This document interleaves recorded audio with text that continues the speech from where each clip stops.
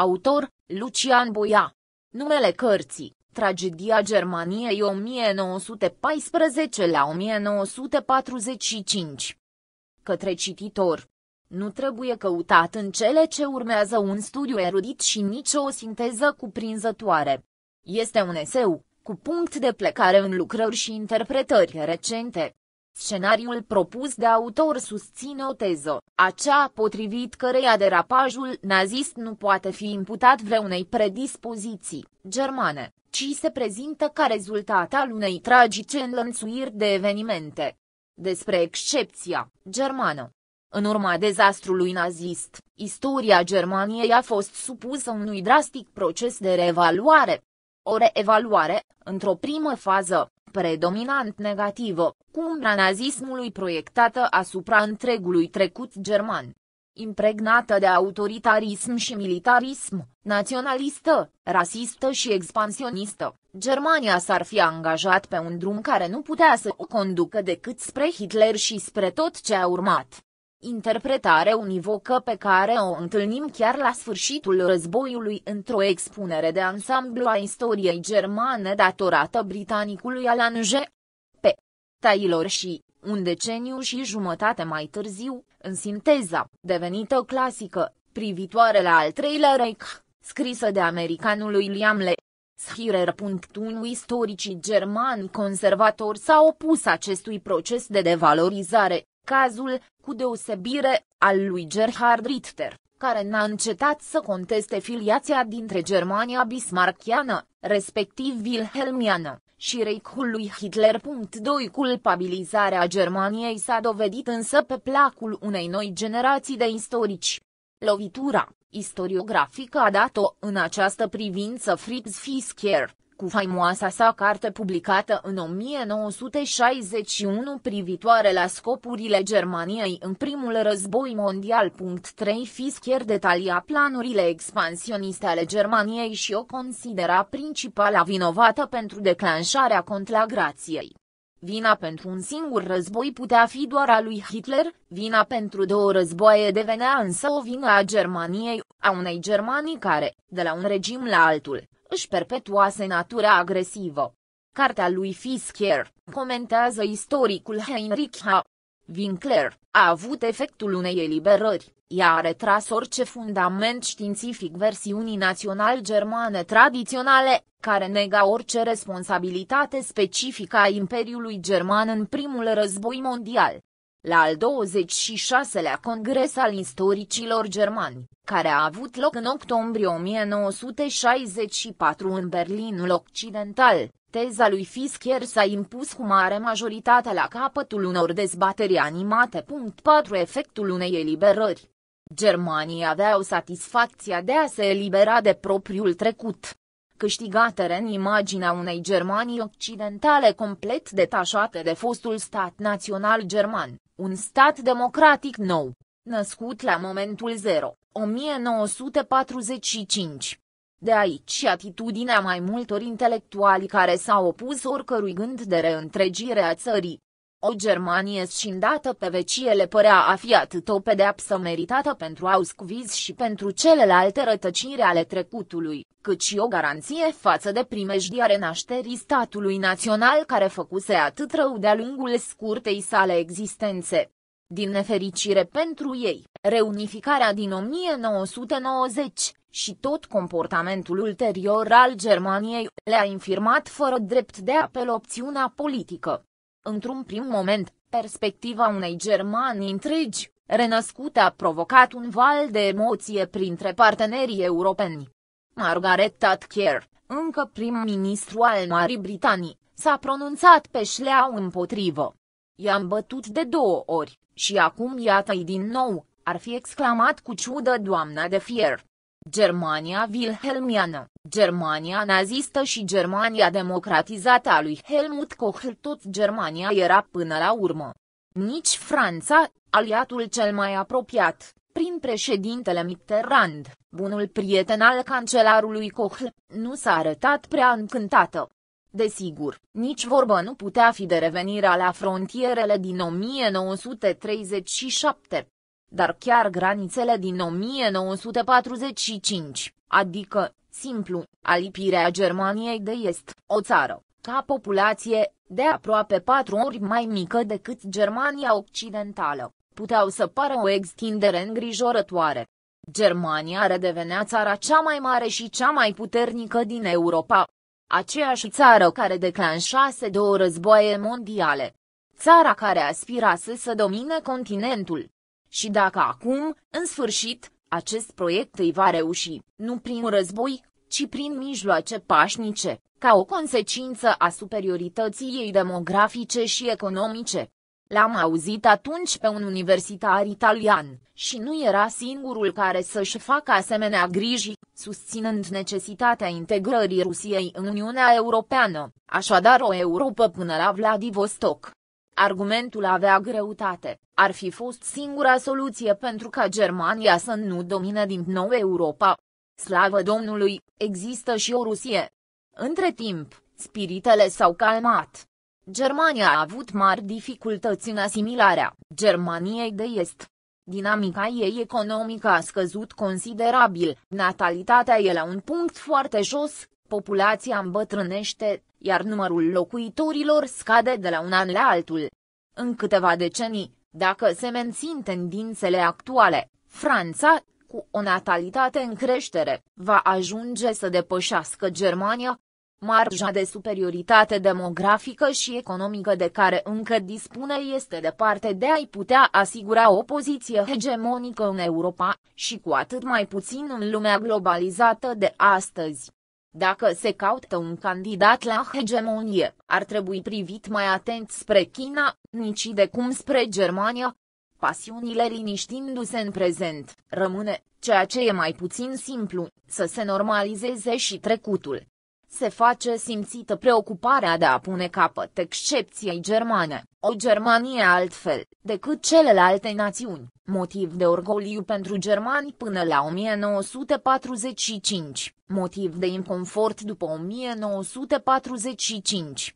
Până la reunificare, democrația a fost marele mit fondator al Germaniei Occidentale, de altfel, și nu oricum, ci înscris chiar în numele țării, și al mai puțin democraticei Germanii democrate. Redevenind un stat național, Germania își asumă însă inevitabil și trecutul său de stat național. Și e greu să pretinzi cuiva să suporte un trecut predominant negativ. Capitala țării ar fi putut să rămână la Bonn. În mod semnificativ s-a reîntors însă la Berlin, vechea capitală a Reichului, din 1871 până în 1945. Dacă se va reclădi, cum arată proiectul, și Palatul Regal și Imperial al Hohenzollernilor, demolat de regimul comunist, s-ar face încă un pas spre readucerea istoriei în prezent. Construirea unui amplu monument al Holocaustului în inima Berlinului stă mărturie faptului că recuperarea unui anume trecut nu poate să însemne neglijarea altui trecut, ci asumarea deopotrivă a tot ce a fost. Reechilibrarea istoriei se anunță însă o treabă anevoioasă. Prea s-au adunat multe file la dosarul multiplelor excepții și vinovății germane. Heinrich H. Winkler, unul dintre istoricii germani de renume, a publicat o masivă și detaliată istorie politică a Germaniei în secolele 19 la 20, fidel liniei inaugurate de Fritz Fisker, nu găsește mai nimic bun țării sale până la 1945. După el, cheia excepției, o constituie deficitul de democrație, societatea germană având de parcurs un drum lung și anevoios până să-și însușească valorile democratice de tip occidental. 5 În afara Germaniei, evoluția interpretărilor se poate aprecia comparând cartea lui Schirer cu sinteza cea mai recentă asupra celui de al treilea Reich și, dintre toate, cea mai documentată și mai echilibrată aparținând istoricului britanic Richard G. Evans. 6 s-a terminat cu inevitabilitatea nazismului. Rămâne totuși, după Evans, o predispoziție. Nu în sensul unor trăsături cu adevărat excepționale. Toate caracteristicile negative ale Germaniei bismarckiene și wilhelmiene, autoritarism, expansionism, naționalism, rasism, antisemitism, se regăsesc, în grade și combinații diferite, și în celelalte țări europene. Excepția germană ar consta în faptul că doar în Germania toți acești factori sunt prezenți în același timp și cu aceeași intensitate. Cea mai sensibilă reevaluare o întâlnim la câțiva dintre istoricii francezi ai primului război mondial, care au renunțat să mai vadă în Germania marele responsabil al conflictului, o reechilibrare și o nuanțare a răspunderilor, cu atât mai semnificativă cu cât vine dinspre Franța, cândva, principalul adversar. Și dacă se reevaluează primul război mondial, înseamnă că trebuie reanalizat întregul proces care, pornind de aici, a condus spre deriva nazistă. Până unde se poate merge în sensul normalizării istoriei Germaniei. Excepția nazistă rămâne, evident. Dar restul? Este excepția nazistă partea unei mai cuprinzătoare excepții germane? Sau este o excepție chiar în raport cu restul istoriei germane? Două serii de întrebări se pun în această privință, cât de asemănătoare sau cât de diferită, în raport cu ceilalți, a fost Germania de dinainte de nazism. Și care e partea ei de răspundere în declanșarea primului război mondial, dat fiind că tot ce a urmat, și derivele totalitare, și al doilea război mondial, își au punctul de plecare în acest eveniment fondator al secolului al XX-lea, a fost Germania mai naționalistă?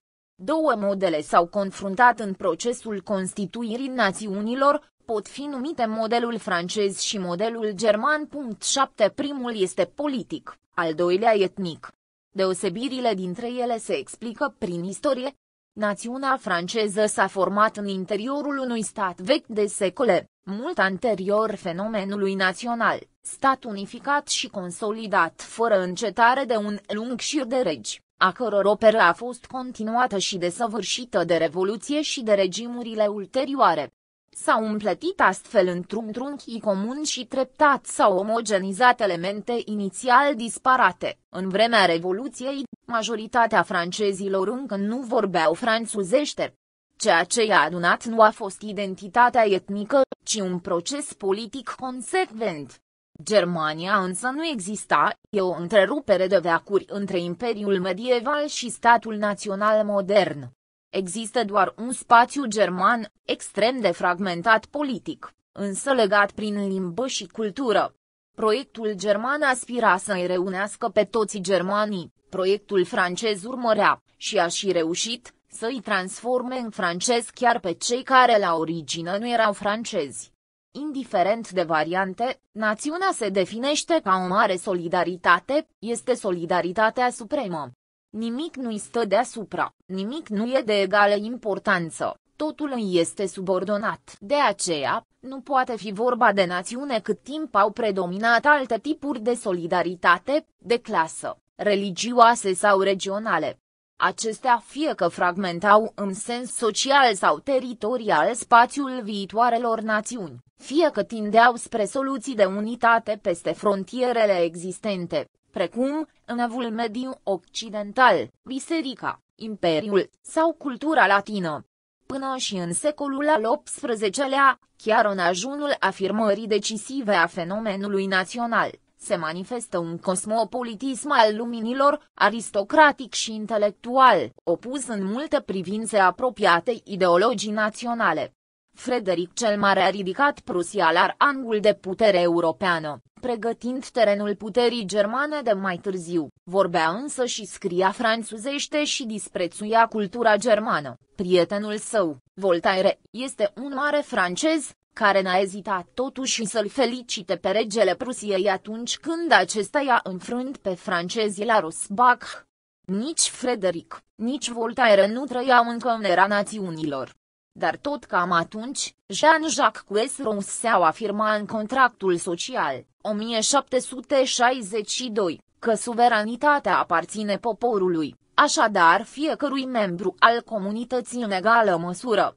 Și, Puțin mai târziu, Johann Gottfried Herder, în ideea asupra filozofiei istoriei omenirii, 1784 la 1791, vedea lumea alcătuită din popoare, fiecare cu spiritul său propriu și cu destinul său în lume.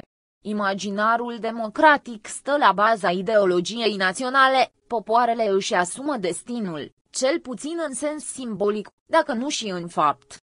Revoluția franceză a stimulat enorm aceste evoluții, mai întâi prin instituirea în Franța noilor principii politice, apoi prin extinderea lor în Europa în urma războaielor revoluționare și napoleoniene, și numai puțin prin rezistența popoarelor în fața expansionismului francez.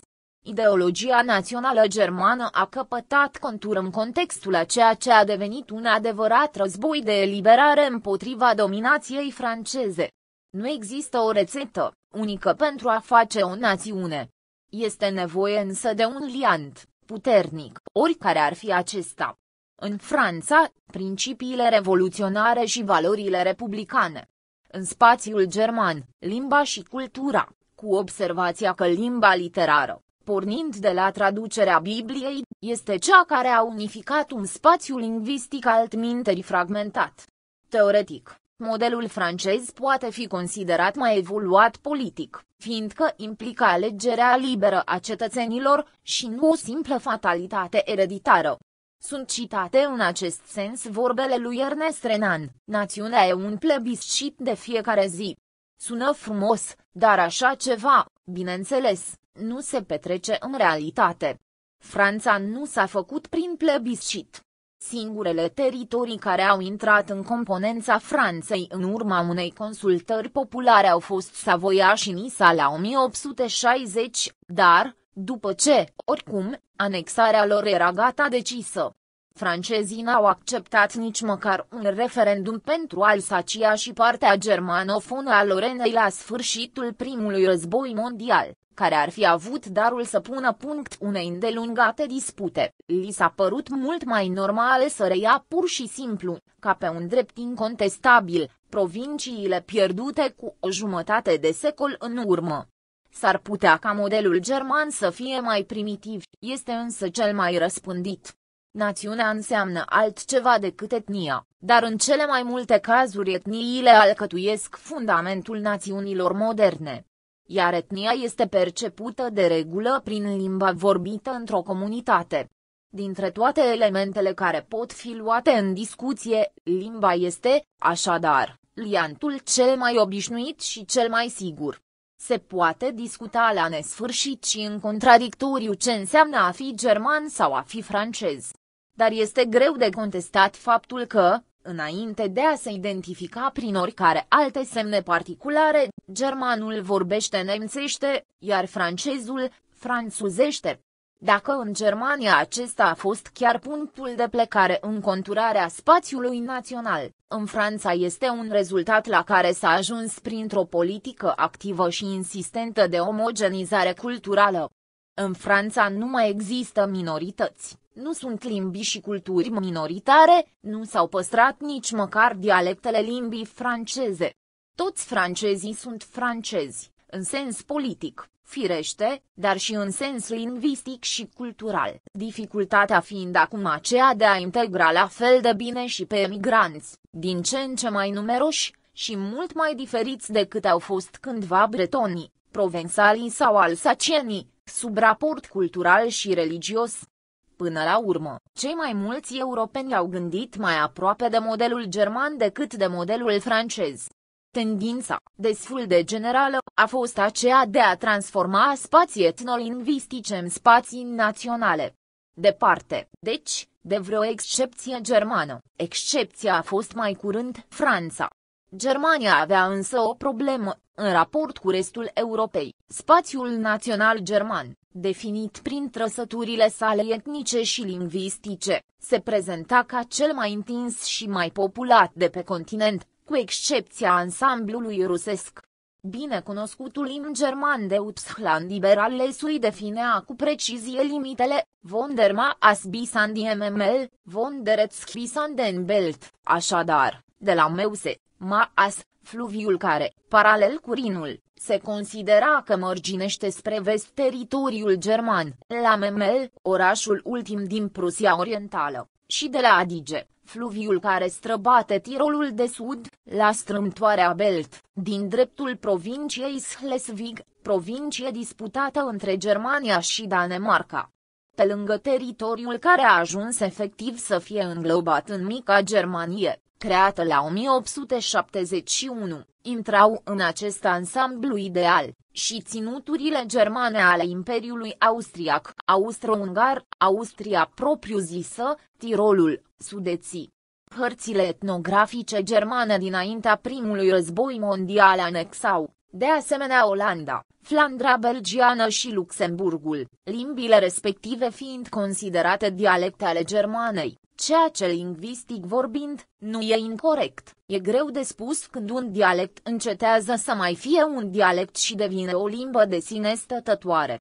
Indiferent de apartenența lingvistică, Olanda, cel puțin, era de multă vreme o națiune de sine stătătoare, una dintre cele mai bine conturate ale continentului.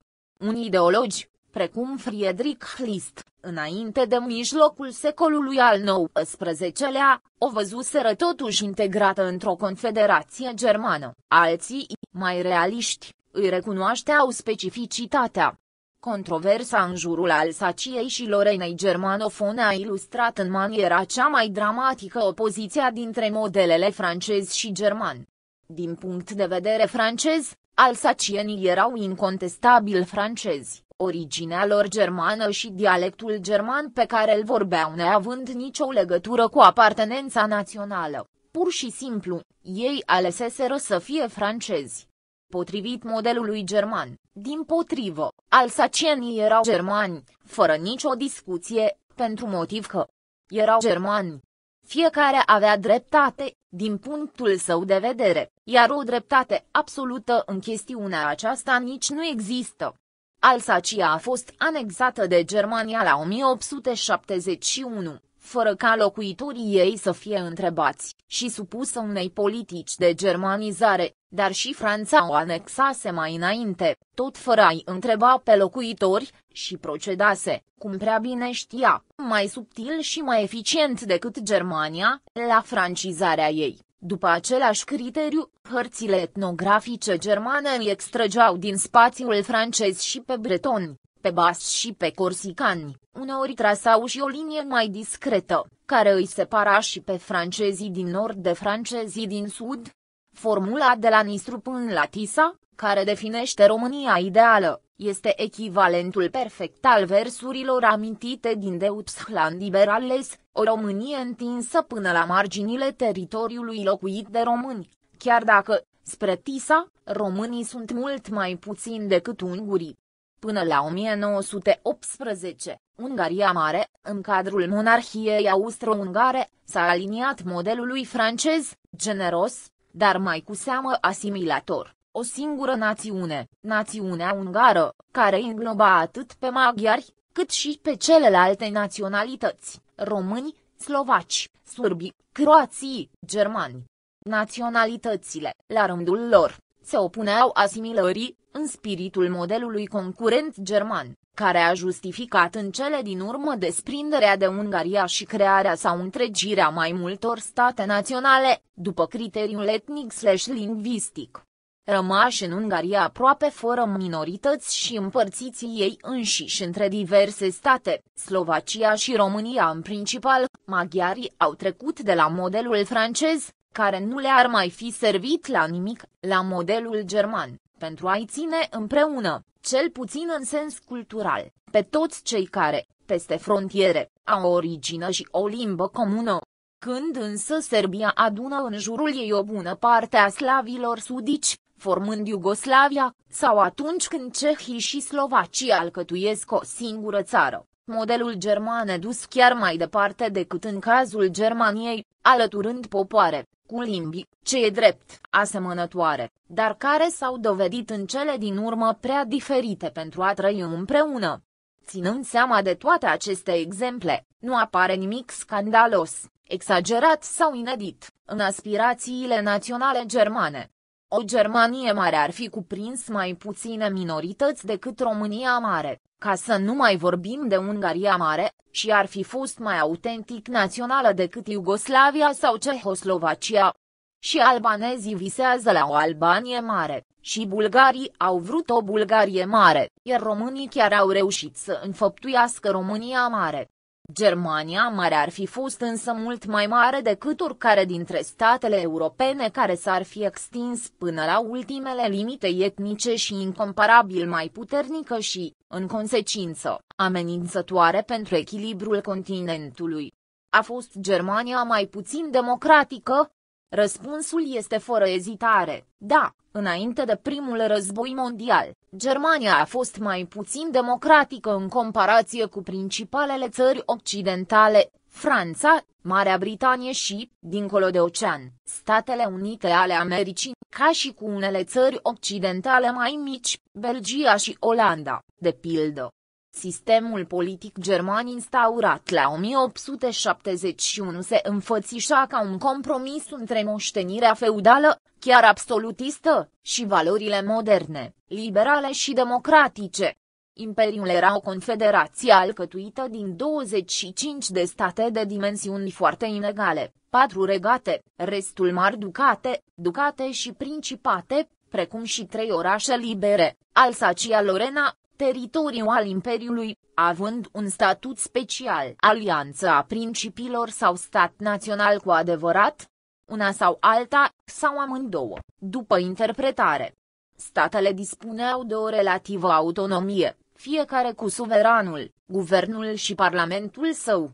Prusia era însă mai egală decât toate celelalte la un loc, însuma 60% din teritoriul și din populația țării, Regele Prusiei era și împărat al Germaniei, iar primul său ministru, cancelar al Imperiului. Influența Prusiei era, așadar, covârșitoare. Și nu în sens democratic. Venea cu o lungă tradiție militaristă și autoritară. A rezistat până la capăt și în fața votului universal. Parlamentul prusian era ales prin sufragiu inegal și indirect, pe trei clase de avere ceea ce avantaja aristocrația funciară și marea burghezie. Statele, sau mai curând principii, își trimiteau delegații în Consiliul Federal, Bundesrat. Democrația, atâta câtă era, se concentra în Reichstag, Parlamentul întregii Germanii, singurul ales prin vot universal, masculin, egal și direct, doar că guvernul nu depindea de Reichstag, cancelarul fiind numit sau destituit direct de împărat. Reichstagul avea însă prerogativa de a aproba bugetul, și în acest fel exercita un anumit control asupra guvernului. Rolul său a crescut constant până la primul război mondial, fără a se face însă pasul decisiv al introducerii răspunderii guvernamentale. Împăratul dispunea de o gamă largă de puteri, guvernul depindea de el, și depindeau mai ales domeniile rezervate, care erau politica externă și armata. Armata, la rândul ei, se prezenta ca un corp privilegiat, un soi de stat în stat, prea puțin controlată de factorul politic. Alcătuirea politică a Germaniei îmbină astfel elemente absolutiste, împăratul, feudale, principii, aristocrația funciară, militare, în tradiția militarismului prusac, și liberal-democratice, Reichstagul. Curioasă Constituție pentru o țară care în multe privințe se afla în fruntea progresului european. Curioasă mai ales privită de astăzi. În epocă, întârzierea politică a Germaniei, denunțată de unii, era văzută de alții ca o virtute. Fapt este că și democrația își are insuficiențele și riscurile ei, minimalizate în prezent, supraevaluate acum un veac. Există riscul unei derive populiste și, mai grav, riscul confiscării puterii în numele poporului. Masele sunt mai ușor de manipulat decât elitele. Totalitarismele s-au construit pe fundament democratic, de regulă într-o primă fază a democrației, perioada interbelică, în condiții de masivă nemulțumire socială și, adesea, nu e cazul Germaniei, dar ale Rusiei și chiar al Italiei, de precaritate culturală. Mizeria și frustrarea maselor, ușor de atras în cursa promisiunilor și utopiilor, s-au împletit în mai multe cazuri cu teama de democrație a elitelor care, supraestimându-i pericolele, au preferat ceea ce părea a fi răul mai mic al unor regimuri de mână forte, cazul tipic al Germaniei în 1932 la 1933, în prezent, democrația funcționează relativ bine în spațiul occidental, nu doar grație propriului său mecanism, ci, în bună măsură, datorită nivelului economic atins și atenuării contradicțiilor sociale, în condițiile în care cea mai mare parte a populației a ajuns să aparțină clasei de mijloc, Greu de spus ce efecte ar avea asupra sistemului reîntoarcerea, ipotetică, la dezechilibrele majore ale anilor interbelici. Regimul politic al Germaniei imperiale se dorea a fi o îmbinare de principii democratice cu principii conservatoare și chiar autoritare, rezultatul, ideal, fiind echilibrul și controlul reciproc al diverselor puteri. Era un mecanism extrem de complicat, dar genul acesta de complicație instituțională poate fi o pavăză în fața posibilelor derive. Inclusiv pentru o democrație autentică, echilibrul puterilor, puterea care se opune puterii, nu e mai puțin esențial ca votul universal sau responsabilitatea guvernamentală. Germania era incontestabil un stat de drept. Se conducea după reguli conservatoare, însă după reguli Puterea judecătorească era de asemenea bine organizată și suficient de autonomă, chiar dacă, și ea, de spirit conservator există judecători la Berlin, sunt vorbele, apocrife, dar semnificative, cu care morarul nedreptățit s-ar fi adresat lui Frederic cel Mare într-o vreme când încă nimeni nu auzise de democrație. În ciuda unor abuzuri, cum a fost dubla campanie anticatolică și antisocialistă a lui Bismarck, drepturile esențiale erau garantate, libertatea cuvântului, libertatea de întrunire și asociere, libertatea presei. Germania nu era prea democratică, dar nici nedemocratică, când regimul bismarckian sau wilhelmian este făcut răspunzător pentru evoluțiile naziste ulterioare, se trece prea repede peste faptul că nazismul nu a fost un fenomen conservator, ci unul revoluționar. A preluat, fără îndoială, o anume cultură a autorității și a personificării puterii prezentă în societatea germană, dar în contextul evoluțiilor democratice de după căderea Imperiului n-ar fi fost posibil în vremea lui Bismarck și a lui Wilhelm II. 50 a făcut posibil nu sistemul imperial, ci prăbușirea sistemului imperial. O particularitate a Germaniei, stimulată de rapida ei creștere industrială, a fost amploarea căpătată de mișcarea socialistă.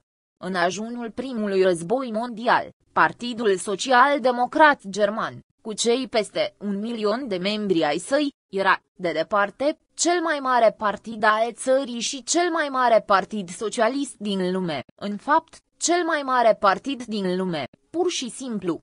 Puternic organizat, în spiritul unei ideologii republicane, anticapitaliste și antimilitariste, reușise să-și încadreze aderenții în tot felul de asociații complementare, culturale, educative, sportive. Era deja o altă Germanie, la alegerile din 1912 devine primul partid, ca reprezentare, din Reichstag, 110 mandate din totalul de 397, aproape 28%, ca număr de voturi, obținuse și mai mult, spre 35%.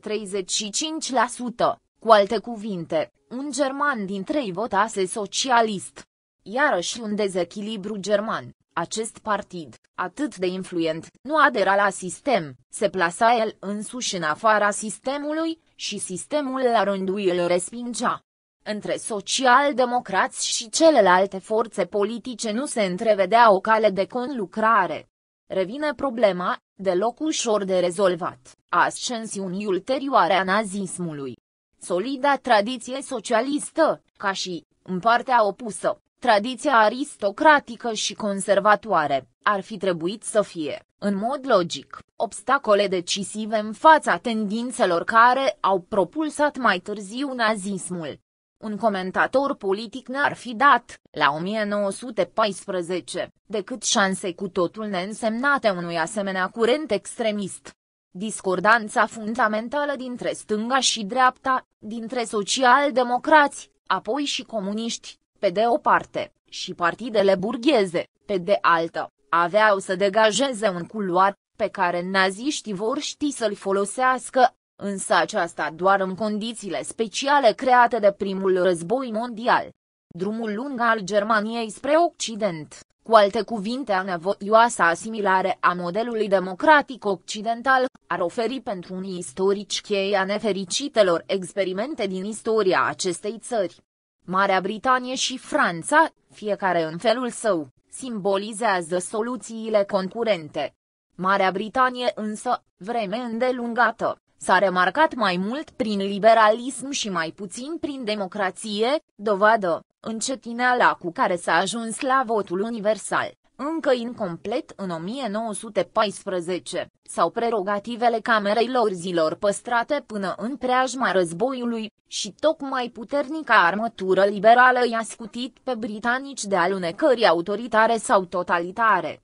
Cea mai avansată democrație europeană a secolului al XIX-lea a fost, fără îndoială, democrația franceză.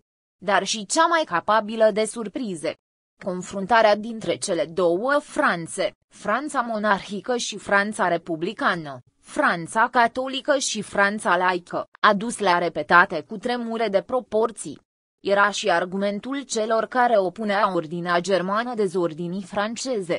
S-au transmis de asemenea în democrația franceză, până astăzi, cu rădăcini în absolutismul vechiului regim, o idee monarhică, asupra statului, tentația unanimismului, republican mai presus de interesele particulare, centralizarea excesivă și neacceptarea minorităților etnice și lingvistice. La 1848, nicio țară nu e atât de avansată pe calea democrației precum Franța. Pentru prima dată se aplică aici votul universal, masculin. Urmarea imediată este regimul autoritar al celui de-al doilea imperiu, în care s-a putut vedea, cu exagerare dar și cu o parte de dreptate, prefigurarea sistemelor totalitare ale secolului al XX-lea, Napoleon III și-a așezat regimul pe o bază populară, practicând dialogul democratic, direct, cu masele. Aproape un secol mai târziu, o Franță încă și mai democratică, în care tocmai avusese loc episodul Frontului Popular, a produs regimul de la Vichy, desigur, în condițiile speciale ale dezastruoasei înfrângeri din 1940, însă la fel de bine și nazismul german a fost o urmare a înfrângerii din 1918 și diverselor consecințe ale acesteia. Cert este că acest regim a relevat orientări existente în societatea franceză și deloc marginale, falia dintre cele două Franțe, tentația autorității, aflată la francezi în tandem contradictoriu cu refuzul autorității, liderul providențial apărând în persoana lui Petain, clericalismul în dezacord cu valorile republicane laice, loialitatea îndoielnică față de Republica a unei bune părți din corpul ofițeresc, un antisemitism destul de răspândit. Avansata democrație franceză nu pare să fi fost mai bine imunizată contra derivelor antidemocratice decât imperfecta democrație germană. Germania nu era mai pregătită pentru nazism decât a fost Franța pentru vichism. Ambele țări au fost împinse în această direcție de evenimente specifice. A fost Germania expansionistă? A fost, fără îndoială, la fel ca mai toate statele, mari sau mici, în epoca la care ne referim.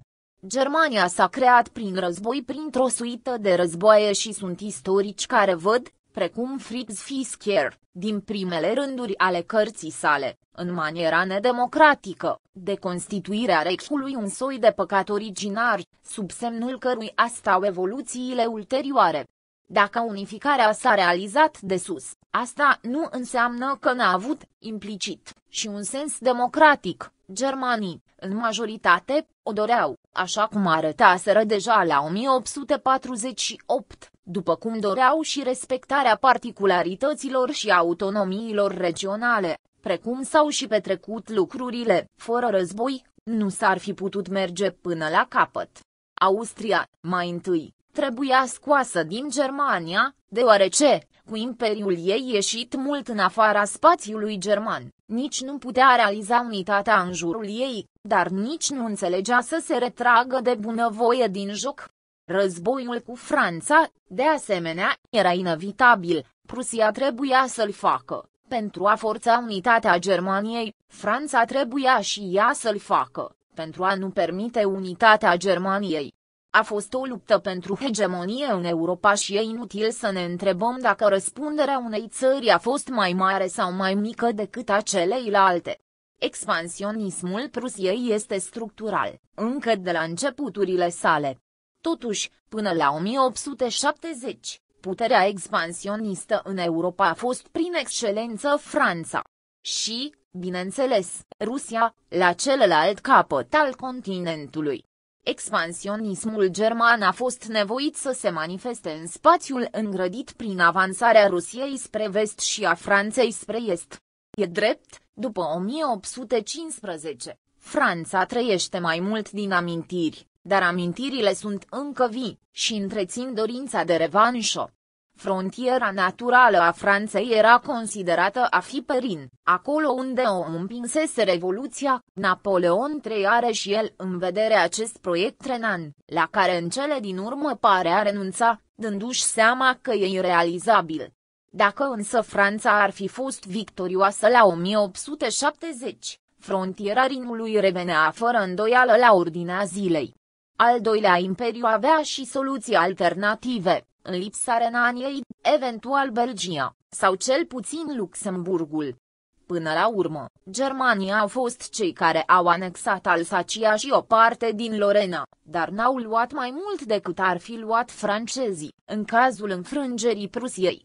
Pentru Alsacia-Lorena, exista măcar un argument, acceptabil sau nu, de ordine etnolingvistic și istoric. Pentru Renania, de cealaltă parte, nu era decât pura dorința Franței de a-și extinde teritoriul până la Rin. După 1870 și până la sfârșitul primului război mondial, Franța nu și-a mai putut permite să viseze o lărgire a granițelor sale. Singurul gând, discret, se îndrepta spre Alsacia-Lorena, dar și recuperarea teritoriului pierdut părea problematică. Germania, la rândul ei, s-a putut mulțumi un timp cu ceea ce realizase, luase locul Franței, ca primă putere continentală. Prioritară pentru Bismarck a fost politica de alianțe, pentru a nu permite Franței, ea singură mai slabă decât Germania, să realizeze o coaliție antigenană. Pentru cancelarul de fier era mai important ca Germania să aibă prieteni decât să-i sperie pe ceilalți printr-un prea mare apetit de putere. Istoria i-a dat dreptate, la ce a servit Germaniei să fie cea mai puternică, dar împotriva tuturor. S-a petrecut însă un fenomen istoric extraordinar, uluitoarea creștere a Germaniei, fără precedent în istoria Europei. Reichul creat la 1871 avea cam aceeași întindere cu Franța, 540 de mii kilometri pătrați față de 536 de mii kilometri pătrați, și o populație puțin mai mare ca aceasta. Însă de la 39 milioane de locuitori la 1871, Germania ajunge în 1914 la 67 la 68 milioane, în timp ce în același interval, Franța abia crește de la 38 la 40 de milioane, iar Marea Britanie de la 35 la 45. Avantajul demografic al Germaniei devine astfel covârșitor. La fel de repede crește și economia, Germania depășind nu numai Franța, ceea ce se petrece imediat după războiul franco-prusian, ci și Marea Britanie, în preajma primului război mondial. Potrivit unei estimări statistice, în 1870 Germaniei îi revenea 6,5% din PIB-ul mondial, Franței tot 6,5%, iar Marii Britanii 9%. În 1913, Germania ajunge la 8,7%, în timp ce partea Marii Britanii scade la 8,2%, iar a Franței la 5,3%. Germania devenea astfel prima putere economică a Europei și a doua din lume, după Statele Unite, 8,8% din PIB-ul mondial în 1870, 18,9% în 1913. 8. Economia germană excela aproape în toate, și cu deosebire în tehnologiile și ramurile cele mai noi, precum industria chimică, produse farmaceutice, aparatură electrică. Franța fusese multă vreme cea mai mare putere teritorială a Europei, iar Anglia cea mai mare putere economică. Acum, Germania se instala în frunte, ocupând atât locul Franței, cât și ale Angliei. Și nu erau doar economia și numărul oamenilor, în ciuda strălucirii literelor și artelor în Franța și a primatului pe care franceza încă îl mai avea ca limbă a elitelor și a diplomației, se poate considera că, în multe privințe, Germania devenise și prima putere culturală a lumii, în mod cert prima putere științifică. Instrucția elementară era mai răspândită în Germania decât în oricare dintre celelalte mari state. Universitățile germane erau cele mai reputate, îi revenea Germaniei primul loc și la producția de carte, unde depășea cu mult numărul de titluri publicate în oricare altă țară. Și la acest capitol sporurile sunt impresionante de la un an la altul, 10.108 de titluri în 1870, 14.941 în 1880, 18.875 în 1890, 24.792 în 1900. Nouă nimic nu este însă mai semnificativ decât însumarea premiilor Nobel științifice. Iată cum se prezintă tabelul acestora pentru perioada 1901 la 1918. În paranteză, numărul laureaților, în cazul când unele premii au fost acordate la două sau trei persoane, câte un premiu pentru medicină au mai primit Austria, Danemarca și Spania, țara Germania, Franța Marea. Britanie, SUA, Olanda, Suedia, Italia, Elveția, Rusia, fizică 62. 4 413, 4 11 chimie 73, 4 2111 1 medicină 431 1112 total 178, 11 724, 5 3222 Supremația științifică a Germaniei reiese din acest tabel în toată splendoarea ei, tot atâtea premii Nobel câte au adunat Franța, Marea Britanie și Statele Unite la un loc.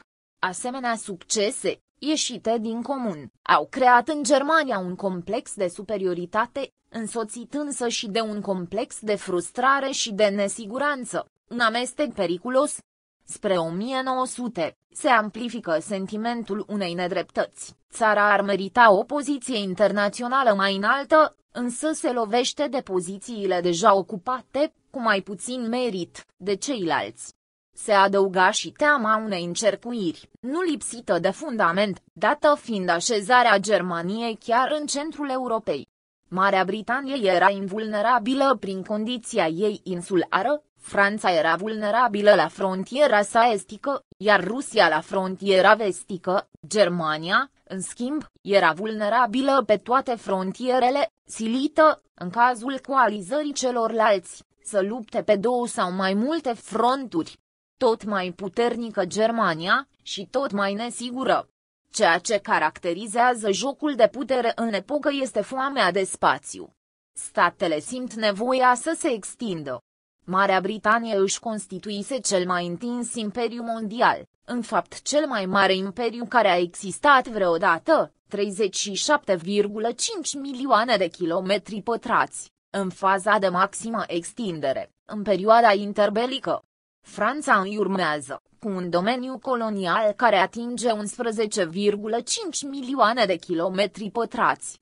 Până și mica Belgie sfârșește prin a anexa Congo, o colonie de 80 de ori mai întinsă decât metropola. Rusia avansează în toate direcțiile, Statele Unite, de asemenea, înghițind și o bună parte din teritoriul mexican. și Austro-Ungaria face un pas mai departe, în Balcani, anexând Bosnia și Herțegovina, fără să intuiască complicațiile care vor rezulta de aici. Țările mici, când au ocazia, nu sunt mai puțin hrăpărețe decât cele mari, ajungând până la a se încăiera între ele pentru un plus de teritoriu, exemplu clasic, conflictele din Balcani. În vremea lui Bismarck, Germania e prudentă, mai puțin expansionistă dacă o comparăm cu celelalte mari puteri. Își constituie un imperiu colonial, în cea mai mare parte în Africa, cu ceea ce rămăsese încă neocupat, Africa Germană de Est, Africa Germană de Sud-Vest, Togo, Camerun, de dimensiuni relativ modeste comparat cu ale celorlalți, vreo 3 milioane de kilometri pătrați. Intervine apoi presiunea. Presiunea obiectivă, prin creșterea considerabilă umană și economică a Germaniei, presiune mentală, prin imprimarea convingerii că Germaniei îi se cuvine mai mult, Rezultatul însă, departe de a se conforma reputației germane de ordine, este o mișcare complet dezordonată, cu obiective ambițioase, dar prea generale, insuficient ierarhizate, și cu tactici contradictorii, chiar haotice. Germania vrea ceva, vrea din ce în ce mai mult, dar nu știe prea bine ce vrea. Departe de siguranța afișată, ceea ce domnește e nesiguranța, în faimoasa lui carte, Fritz Fisker a adunat tot ce a trecut prin capul germanilor în materie de expansiune, lăsând impresia că am avea de-a face cu un proiect coerent, minuțios spus la punct. În fapt, politica germană post-bismarckiană e prost coordonată și păcătuiește tocmai prin lipsa de sistem și de obiective clare. Venită mai târziu la masa celor mari, Germania face exerciții de imitație. Mai întâi, preia modelul francez, de hegemonie continentală. Bismarck chiar îi împinge pe francezi să-și facă de lucru în colonii, pentru ca Germania să se miște nestingherită în Europa. Apoi, odată cu Wilhelm II, se manifestă fascinația modelului britanic, expansiunea mondială, coloniile, mările, flotă. Direcțiile posibile de expansiune erau multiple și confuze, mai întâi, Germania nu se desăvârșise nici măcar ca stat național. Un mare număr de germani trăiau în Austro-Ungaria, potrivit datelor din 1900, peste 9 milioane în Austria și peste 2 milioane în Ungaria, mai mult de o treime din populația Austriei și cam 11% din numărul locuitorilor Ungariei. În cazul dezmembrării monarhiei Habsburgice, teritoriile compact germane ale Austriei s-ar fi alăturat în mod firesc Germaniei, cel puțin, în sensul concepției germane despre națiune. Oricum, cu Austro-Ungaria relațiile nu puteau fi decât speciale, era ea însă și o întruchipare a germanității în mersul ei civilizator, spre est. Împreună, Germania și Austro-Ungaria alcătuia un mare bloc al Europei centrale, populat de germani în cea mai mare parte, iar în rest de diverse popoare, slavi, unguri sau români, care purtau deja o amprentă culturală germană. Sudarea celor două monarhii într-un bloc unic avea să-și găsească expresia cea mai elaborată în cartea lui Friedrich Naumann, Mittel Europa, apărută în 1915. În sens mai larg, o Europa centrală aflată sub influență germană putea cuprinde și țări aflate dincolo de Austro-Ungaria, România, Balcanii și, eventual, eliberate de sub stăpânirea rusească, Polonia și țările Baltice. În jumătatea răsăriteană a Europei se aflau nenumărate insule, de populație germană, rezultat al unor valuri de colonizare succesive, din evul mediu până în secolul al XIX-lea, în Ungaria, Transilvania și Banat, în Galiția și Bucovina, în Rusia, din ținuturile baltice până pe Volga, trăiau cu totul mai multe milioane de etnici germani, pe care Germania ar fi putut conta într-un proiect de expansiune spre est. De altfel, ideologia statului națiune se combina în imaginarul politic german cu nostalgia Imperiului, un simbol care depășea simpla unificare a teritoriilor germane. Germania se înfățișa ca națiunea imperială prin excelență, cea care deținuse imperiul în evul mediu și căreia îi revenea în continuare o misiune hegemonică. Era, într-un fel, corespondentul occidental al Rusiei, care și ea se considera investită cu o misiune imperială a treia Romă. În ce privește proiectele de expansiune extraeuropeană, motivele de satisfacție s-au combinat tot timpul cu frustrările și cu sentimentul unei nedrepte inferiorități. Germania avea un imperiu colonial care nu-i folosea prea tare. Cu el sau fără el, ponderea ei economică ar fi fost cam aceeași, în 1913, 37,2% din exporturile Marii Britanii mergeau spre imperiul său colonial, de unde proveneau 24,9% din importuri. Franța, în relația cu propriul imperiu, exporta 13% și importa 9,4%. Coloniile germane abia apar în statisticile comerciale, cu câteva zecimi de procent. S-ar zice că Germania nici nu merita să le aibă. Nu reușise să colonizeze un teritoriu care să îi aparțină, în ciuda unei emigrații foarte importante pe parcursul celei de-a doua jumătăți a secolului al XIX-lea, emigrație precumpănitor rurală, în scădere odată cu procesul de industrializare, de la cifre care în anii 1880 la 1890 depășesc 100 de mii uneori chiar 200 de mii anual, la efective oscilând în jur de 30 de mii după 1895. Marea majoritate a emigranților germani s-au îndreptat spre Statele Unite, între 6 și 7 milioane din 1820 până la începutul secolului al XX-lea, 11 zeci de milioane de americani au sânge german. Germanii s-au asimilat însă repede și au fost astfel pierduți, pentru țara mamă. Proporția lor în amalgamul american a determinat vreo înclinare sensibilă spre Germania, lipsă de atașament care s-a putut observa cu prilejul celor două războaie mondiale. La distanță de Statele Unite, a doua, de fapt ultima destinație semnificativă a emigranților germani, a fost Brazilia, în sudul acestei țări, o comunitate germană, apreciată la începutul secolului al XX-lea la circa 350.000 de persoane, a reușit să-și mențină identitatea, înglobată, totuși, într-o mult mai numeroasă populație negermană. Și aceștia, până la urmă, au fost pierduți pentru Germania, în total, atâtea milioane de germani, care, teoretic vorbind, ar fi putut alcătui undeva, dar unde, o nouă Germanie. Germania încearcă peste tot. Își afirmă prezența în China, unde capitalul german ajunge să fie pe locul al treilea, după cel britanic și rusesc, 20,9% din totalul capitalului străin în 1902. Capătă și concesiunea portului Qingdao, în 1900, revolta boxerilor este înfrântă de forțele unei coaliții internaționale aflate sub comanda generalului german Waldersee, motiv de orgoliu, mai ales pentru exuberantul Wilhelm II.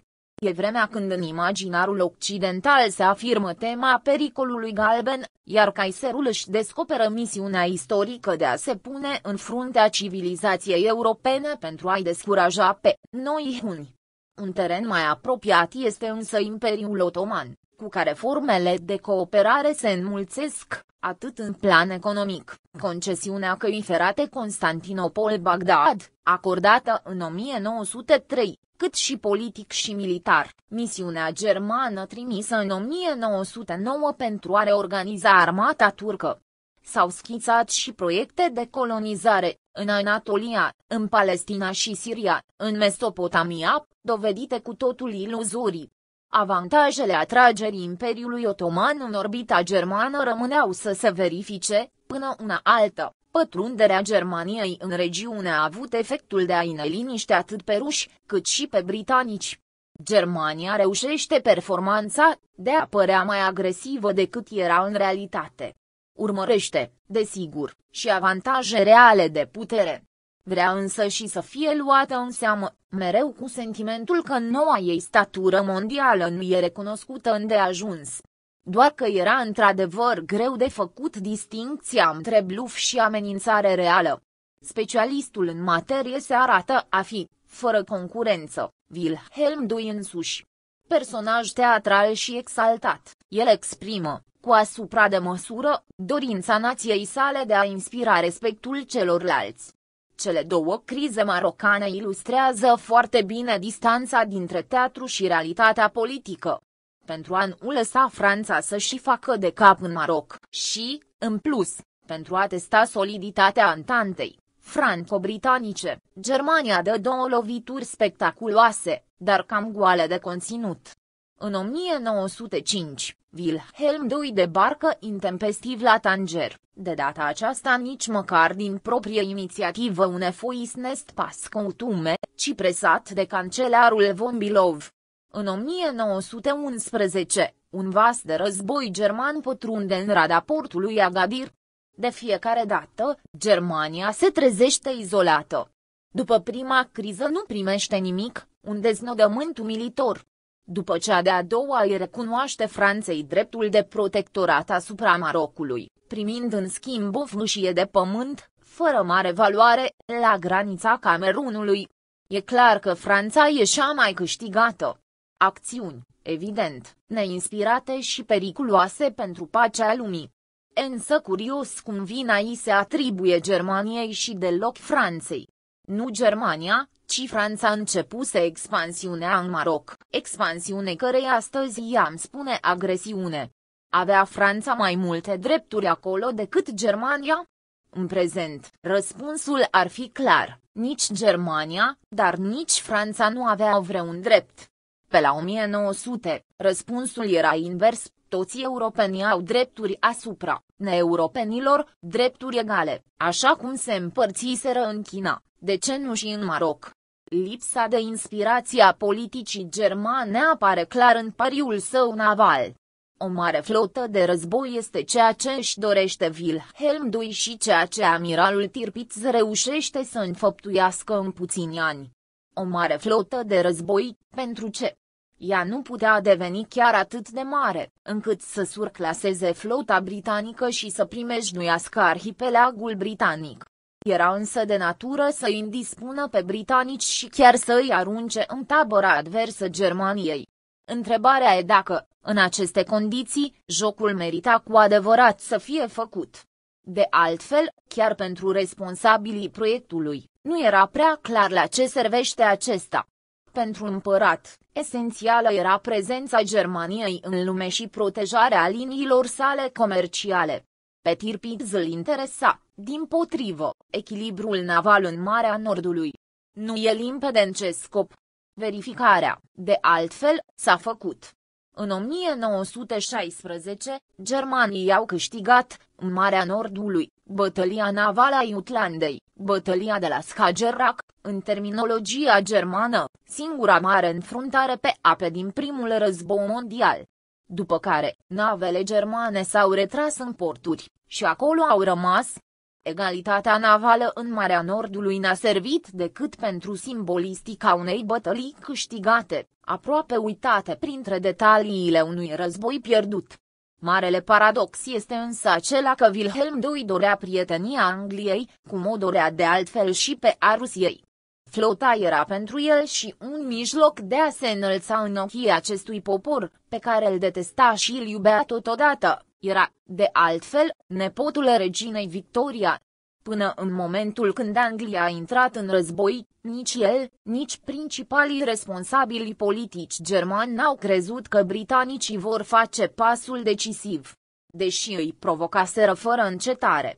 Fusese însă în bună parte un joc de orgoliu. Vina englezilor, l-au luat în serios. Real politic este totuși un cuvânt german, germanii însă păreau al fi uitat. Cu tendințele ei de afirmare, manifestate în toate direcțiile, și care evident nu puteau toate să reușească și în bună parte nu erau decât manifestări de orgoliu german a, a sfârșit prin a indispune aproape pe toată lumea. Ne putem întreba dacă, dovedind mai multă prudență, lucrurile s-ar fi petrecut altfel. Nu e deloc sigur. Rusia urmărea și încă mult mai ferm și mai consecvent decât Germania un plan de expansiune în Europa Centrală și în Balcani, până la Constantinopol. Miza în acest sens pe solidaritatea slavă, popoarele slave, chiar dacă de altă religie și de altă cultură, alcătuind o majoritate în monarhia habsburgică, iar în Balcani, pe lângă ideea slavă, manifestându-se și solidaritatea creștin-ortodoxă în fața Imperiului Otoman. Rusia era cel puțin în aceeași măsură expansionistă ca Germania, probabil chiar mai mult. Susținerea pe care Germania, în mod firesc, o acorda Austro-Ungariei, celuilalt mare stat german, a așezat-o în contradicție cu Rusia atât în Europa Centrală, ocupată în mare măsură de monarhia habsburgică, cât și în Balcani, unde austro-ungarii, care anexaseră Bosnia și Herțegovina, aveau poziții și interese de apărat, infiltrarea Germaniei în Imperiul Otoman, dușmanul secular al Rusiei și o cale de acces spre Asia Centrală, unde Rusia avea propriile interese, n-a făcut decât să ascută neînțelegerile. Marea Britanie, la rândul ei, avea o problemă simplă, dar esențială, echilibrul european. Cândva, acesta fusese dezechilibrat în favoarea Franței, de unde și îndelungata politică antifranceză a britanilor. Acum, statul cel mai puternic era Germania, opțiunea britanică nu era greu de ghicit, poate doar pentru oamenii politici germani, cu atât mai mult cu cât se adăuga și îngrijorarea stârnită de înarmarea navală. Germania n-a fost mai agresivă decât ceilalți, a avut însă, și a plătit pentru asta, o politică mai proastă decât a celorlalți. Mai rasiști? Germanii erau și rasiști. Ca mai toți europenii, occidentalii îndeosebi și nordicii în primul rând. În secolul al XIX-lea cu prelungiri notabile și în veacul următor ideea socotită corectă, nu era nici de cum egalitatea raselor, ci, din potrivă, inegalitatea dintre ele. Un discurs egalizator, putea să pară cel mult un paradox curios.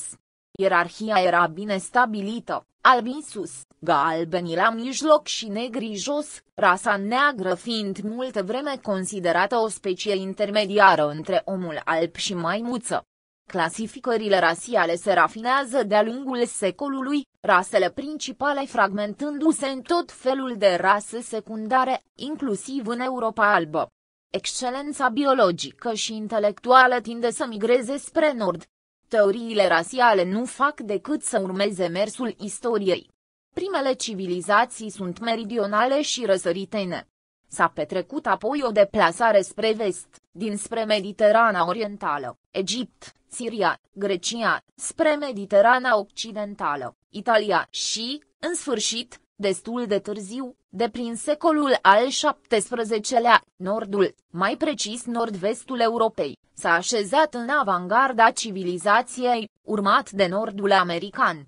Pe vremea lui Cezar sau a lui Leonardo da Vinci, cine s-ar fi încumetat să-i proclame pe germanici, superiori italienilor, în secolul al XIX-lea, raporturile se inversaseră însă complet, în defavoarea Sudului. Nivelurile discursului rasial sunt totuși diferite. 12. Există o antropologie științifică, făcută de profesioniști, și o antropologie vulgarizatoare, sensibil mai ideologizată și, adesea, cu mai multă priză la public. Antropologii germani de renume, în perioada bismarckiană și wilhelmiană, se remarcă în genere prin moderație și simț al nuanțelor. De orientare predominant liberală, ei se opun cultului rasei germane pure, după cum nu agrează nici antisemitismul. E caracteristică în acest sens polemica iscată între Rudolf Virchow și antropologul francez Quatrefages, cel din urmă denunța unificarea Germaniei drept o eroare antropologică, dat fiind că rasa prusiană, coruptă prin elemente slave și finice, ar diferi de adevărata rasă germană. Virchow îi atrage atenția că națiunea nu are nimic de a face cu profilul rasial al unei populații. Francezul e cel care judecă în termeni rasiali, în timp ce germanul se dovedește mai apropiat decât el de concepția franceză, a națiunii. numele de prim rang ale antropologiei germane ajung să pună sub semnul întrebării însuși conceptul de rasă, Felix von Luskhan combătea, în lucrarea Volker, Rassen, Sprachen, apărută în 1922, decuparea omenirii în grupuri artificiale, pornind de la culoarea pielii, lungimea sau lărgimea craniului, tipul părului etc., mai devreme ca în alte școli antropologice, se afirmă în Germania genetica populațiilor, care vede în rase un amestec dinamic, și nicide cum o configurație omogenă și fixă, un pas spre eventuala depășire a clasificărilor rasiale. În comparație, francezii apar mai tradiționaliști. Joseph de Nichier, într-o carte devenită clasică, Les Raceset Peuples de la Terre, publicată în 1900, propune împărțirea populației europene în 10 grupuri rasiale distincte, 6 rase și 4 subrase. În 1924, unul dintre volumele introductive ale marii colecții de istorie a lumii, L'Evolution del Humanite, sub direcția lui Henry Baird, tratează despre rase și istorie. Autorul, Eugene Pittard, profesor la Universitatea din Geneva, acceptă întru totul sistemul lui de Nichier și descrie rasele, strict din punctul de vedere al trăsăturilor fizice, precizând, e drept, că popoarele nu sunt omogene sub aspect rasial. Până după primul război mondial, antropologii germani nu par, așadar, a fi mai rasiști decât colegii lor din alte țări. Sunt poate, în ansamblu, din scrupule profesionale, chiar mai puțin rasiști. Este drept că îi vedem pe cei mai mulți dintre ei alăturându-se politicii rasiale a lui Hitler, inclusiv pe adepții, în principiu sensibil mai nuanțați, ai geneticii populațiilor. Fapt este că după primul război mondial, preocupările rasiale s-au accentuat în antropologia germană, încă o manifestare, se vede, a frustrărilor unei națiuni învinse care înțelegea să-și compenseze umilirea prin afirmarea orgolioasă a calităților rasei. O influență notabilă a avut, într-un public mai larg, cartea lui Hans F. K. Ginter despre rasiologia poporului german, Rassenkunde des Deutschen Volkes, apărută în 1922 și reeditată în numeroase rânduri. Dar chiar și sub Hitler, antropologii, raliați la regim, n-au vorbit toți aceeași limbă, distinția rămânea netă între cei care, precum Ginter, mai curând diletant decât specialist, vedeau în rase realități perfect conturate și fixe și alții care, din potrivă, atrăgeau atenția asupra caracterului lor heterogen și evolutiv, însă și o asemenea concepție, în principiu mai bine fundamentată științific, își găsea locul în proiectul nazist de ameliorare a rasei. Rasa trebuia ameliorată tocmai fiindcă nu era perfectă. Tapajul în jurul superiorității unui grup rasial bine definit, chiar în interiorul populației albe, l-au făcut inițial autorii neprofesioniști, și nici măcar germani. Mai întâi, francezul Arthur de Gobineau, cu al său esai sur le inegalite de zraces humaines, 1853 la 1855, potrivit cărui rasa superioară era aceea a indo-europenilor sau arienilor, originari, după el, din platourile Asiei centrale.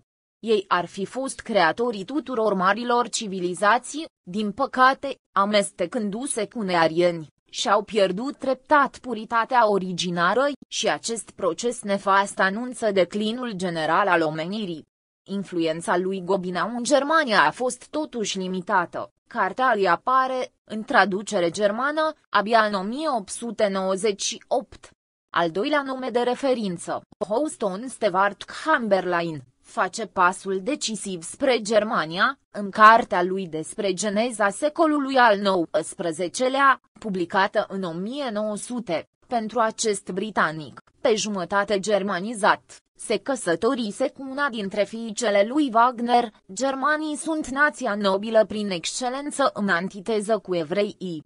Niciun antropolog german profesionist nu-și permitea deocamdată asemenea interpretări radicale. Superioritatea Nordului era însă o idee care plutea în aer.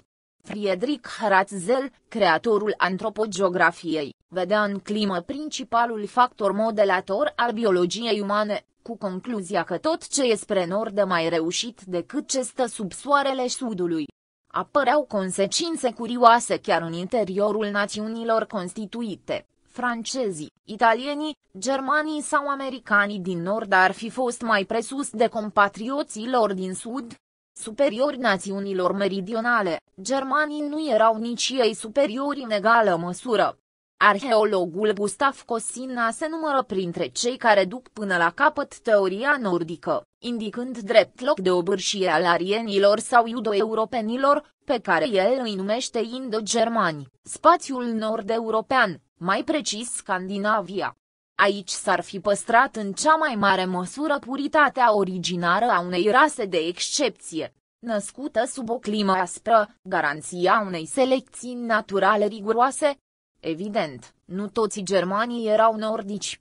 După Ginter, doar 45 la 50% dintre ei aparțineau acestei rase și numai 6 la 8% erau nordici curați. Punct 13 Cum se vede, dacă germanii stăteau mai bine decât alte popoare europene, exceptându-i pe scandinavi, nici ei nu mai stăteau chiar atât de bine, situație care făcea necesară igiena rasei.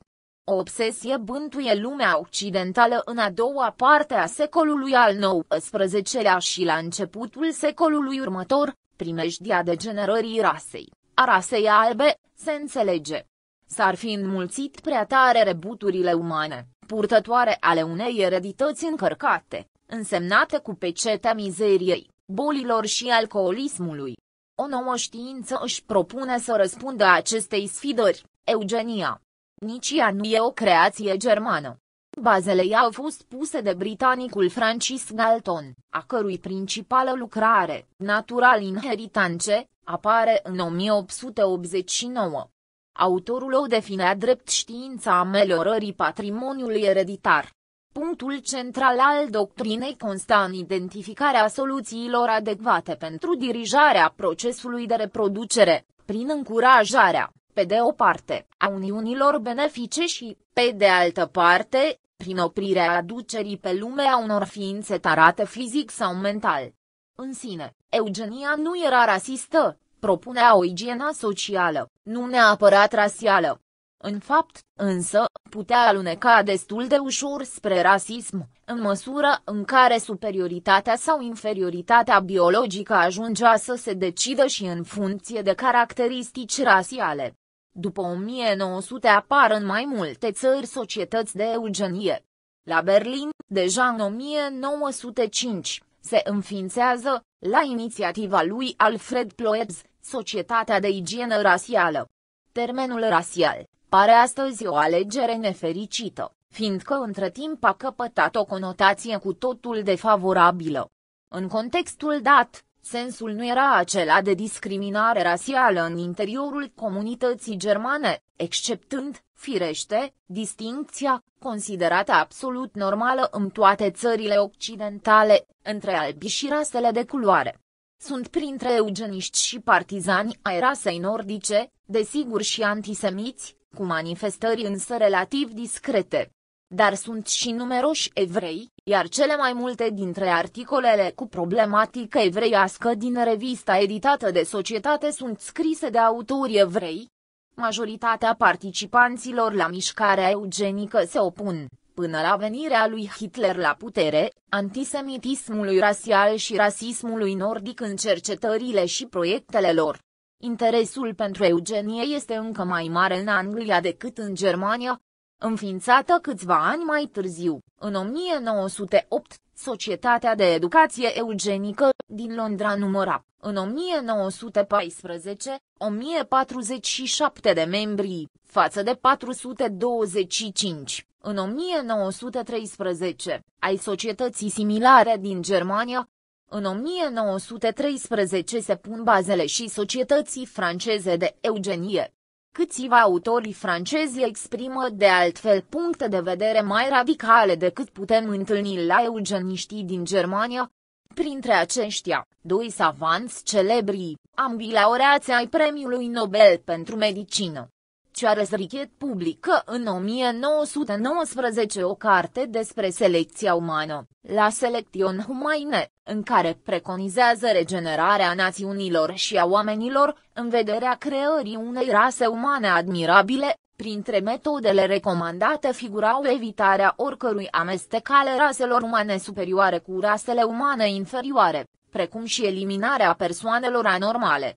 Iar doctorul Alexis Carrel susține în cartea sa Homme, Cet Inconu, apărută în 1936 și devenită un bestseller internațional, aplicarea riguroasă a principiilor eugenice prin înlăturarea rebuturilor umane, un mijloc recomandat era camera de gazare, cu doar câțiva ani înainte de folosirea acestei tehnici, în Germania nazistă.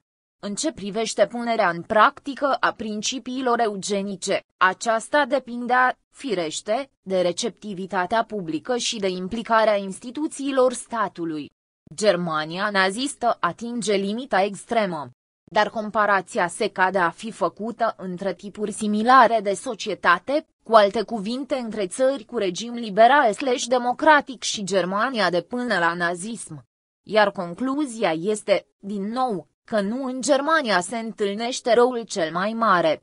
Spre sfârșitul Republicii de la Weimar s-a discutat o lege, care n-a mai apucat să intre în vigoare, privind sterilizarea voluntară, au fost și cazuri, nu foarte multe, de aplicare efectivă a acestui procedeu. În Statele Unite însă, legile au permis sterilizarea, între 1907 și 1960, a circa 60 de mii de alienați, handicapați mental, criminali ereditari și alte asemenea categorii, iar Suedia, socotită și ea printre campioanele democrației, a mers pe aceeași cale, și asta până într-o perioadă recentă, abia în 1986 s-a aflat, cu stupoare, că în această țară au fost sterilizate, împotriva voinței lor, între 1941 și 1975, numai puțin de 13.000 de persoane, pentru asigurarea igienei sociale.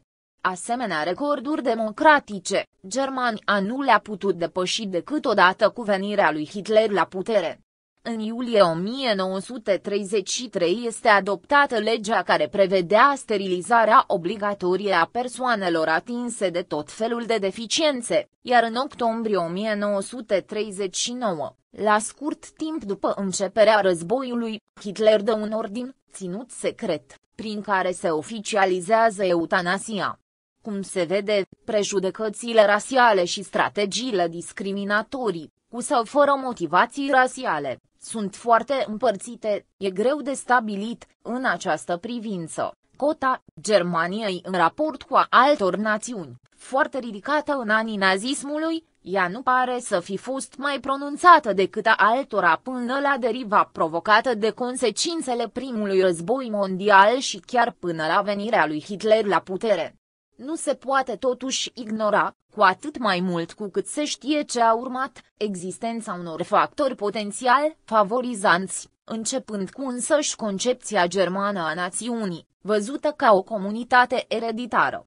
Curentul volchisc, de la volc egal popor, destul de răspândit, punea în evidență specificitatea etnică și culturală, de aici, se putea aluneca spre conceptul unei specificități rasiale, în plus, li se oferea germanilor, chiar de către unii germani, o poziție de vârf în ierarhia raselor, în calitatea lor, fie doar pe jumătate, de nordici. Și apoi, indiferent de teorii, își făcea loc un sentiment de superioritate față de popoarele latine în declin, și, încă și mai accentuat, față de popoarele slave, Faptul că Germania se mărginea la est cu Europa slavă, jumătatea mai puțin dezvoltată a continentului, a cărei întârziere istorică îndemna în logica vremii la judecăți rasiale, nu putea decât să încurajeze pe germani în buna lor impresie despre ei înșiși. Germanii au putut să pară mai înclinați spre rasism și fiindcă rasismul lor se exercita îndeosebi asupra altor membri ai familiei europene, în timp ce rasismul britanicilor și al francezilor avea un teren larg de acțiune în imperiile lor coloniale, iar rasismul americanilor se aplica în primul rând propriei populații de culoare. Era mai puțin convenabil între albi, ceea ce părea oarecum natural în raporturile cu ceilalți.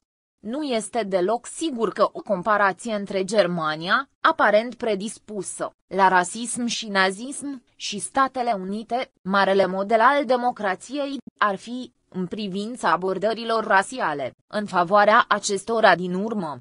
Exceptând, firește, perioada nazistă, Statele Unite apar încă mai marcate decât Germania de teoriile și practicile rasiste. Discriminarea legală a negrilor în statele din sud s-a prelungit un veac după eliberarea lor din sclavie, până în deceniul 1960 la 1970. În genere, ierarhiile rasiale au fost temeinic înrădăcinate în mentalul american, poziția dominantă ocupând-o până mai ieri anglosaxonii protestanți și alții germanici, cum s-ar spune, elita nordică. LNC. Semple, admiratoarea americană a lui Rapzel, a reluat teoriile acestuia, în Influences of Geographic Environment, 1911, prezentând un tablou extrem de contrastant între nordicii înzestrați cu toate calitățile și meridionalii din bazinul mediteranean, cărora nu le mai rămân decât defectele, accentuate încă la negri din zona ecuatorială. O carte influentă a fost The Passing of the Great Trace, 1916, a lui Madison Grant, iarăși blonzii din nord, mai puternici, mai inteligenți și mai virtuoși decât ceilalți membri ai speciei umane. O marotă a americanilor s-a dovedit, și încă mai e, estimarea științifică, a indicelui de inteligență, faimosul IQ. Un raport întocmit în 1921 îi așeza pe imigranții originari din țările nordice, Anglia, Olanda, Germania, cu mult deasupra mediei. Spre marginea de jos a listei, cu cel mai scăzut nivel de inteligență, se aflau imigranții proveniți din Rusia și Polonia, slavi, evrei, precum și italienii. Negri stăteau, evident, încă și mai rău, deși distanța dintre ei și italieni era ceva mai mică decât cea dintre italieni și britanici. 14 Aceste concluzii au stat la baza legii imigrației din 1921, menită să favorizeze imigrația nordică, a cărei pondere, în consecință, avea să crească, de la 20% în preajma primului război mondial, până la 80%. Se pot spune multe în favoarea Americii și în defavoarea Germaniei. Ar fi însă exagerat și nedrept să-i vedem pe germanii mai înclinați spre rasism decât au fost americanii. E un capitol la care cu greu America ar fi putut fi depășită. O Germanie mai puțin, antisemită, Dintre toate păcatele Germaniei, antisemitismul a fost cel mai tare pus în evidență, lesne de înțeles, date fiind oribilele excese antisemite ale regimului nazist. Percepție explicabilă, dar nu întru totul corectă. În imaginarul zilelor noastre, Germania prenazistă a ajuns să pară mai antisemită decât a fost în realitate. Evident că a existat un antisemitism german, în contextul mai larg al antisemitismului european. Tradițional, motivația a fost predominant religioasă, pentru creștini, evreii se făceau vinovați de a-l fi ucis pe Mântuitor. Credința lor diferită, dar nu chiar atât de diferită, reprezentând trunchiul din care s-a despărțit la un moment dat creștinismul, marca și mai puternic diferența celor care ar fi putut, dar n-au vrut să devină creștini, indicându-i drept exponenți tipice ai alterității în lumea profund religioasă a evului mediu și începutului de epocă modernă. Într-o fază ulterioară, alteritatea religioasă s-a îmbogățit sau a ajuns chiar să fie înlocuită cu noi motive de adversitate. Evrei au apărut ca exponenții cei mai vizibili ai capitalismului financiar. Și, invers, odată cu mișcarea socialistă și comunistă, ca animatorii ai unei ideologii revoluționare, care își propunea să distrugă societatea capitalistă. Cu alte cuvinte, fiecare orientare își putea găsi un adversar în evreu, ceea ce explică extinderea atitudinilor antisemite. Interpretările rasiale au adus un plus de justificare, biologic și mental, evreii apăreau ca o specie umană aparte în raport cu comunitățile în mijlocul cărora trăiau, chiar renunțând la religia lor, tot evrei rămâneau. Fenomenul, încă o dată, e general european. Problema nu este să constatăm antisemitism în Germania, este ușor de constatat.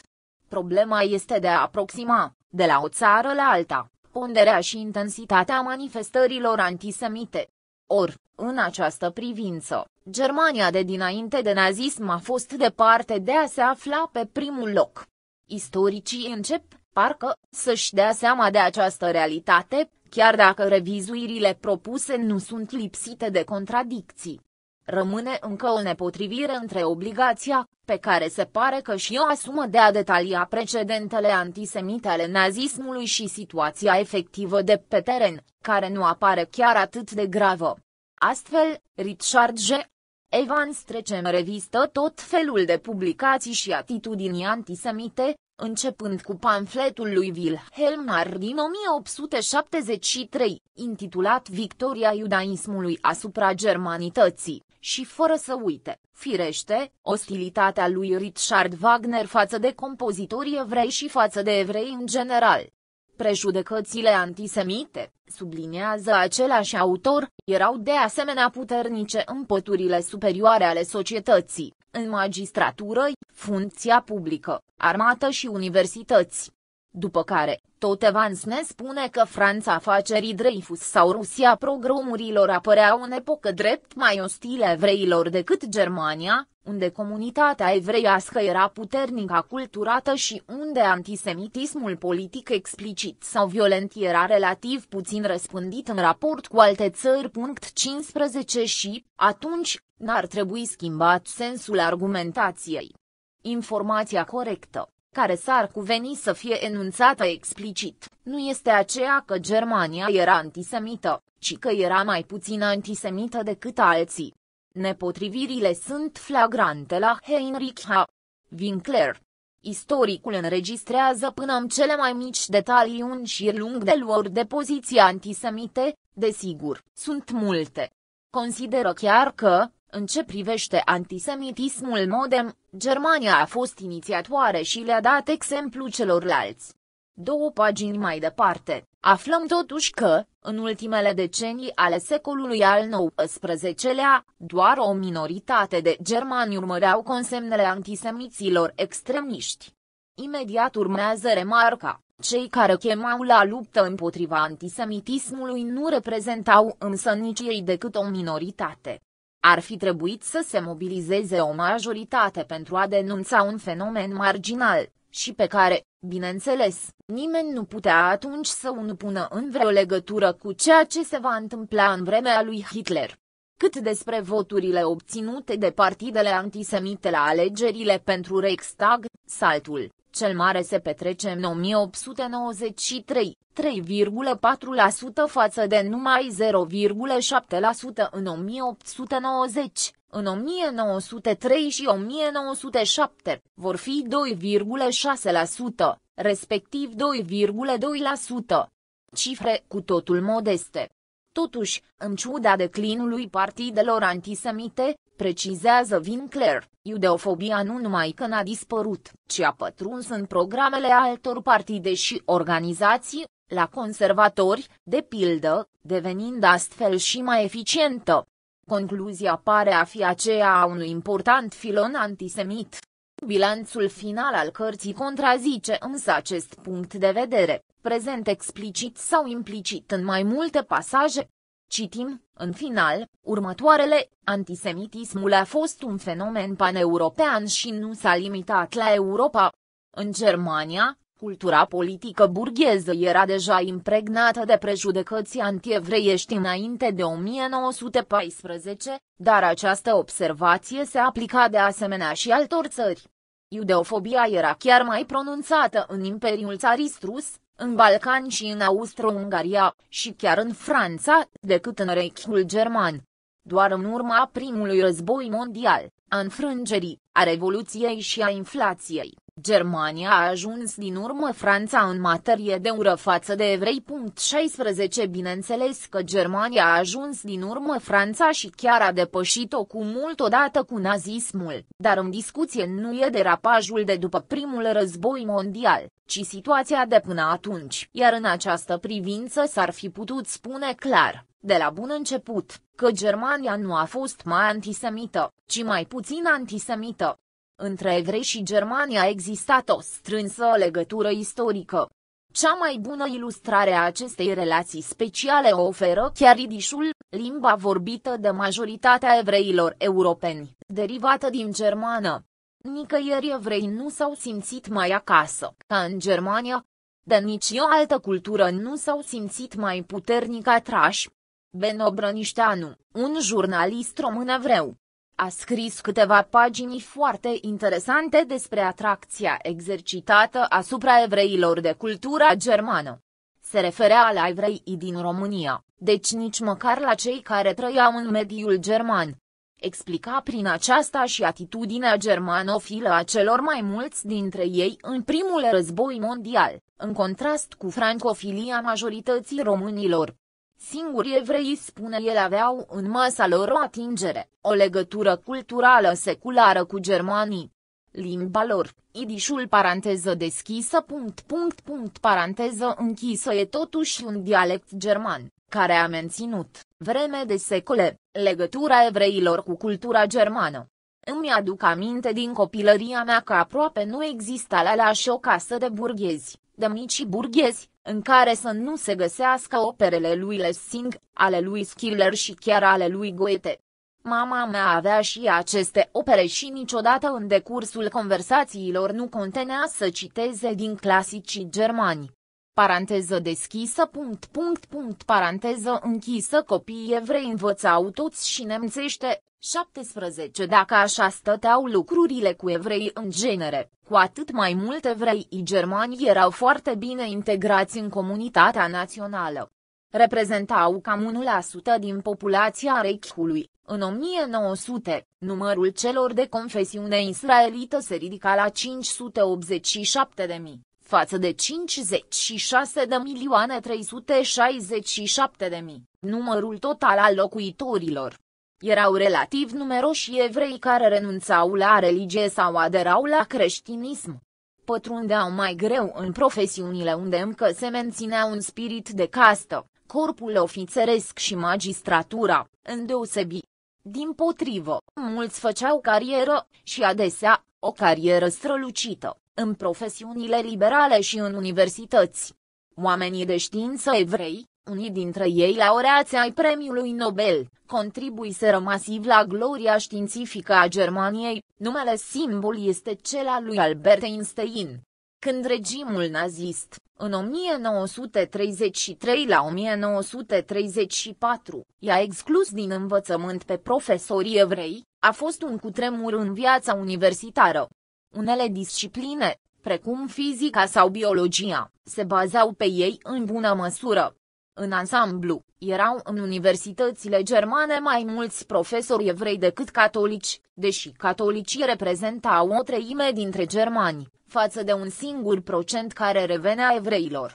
Fenomenul cel mai interesant, care ilustrează clar inexistența unui antisemitism generalizat în Germania, este frecvența căsătoriilor mixte și, în consecință, numărul semnificativ al persoanelor cu sânge, amestecat. 18 Potrivit unei estimări, numărul căsătoriilor între evrei și germani ar fi crescut de la numai 200, între 1831 și 1840, la 8220, între 1901 și 1910, 12.660 între 1911 și 1920 și 15.288 între 1921 și 1930. În 1932, deci într-un singur an, s-a ajuns la 3400, iar în 1933 aproape 40% din căsătoriile contractate de evrei au fost mixte. Dacă ar fi să ne raportăm strict la acest indicator, nici când Germania n-a fost mai puțin antisemită ca în momentul instaurării dictaturii naziste. În 1934, procentul a scăzut la 15%, cu totul explicabil, încă e de mirare că au mai fost germani dispuși să se înrudească cu evrei în condițiile date. Pentru regimul nazist a fost o mare bătaie de cap definirea modului cum trebuiau clasificați și tratați cei care aveau o origine amestecată, germană și evreiască. Termenul folosit era mishlinge, în traducere corcituri. Se împărțeau în două categorii, mishlinge, de gradul I, cei care aveau un părinte evreu și celălalt german, deci, evrei 50%, și mishlinge, de gradul 2, cu un singur bunic evreu, așadar, evrei 25%. O apreciere, considerată mult exagerată, din 1935, a Ministerului de Interne, dădea cifra de 750 de mimishlinge, de ambele grade. Chiar exagerarea e însă semnificativă, fiindcă reflectă conștiința existenței multor legături de sânge între germani și evrei, o statistică mai precisă, din 1939, scade considerabil acest număr, reținând, pentru Germania propriu-zisă, fără Austria și Sudeți, cifra de 318.000 evrei totali, sau parțiali, dintre care 52 de mimishlinge, de gradul Și și aproape 33 de mimishlinge, de gradul 2. Diferența dintre cele două estimări nu se poate explica decât în măsură limitată prin emigrarea între timp a sute de mii de evrei și de mishlinge. Fapt este că, în afara celor direct vizați, un număr și mai mare de germani ajunseseră să se afle în grade mai apropiate sau mai îndepărtate de rudenie cu evrei sau cu evro-germani. Responsabilii naziști n-au încetat să caute soluții pentru problema acestei specii intermediare, o ieșire din impas, propusă, dar neaplicată, ar fi fost asimilarea pur și simplu cu evrei a categoriei mishlinge, de gradul 1 și, invers, cu germanii arieni, a categoriei mishlinge, de gradul 2. În ultima perioadă a războiului, începând din 1944, majoritatea bărbaților mishlinge, de gradul i au fost trimiși în lagăre de muncă, femeile fiind și ele obligate la diverse munci în localitățile unde se aflau. N-a existat însă un proiect de exterminare. Un motiv va fi fost, inclusiv pentru Hitler, grija de a nu indispune excesiv categoria germanilor puri, înerudiți cu aceste corcituri. Obsesia antisemită a nazismului nu poate fi interpretată drept continuare și amplificarea unei tradiții antisemite specific germane. Paradoxul german stă în faptul alunecării dinspre un antisemitism limitat, sub nivelul mediu, al antisemitismului european, la un antisemitism extrem. E o logică aparent bizară, și totuși e o anumită logică. Fenomenele istorice se derulează adesea în tandemuri contradictorii. În societatea germană, tocmai fiindcă n-a existat un antisemitism masiv care să le bareze drumul, evrei au ajuns să ocupe poziții centrale, chiar la vârf în anumite domenii. Se asimilaseră în bună măsură, dar nu până la contopirea de plină. E o situație periculoasă, atunci când se caută un țap ispășitor. Celălalt, aflat în inima cetății și prezentând mai puține semne vizibile de alteritate, poate fi perceput ca un adversar mai primejdios decât un potențial inamic îndepărtat sau ușor de identificat. Evreii aveau să fie excluși tocmai fiindcă se integraseră prea bine. Aveau să plătească pentru succesivele eșecuri ale Germaniei, de la înfrângerea din 1918 până la marea criză din 1929 la 1933. 1914, polemica responsabilităților. Este primul război mondial, declanșat în august 1914, imputabil Germaniei. Vina acesteia a fost explicit formulată de învingători în textul tratatului de la Versailles, semnat, de nevoie, și de Germania, cum Austro-Ungaria deja dispăruse, răspunderea nici măcar nu se mai putea împărți.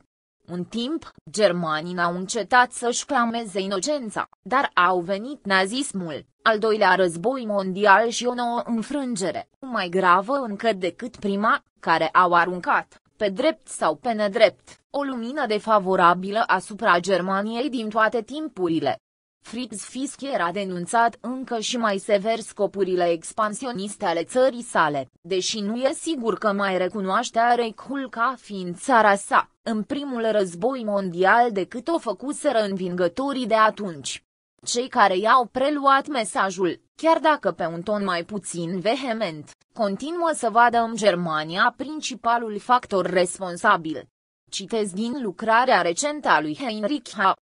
Winkler, dacă nu se poate imputa Germaniei întreaga responsabilitate a primului război mondial, se poate vedea totuși în ea principala responsabilă a acestei conflagrații. Fără sprijinul german, Austro-Ungaria n-ar fi putut declara război Serbiei. Partidele războiului din Berlin și Viena s-au susținut reciproc și au dat la celui din Sankt Petersburg. 19. Întrebarea ar fi dacă tot Germania a fost vinovată pentru proiectele expansioniste ale Serbiei și pentru atentatul de la Sarajevo.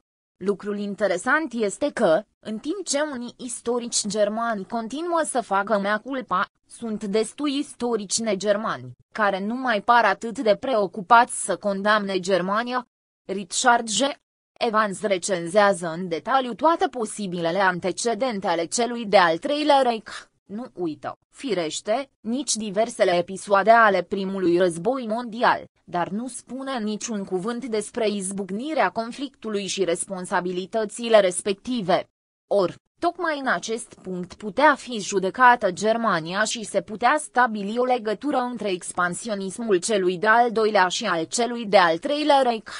Dacă nu e o uitare explicabilă altminteri, dar cum, concluzia ar fi că istoricul britanic nu credem vreo răspundere a Germaniei mai mare decât a altora la 1914. Însă surpriza o oferă istoricii francezi. În Franța, vina Germaniei, dușmanul ereditar, era de la sine înțeleasă, Or, sunt deja destui istorici din această țară care au renunțat să mai acuze Germania pentru declanșarea războiului. Nu o consideră, desigur, nevinovată, dar nici neapărat mai vinovată. Actuala apropiere politică franco-germană își spune desigur cuvântul. Totuși, chiar în noile condiții ale raporturilor dintre cele două națiuni, interesul francez ar fi fost ca Germania să aibă o parte cât mai mare de răspundere, nedreptatea ei fiind în fond garanția dreptății Franței. Fără a neglija noua atmosferă politică, e de constatat și o nouă atmosferă istoriografică. Împrejurările primului război mondial încep să fie judecate, în sfârșit, fără ură și părtinire, sau cel puțin cu un dram de înțelegere și pentru cealaltă parte. Jean-Jacques Cues-Becker, poate în prezent cel mai cunoscut dintre specialiștii francezi ai primului război mondial, constată erorile de apreciere ale liderilor germani, dar nici de cum dorința de a provoca un război european, în ce privește mecanismul declanșării conflictului, decizia fără întoarcere, ar fi fost mobilizarea generală decisă de Rusia, care a provocat imediat riposta Germaniei. 20 într-un recent dicționar al Marelui Război, apărut sub direcția lui Francois Cochet și Remi Porte, se apreciază, sub inițialele lui Remi Porte, că atitudinea cea mai condamnabilă a fost a statului major austro-ungar, ceilalți participanți, Rusia, Germania și Franța îndeosebi, păcătuind mai ales prin lipsă de coerență, ezitări, contradicții între discurs și fapte. 21 Cum se vede, Germania e pusă alături de Franța, fără vreun grad de vinovăție în plus, într-un alt articol, privitor la cauzele războiului, scris de Francois Cochet, unde Germania e criticată moderat, în fond, nu mai mult decât ceilalți actori, concluzia sau lipsa de concluzie. departe de tradiționalele puncte de vedere tranșante, este aceea că intrarea în războiul din 1914 rămâne o alchimie foarte complexă, care scapă în parte înțelegerii sau cel puțin unei analize pur raționale.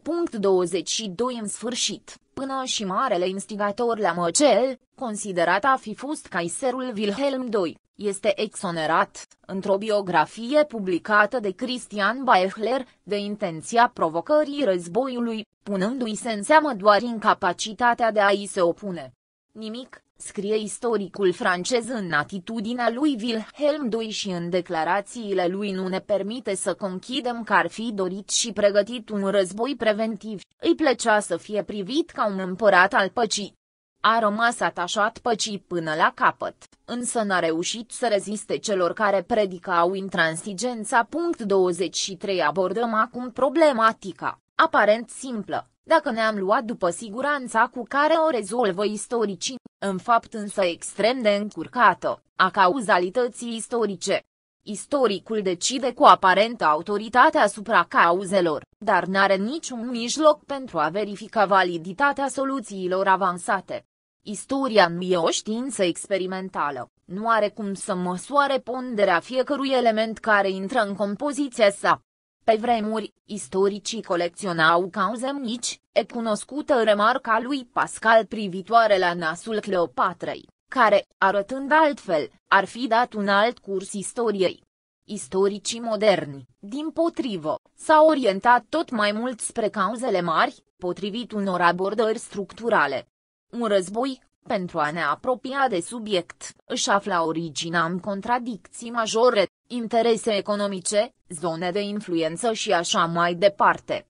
Se constată însă, în tratarea primului război mondial, o interesantă reorientare spre luarea în considerare a detaliilor, a deciziilor punctuale, a ezitărilor și estimărilor neinspirate, de natură să ne apropie mai mult de mecanismul intim al declanșării conflictului decât enunțarea foarte generală a unor contradicții de amploare, existente fără îndoială, dar oare e sigur că tocmai acestea au provocat războiul?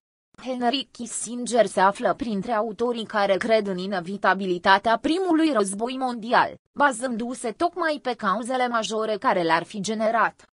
Iată ce scrie fostul secretar de stat american în cartea sa despre diplomație, aspectul cu adevărat uluitor al izbucnirii primului război mondial nu este faptul că o criză mai simplă decât altele care fuseseră rezolvate a dus în cele din urmă la declanșarea unei catastrofe planetare, ci că a durat atât de mult până când s-a aprins scânteia, 24 așadar, Scânteia trebuia să se aprindă, deoarece cauzele mici sunt subordonate cauzelor mari. Kissinger vede jumătatea goală a paharului, ceea ce e pe deplin justificat. Nu ia însă în considerare și cealaltă jumătate, jumătatea plină, ceea ce n-ar fi fost mai puțin justificat. Exista în Europa un echilibru de forțe, care putea degenera în conflict, așa cum s-a și întâmplat, dar putea la fel de bine să asigure în continuare pacea. Uluitor, sau nu, acest echilibru a funcționat destul de bine până la 1914, trecând peste crizele marocane, peste criza balcanică din 1908, peste războaiele balcanice din 1912 la 1913. Era un echilibru de putere care avea să se dovedească aproape perfect, tocmai în condițiile războiului, prelungirea acestuia cu mult peste previziunile inițiale și-a datorat potențialului sensibil egal al celor două tabere. Nimeni nu poate afirma că, fără atentatul de la Sarajevo, o altă scânteie n-ar fi aprins până la urmă războiul. Dar, și invers, nimeni nu are cum să dovedească inevitabilitatea unei scântei declanșatoare. Primul război mondial e o realitate istorică, nu avem suficiente motive pentru a-l privi ca pe o fatalitate. Cert este că niciunul dintre actorii principali ai războiului, dacă ar fi avut măcar o vagă idee de ce se va întâmpla, n-ar fi făcut pasul decisiv. Dacă tot căutăm cauze, cauza cea mai puțin contestabilă a războiului a fost inconștiența. Argumentația mai veche, și rămasă oarecum izolată, a lui A. J. P. Taylor este exact opusul convingerii lui Kissinger, și în genere a opiniei comune privitoare la cauze. E mod astăzi, spunea istoricul britanic să se caute cauze profunde marilor evenimente.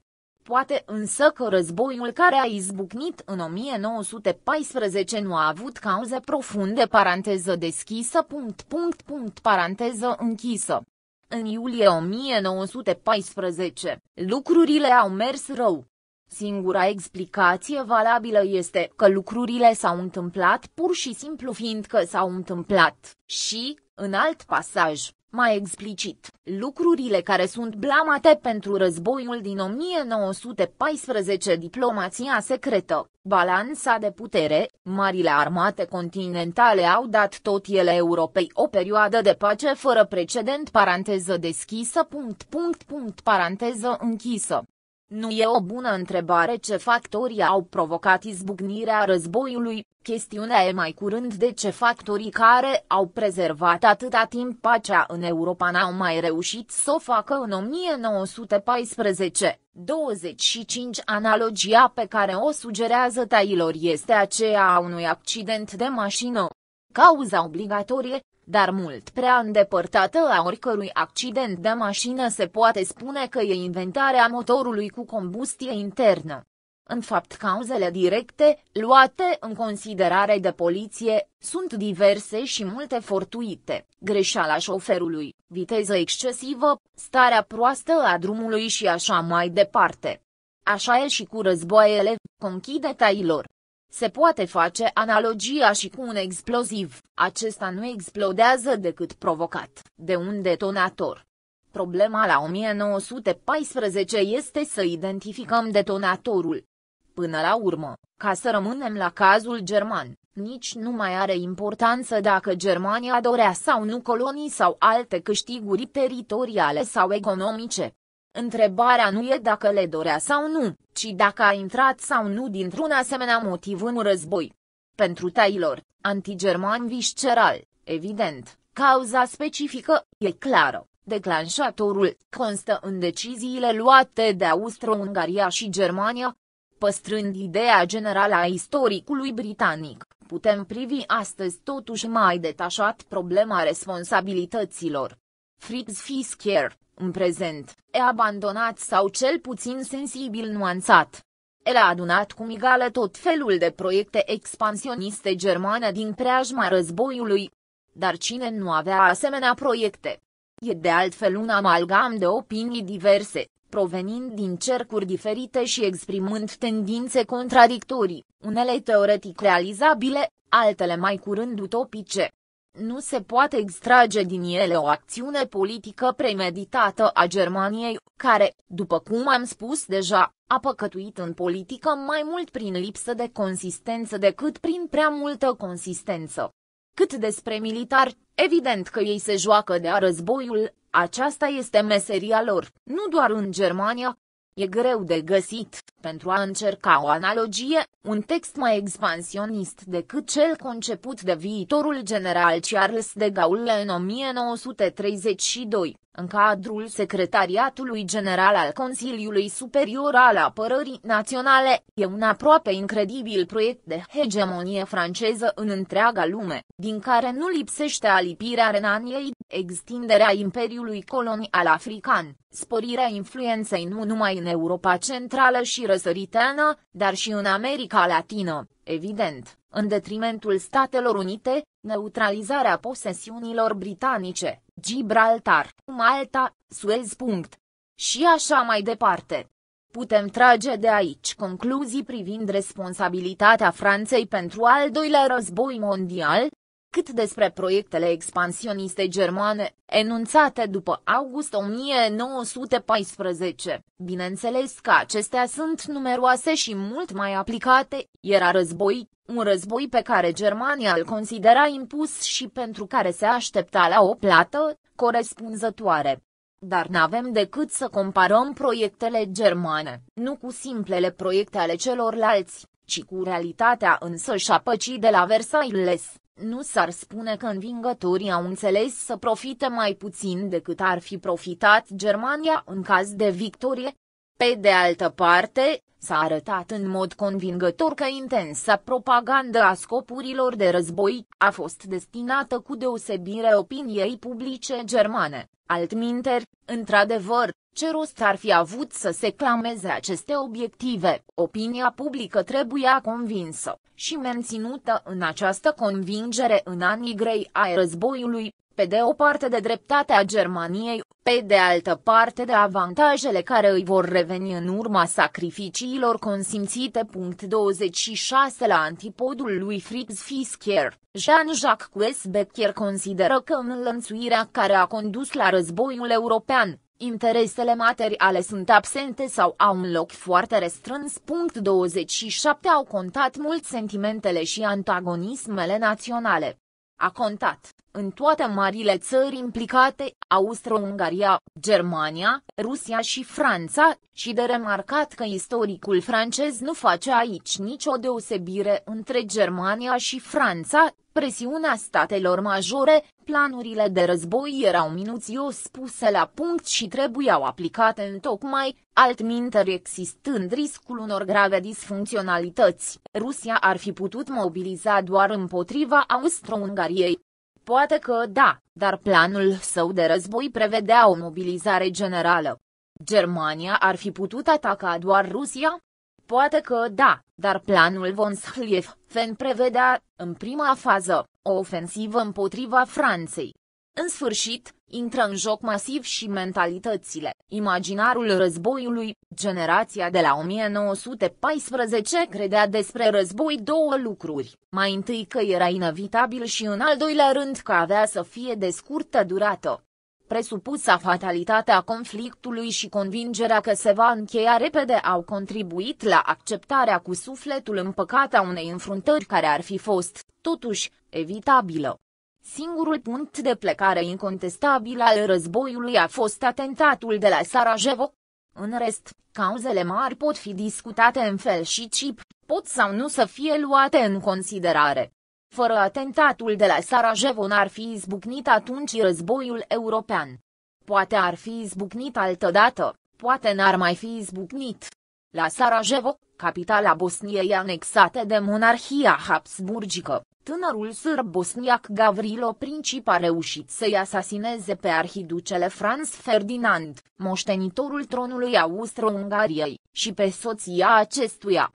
Autoritățile de stat ale Serbiei n-au fost propriu-zis implicate în atentat, dar grupul de atentatori era în legătură cu organizația teroristă surbă Mâna Neagră, condusă de colonelul Dragutin Dimitrievici, șeful serviciilor de informații ale armatei surbe, au primit pe această cale arme și bani. Austro-Ungaria a găsit prilejul potrivit pentru a trimite mai întâi un ultimatum Serbiei și apoi, în condițiile acceptării aproape în întregime, dar nu în totalitate, a ultimatumului, pentru a-i declara război, la 28 iulie 1914. Evident că Austro-Ungaria a căutat războiul cu tot din adinsul mai mult Austria decât Ungaria, aceasta din urmă având și așa destule necazuri cu naționalitățile, inclusiv cu propria populație surbă, și, mai presus de responsabilii politici, statul major austriac. Dar, în final, aceasta a fost decizia. Monarhia habsburgică este, așadar, prima vinovată cu condiția de a scoate din context evenimentele anului 1914. Să spunem, totuși, mai întâi, că atentatul de la Sarajevo nu a fost deloc o crimă minoră. Lovea, simbolic, în inima Imperiului.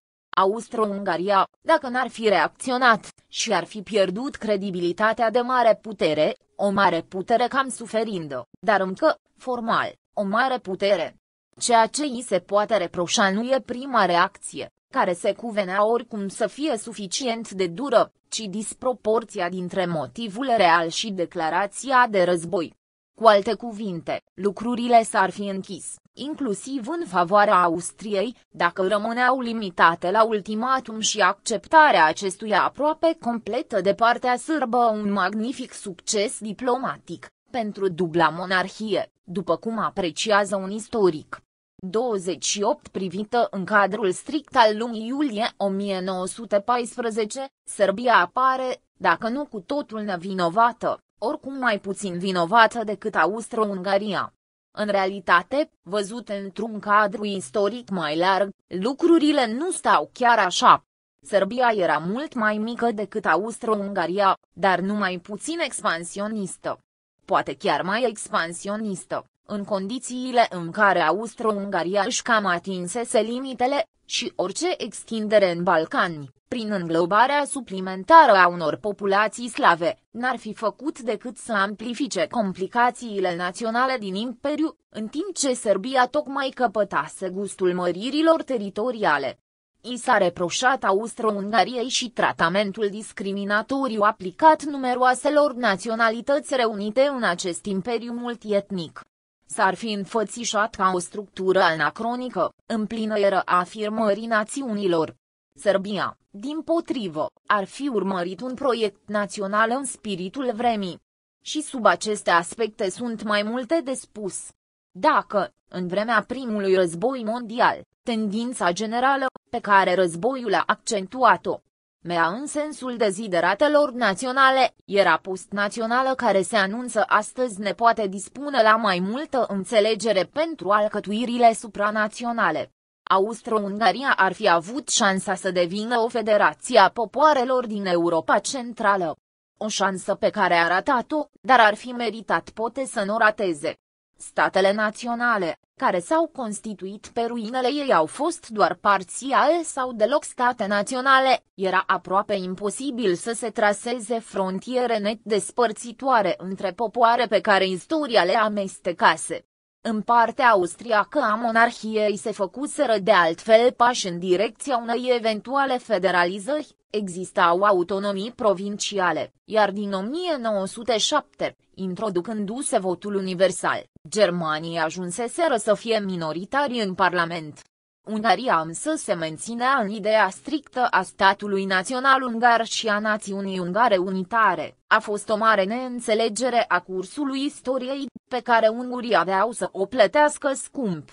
În ce privește proiectul național al Serbiei, astăzi îi cunoaștem istoria de la început până la capăt, așa că îl putem judeca mai bine deși la scară mai mică și cu justificările naționale de rigoare și Serbia prezintă tot un caz de imperialism.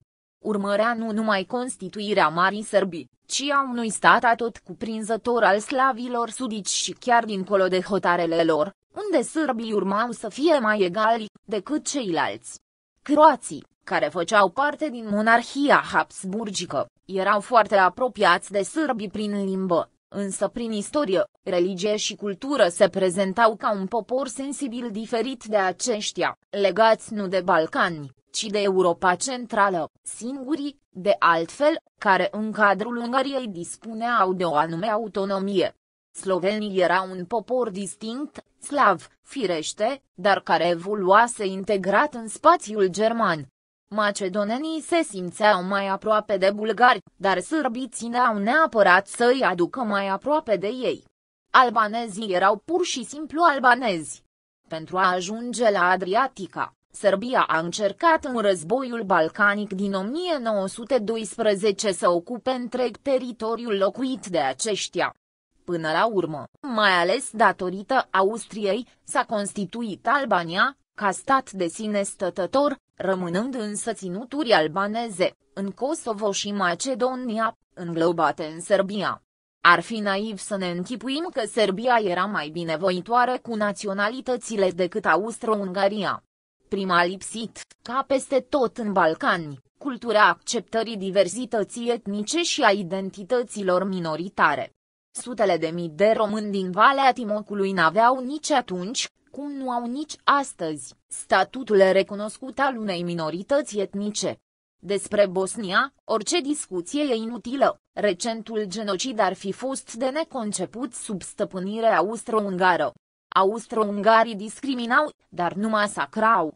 Trebuie spus că Serbia, ca și Croația de altfel, a dovedit, de-a lungul unui întreg secol, un potențial de violență ieșit din comun, de la cumplita scenă a asasinării regelui Alexandru Obrenovici și a soției sale, în 1903, până la vărsările de sânge din Bosnia și Kosovo, atentatul de la Sarajevo din 1914 e doar un episod, care nu poate fi izolat de un secol de istorie, nu e cazul nici să inversăm rolurile, pentru a pune în evidență în prea mare măsură partea de dreptate a Austro-Ungariei și, implicit, partea de nedreptate a Serbiei.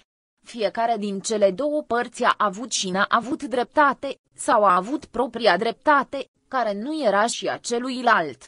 Austro-Ungaria căuta să-și consolideze pozițiile în Balcan și să evite tentațiile secesioniste ale slavilor din Imperiu.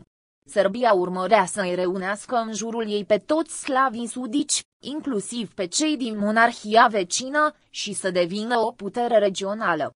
Anexarea, în 1908, a Bosniei și Herțegovinei de către Austro-Ungaria, care le administra din 1878, a făcut să crească tensiunea, sporită încă prin războaiele balcanice din 1912 la 1913 prăbușirea stăpânirii otomane în Balcani și împărțirea teritoriilor între micile state naționale din peninsulă păreau să anticipeze un scenariu similar și pentru Austro-Ungaria. Serbia, chiar dacă nu a anexat tot ce și-ar fi dorit, a ieșit întărită din conflict, în dauna Bulgariei, pe care mizase Austro-Ungaria. Ocuparea Macedoniei de către Serbia a provocat de altfel riposta Bulgariei și declanșarea celui de al doilea război balcanic. Era de așteptat să urmeze un conflict direct între Viena și Belgrad. Austro-Ungaria a profitat de atentatul de la Sarajevo pentru a rezolva o situație care îi se părea periculoasă pentru Imperiu, și chiar era periculoasă. Trebuiau stopate, din punctul său de vedere, iredentismul și expansionismul surbesc. S-ar putea ca temerile austro-ungare să fi fost exagerate, iar acuzele parțial nedrepte. Și unele, și altele aveau însă un fundament. Iar până la urmă, ceea ce contează în relațiile internaționale și în toată gama raporturilor intermane, nu sunt strictele realități, ci reprezentările. Viena percepea Serbia ca pe o amenințare, și Statele Unite au profitat, dacă e să încercăm o analogie, de atentatul de la 11 septembrie pentru a intra în Irak, chiar cu mai puțină îndreptățire ca în cazul conflictului dintre Austro-Ungaria și Serbia. E clar că a fost o greșeală, pe care Austro-Ungaria a plătit-o prin dispariția ei, dar, într-o judecată echilibrată, nu se poate afirma pur și simplu că riposta Austro-Ungariei ar fi fost cu totul nejustificată, imprudentă, cu siguranță, și dezastruoasă prin consecințele ei. Revenim la Germania. Acum începe tragedia Germaniei, care se desfășoară implacabil, ca orice tragedie, din prima clipă până în ultimul moment. Factorul declanșator e atentatul de la Sarajevo, fără să aibă idee de ce va urma. Gavrilo Princip, un personaj astăzi complet uitat, a marcat cursul istoriei mai mult decât oricare altă personalitate a secolului. Nici Hitler n-ar fi existat fără el, dacă admitem că, neavând loc atentatul de la Sarajevo, nu s-ar mai fi ajuns la război. Germania a ajuns să ia decizii și să facă mișcări care s-au înlănțuit aproape obligatoriu.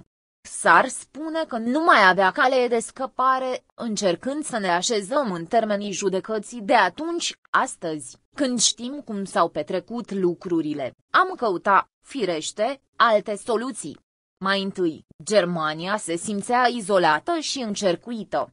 A fost desigur aceasta și o temă de propagandă, pentru a justifica declarațiile de război și strategia adoptată exprima însă și o convingere, larg răspândită, exagerată până la un punct, dar și justificată în parte. Războiul de altfel a dovedit-o, în timp ce Franța și Rusia au avut de luptat pe un singur front, Germania a trebuit să facă față pe două fronturi, atât împotriva Franței și Angliei, cât și a Rusiei. Era consecința eșecului politicii germane de alianțe, dar și consecința datelor geopolitice obiective. Poziția centrală europeană a Germaniei se dovedea extrem de incomodă. În aceste condiții, Austro-Ungaria rămânea un aliat prețios, singurul pe care Germania mai putea conta. Era, în bună măsură, tot un imperiu german, printr-o parte a populației, prin istoria sa, prin marca de civilizație imprimată popoarelor care l alcătuiau. Alternativa la Austro-Ungaria ar fi fost o Europa centrală și sud-estică împărțită între slavi, cu Rusia ca putere hegemonică, pentru Germania, o ipoteză intolerabilă. Când se discută responsabilitățile războiului, Rusia face figură oarecum secundară, fiindcă, dacă a avut partea ei la început, nu i-am mai prins și sfârșitul. Un prim război mondial sfârșit și cu victoria Rusiei ar fi interesant de imaginat. Deja rușii căpătaseră din partea aliaților occidentali învoirea de a se instala în strâmtorile Mării Negre. Pe drept sau pe nedrept, Austro-Ungaria avea ceva de împărțit cu Serbia. Dar Rusia de ce s-a grăbit să sară în ajutorul Serbiei? Sub pretextul solidarității slave, urmărea, și urmărea de multă vreme, să-și extinde dominația în Balcani, ca și în Europa Centrală. Nu putem ști ce s-ar fi întâmplat în caz de victorie rusească, dar o analogie se poate face ușor cu ceea ce s-a întâmplat la sfârșitul celui de-al doilea război mondial, o parte însemnată a Europei trecută sub stăpânirea Rusiei. Din toate aceste motive, Germania a luat partea Austro-Ungariei, fără rezerve, doar cu unele nuanțe care nu s-au dovedit esențiale. Știm astăzi că n-a fost un calcul bun. Atunci părea justificat. Susținerea acordată Austro-Ungariei n-a însemnat însă, într-o primă fază, o opțiune în favoarea războiului. Până în momentul începerii ostilităților, războiul a părut de altfel puțin probabil. Nimeni nu-l dorea, cu excepția Austro-Ungariei, care voia strict un război limitat cu Serbia. Lucrurile se puteau opri la ultimatumul austriac și acceptarea lui de către surbi. Un pas mai departe, însemna războiul cu Serbia. În acest caz, puterile centrale sperau totuși că Rusia nu va interveni, și bine ar fi făcut, inclusiv pentru propriul destin.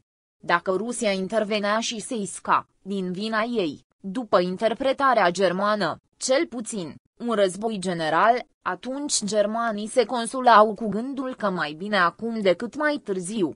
Mai târziu, peste câțiva ani, ar fi însemnat o Rusie mai bine pusă la punct din punct de vedere militar și al transporturilor feroviare, cum un război cu Rusia părea inevitabil, mai bine, așadar, să fie mai devreme.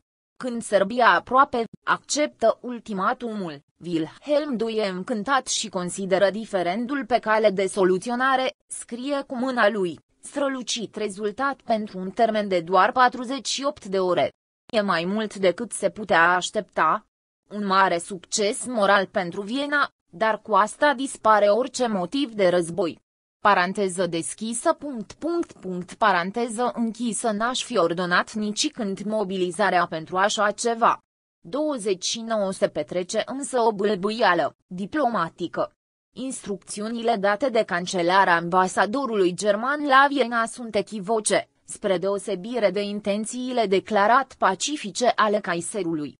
Fără importanță, de altfel, la 28 iulie, Austro-Ungaria declară război Serbiei fără să se mai ostenească a consulta partea germană. Se simțea, oricum, susținută, poate că o consultare a celor două puteri centrale ar mai fi lăsat păci o șansă, dată fiind poziția mai nuanțată a Germaniei, a Kaiserului în orice caz. Din acest moment, un mecanism de precizie se pune în mișcare, care se pare că nici nu mai ascultă de oameni, totul se petrece automat. Pe 30 iulie, Rusia ordonă mobilizarea generală. La fel cum Austro-Ungaria conta pe Germania, tot așa Rusia simțea că se poate baza pe sprijinul Franței. În criza care a precedat războiul, Germania și Franța au avut comportamente complet diferite conducând însă la rezultate similare. Germania și-a susținut activ aliatul, în timp ce politica franceză a fost de o desăvârșită pasivitate. Poate ar fi prins bine un sfat de moderație adresat rușilor. Pasivitatea francezilor i-a convins că totul e în regulă, Franța va merge cu ei. La fel ca Austro-Ungaria față de Germania, nici Rusia n-a socotit de cuvință să ceară acordul aliatului francez atunci când a întreprins pasul decisiv, mobilizarea generală. Dialectica vinovățiilor germane Îndată după ordinul rusesc de mobilizare, Germania a declarat război Rusiei, la 1 august 1914. Într-o ultimă încercare de a limita războiul, Wilhelm II a cerut statului său major să oprească pentru moment atacul împotriva Franței. Cu alte cuvinte, să renunțe la planul von Schlieffen. Imposibil. Planurile de război nu se mai schimbă în momentul începerii conflictului. La 3 august, Germania a înaintat Franței declarația de război. Pentru a nu fi oprit angrenajul, toate marile puteri implicate au partea lor de răspundere. Una dintre ele oricare să fi declarat explicit că nu are intenția de a intra în joc, și jocul s-ar fi oprit. Austro-Ungaria nu s-ar fi lansat în conflict dacă ar fi avut îndoieli cu privire la sprijinul german. Rusia n-ar fi tăcut un pas decisiv spre război dacă n-ar fi simțit Franța alături de ea. Fiecare guvern, în fiecare moment, a ales soluția care conducea spre războiul general, 30, scrie Jean-Jacques Becker care, încă o dată, nu înțelege să separe Franța de responsabilitatea generală. Culmea este că niciunul dintre viitorii beligeranți n-a dorit războiul, cel puțin nu un război de asemenea amploare. N-am vrut așa ceva, avea să spună mai târziu Wilhelm II. Nimeni n-a vrut, dar nimeni, pe de altă parte, nu a fost dispus să cedeze cât de cât de dragul păcii. Oricum, teza Fiskier cade. Pentru Germania n-a fost un război de agresiune, pregătit din timp și cu un rezultat considerat sigur în favoarea ei, fiindcă altfel nu, nu ar fi făcut indiferent de ce proiecte de mărire, reale sau imaginare, ar fi avut Germania, mai bine zis unii sau alții dintre responsabili, o parte sau alta a opiniei publice, războiul nu s-a declanșat din pricina acestor proiecte. De altfel, responsabilii germani nu par a fi fost chiar atât de siguri de victorie. Aveau dubii și Wilhelm II, și cancelarul Bettmann Hollweg, și generalul Falkenhayn, ministrul de război, devenit apoi șef al Marelui Stat Major. Într-o exprimare sumară și prea puțin academică, dar poate mai aproape de adevăr, se poate spune că războiul a fost rezultatul unei nemărginite prostii colective. Nu e deloc încurajator că o prostie de asemenea proporții s-a înscris drept eveniment fondator al secolului al XX-lea, mai toate frământările și transformările ulterioare pornesc din august 1914. Istoria ar fi avut alt curs fără primul război mondial. Răspunderea Germaniei a fost mare, dar a ajuns să pară și mai mare decât a fost în realitate. Destinul nefericit al acestei țări a fost acela de a se instala durabil în rolul, real sau presupus, al agresorului. Istoria simplificată, a primului război mondial reține până la urmă doar momentele cruciale. Mai întâi, agresiunea austriacă, încurajată de Berlin, împotriva Serbiei, apoi, declarația de război germană la adresa Rusiei, în schema simplificată, mobilizarea armatei rusei aproape trecută cu vederea. Pasul următor, Germania declară război Franței. Urmează nu numai pătrunderea armatei germane în Franța, dar și invadarea Belgiei, țară neutră, a cărei neutralitate fusese garantată și de Germania. E de fapt episodul care atrage și intrarea în război a Marii Britanii, exact ceea ce Germania spera să se poată evita, deși britanicii probabil s-ar fi angajat oricum, urmărind să restabilească echilibrul de putere, devenit prea favorabil Germaniei împovărător dosar. În fapt, toate aceste mișcări, care i-au afectat puternic și pentru multă vreme imaginea, îi erau aproape impuse Germaniei, dacă nu de datele obiective ale situației, în orice caz de modul cum se vedea situația dinspre Berlin. Era de la sine înțeles că Germania trebuia să susțină Austro-Ungaria. Odată ce Rusia a decis să mobilizeze, Germania nu-și mai putea permite să aștepte, pentru a se lămuri dacă rușii într-adevăr vor ataca, și dacă vor ataca și francezii, aliații rușilor, la frontiera cealaltă. Ar fi fost o așteptare extrem de riscantă. Planul von Schlieffen prevedea un război fulger împotriva Franței, care s-ar fi încheiat în cele câteva săptămâni necesare forțelor rusești pentru a deveni operaționale. Așa se face că un conflict austro-sârb s-a transformat aproape peste noapte într-un război franco-german. Planul von Schlieffen s-a dovedit în cele din urmă prea optimist. Și a avut însă logica lui și ar fi putut să reușească, dacă, de pildă, francezii ar fi rezistat la fel de slab ca în 1870 sau ca mai târziu, în 1940, și nu așa de bine cum au rezistat într-adevăr la 1914. Reușita planului depindea însă de învoluirea prin Belgia a flancului armatei franceze, ceea ce a părut suficient pentru a justifica invadarea acestei țări. Totul s-a legat logic, dar într-o logică pur militară, care ea însă și-a arătat insuficiența, în timp ce daunele politice s-au dovedit enorme, Germania instalându-se în postura de agresoare, inclusiv de violatoare, a statelor neutre. Ar fi avut însă alternativă? Nu prea. Eventual să aștepte invazia ruso-franceză și să-i lase pe ceilalți să facă figură de agresori. Pentru imaginea Germaniei, toate aveau să meargă prost de acum înainte. A fost desigur o parte de vină, dar și o parte de fatalitate. Exceptând un scurt moment la începutul războiului, când francezii au pătruns în Alsacia și rușii în Prusia Orientală, Germania n-a cunoscut prezența trupelor inamice pe teritoriul său. În schimb, armatele germane au ocupat tot timpul teritorii străine, o parte din Franța, Belgia, un spațiu care s-a tot lărgit în zona apuseană a Imperiului Rus, mai târziu o parte a României. Inevitabil, și-a asumat rolul ocupantului, care nu e niciodată un rol demn de laude. Când au pătruns în Serbia, austro-ungarii s-au dedat la tot felul de atrocități, dar nu știm ce ar fi făcut surbii, dacă ar fi intrat ei în Austro-Ungaria. Atrocități și în Balcani, aproape o tradiție locală. Germanii nu s-au comportat de blând în Belgia și în Franța.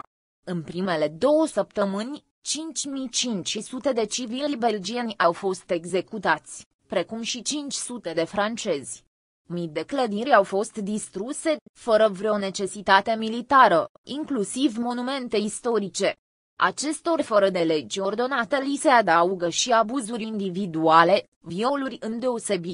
Pe lângă barbaria care însoțește de regulă războiul, era aici, până la un punct, și o filozofie a strategiilor. În această privință, militarii germani sau francezii vorbeau cam aceeași limbă. Generalul Helmut von Moltke, în orice război, cea mai mare binefacere e de a termina repede. În acest scop, trebuie stabilit că toate mijloacele sunt bune, inclusiv cele mai condamnabile, generalul francez Henri Bonnal, în război, totul trebuie sacrificat succesului operațiilor, orice exces de sensibilitate, orice slăbiciune care ar putea compromite vigoarea trupelor și în cele din urmă succesul lor e o crimă împotriva patriei, 31 ministrul de război al Franței trimitea, îndată după începerea ostilităților, instrucțiuni privind luarea de ostateci pe măsură ce se va înainta în teritoriul inamic.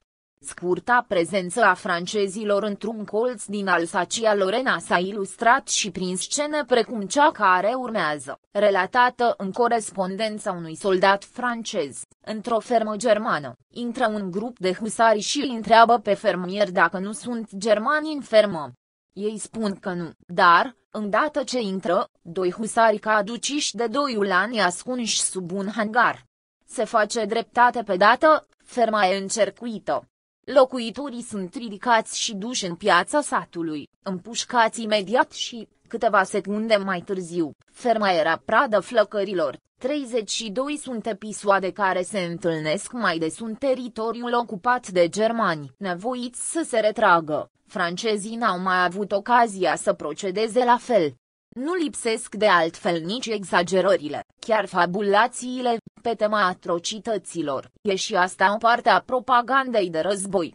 Germanii mai pun și de la ei atunci când înșiră actele de barbarie ale rușilor în Prusia Orientală, iar francezii nu se lasă mai prejos imaginând macabra temă a copilașilor cu mâinile retezate de nemți, o pură născocire.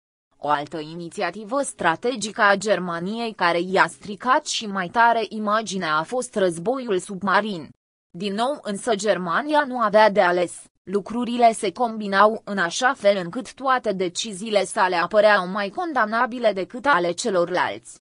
Alternativa ar fi fost să nu mai întreprindă nimic, pentru a nu mai greși de la bun început fusese supusă unei blocade, pentru realizarea căreia aliații nu avuseseră de făcut niciun efort, blocada rezulta de la sine, prin poziția centrală a Germaniei, înconjurată de adversari, adăugându-se la aceasta și stăpânirea engleză a mărilor au rezultat mari dificultăți de aprovizionare, care au stânjenit eforturile de război german și, mai ales prin lipsurile alimentare, au săpat încetul cu încetul moralul populației. Germania avea de ales între a se resemna, ceea ce în război nu e recomandabil, sau a institui la rândul ei o contrablocadă. Dincolo de aspectul moral și de consecințele planului german, sunt de remarcat la oaltă imaginația strategilor, performanța tehnologică și îndrăzneala echipajelor. Începând din februarie 1917, s-a angajat războiul submarin nelimitat. Flota de submarine a Germaniei a tăiat liniile de comunicație ale Marii Britanii, scufundând atât nave inamice, cât și vase neutre, americane îndeosebi, care contribuiau la aprovizionarea britanicilor. Nave însumând 540.000 de tone sunt trimise pe fundul mării în februarie 1917, în luna mai, tonajul scufundat se ridica deja la 885.000. Traficul porturilor engleze s-a redus la un sfert. Anglia începuse să se asfixieze și se contura perspectiva pierderii războiului, fără sprijinul britanic s-ar fi prăbușit și frontul francez. A apărut însă la timp soluția salvatoare, gruparea vaselor de comerț în convoie, escortate de nave de război. Pierderile au început să scadă, rămânând totuși ridicate, iar comerțul britanic s-a revigorat. Germania a rămas tot sub blocadă, în timp ce adversarii săi au reușit să limiteze efectele contra blocadei. Riscurile acestei strategii au fost mari și, desigur, conștientizate de germani, riscul unor noi acuze de barbarie, odată ce neutrii nu mai erau cruțați, riscul, mai ales, al antrenării Statelor Unite în război, americanii neputând tolera la nesfârșit loviturile germane. Germanii sperau ca succesul campaniei submarine să determine încheierea generală a conflictului. Înainte ca Statele Unite să ia o decizie, au declarat război Germaniei în aprilie 1917 și înainte, în orice caz, ca armata americană, care aproape nu exista, să înceapă să existe și să ajungă pe frontul din Franța. S-au înșelat în această privință, cum s-au înșelat și cu planul von Schlieffen, în ambele cazuri, costurile s-au dovedit mai ridicate decât avantajele. În fapt, germanii, ca și ceilalți, căutau cele mai bune soluții pentru a câștiga războiul, doar că datele geopolitice îi favorizau pe ceilalți și, defavorizând Germania, o împingeau la combinații strategice, care și-au avut logica lor, dar au condus la rezultate perverse. Problema Germaniei a fost de la un capăt la altul al războiului predominarea rațiunii militare asupra rațiunii politice, trebuia obținut un avantaj militar oricare i-ar fi fost costul politic. De altfel, treptat, casta militară se impune la vârful deciziei, îndeosebi odată cu numirea mareșalului Hindenburg, secundat de generalul Ludendorff, în fruntea statului major general. În fapt, cel de-al doilea avea să fie, până aproape de sfârșitul războiului, omul cel mai puternic din Germania, Relativa militarizare a guvernării țării se potrivea cu tradiția militarismului prusian, dar era și răspunsul dat unei situații excepționale. Germania trebuia să-și mobilizeze cât mai eficient mijloacele, în vederea unei lovituri decisive, orice întârziere jucând împotriva ei. Cum a pierdut Germania un război pe jumătate câștigat, după ce evenimentele s-au petrecut, a devenit ușor să se demonstreze că Germania trebuia să piardă războiul. Balanța obiectivă de putere, teritoriu, populație, resurse, înclina sensibil de partea cealaltă. Germania era mai puternică decât oricare dintre adversarele ei, dar nu putea fi mai puternică sau mai rezistentă decât toate la un loc. Cu atât mai mult cu cât proprii aliați, și așa puțin, Austro-Ungaria, Imperiul Otoman, Bulgaria, nu ajutau decât în mică măsură. Sau chiar o împovărau, impunându-i eforturi suplimentare.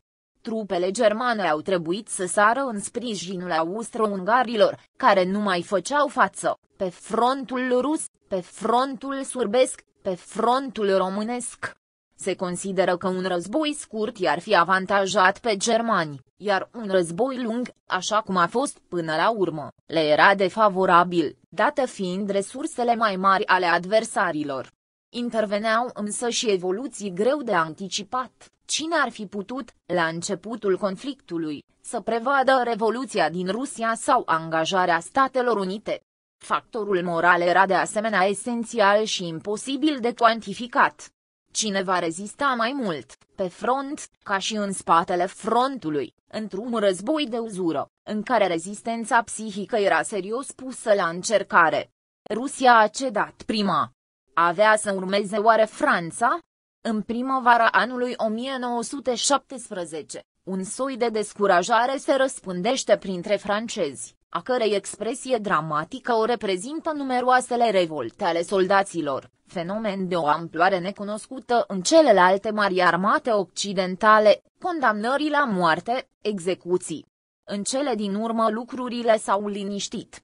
Germania s-a comportat bine până aproape de sfârșit. A pierdut războiul, ar fi putut să-l câștige.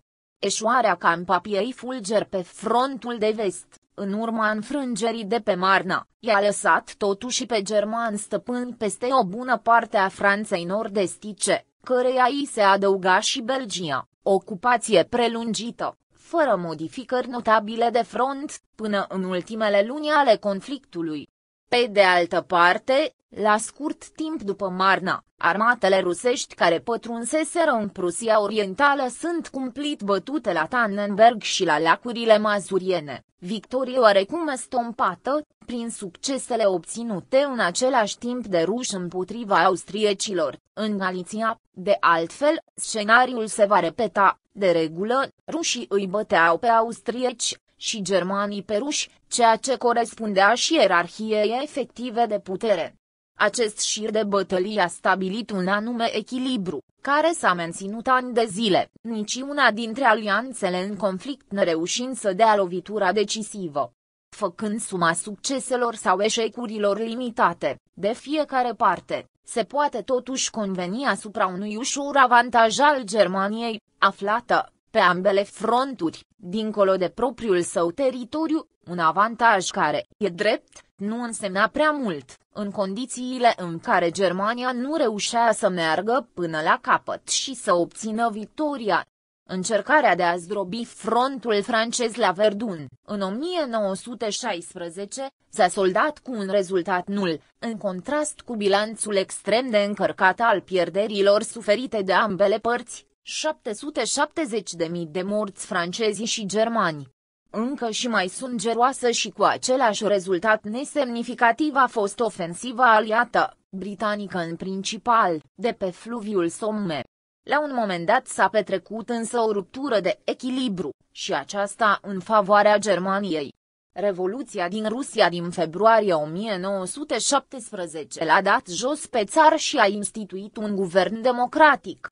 Intenția noii guvernări era de a continua războiul, chiar cu vigoare sporită, și urmărind aceleași scopuri, eliberarea slavilor din monarhia habsburgică și controlul asupra Constantinopolului și strâmtorilor Mării Negre.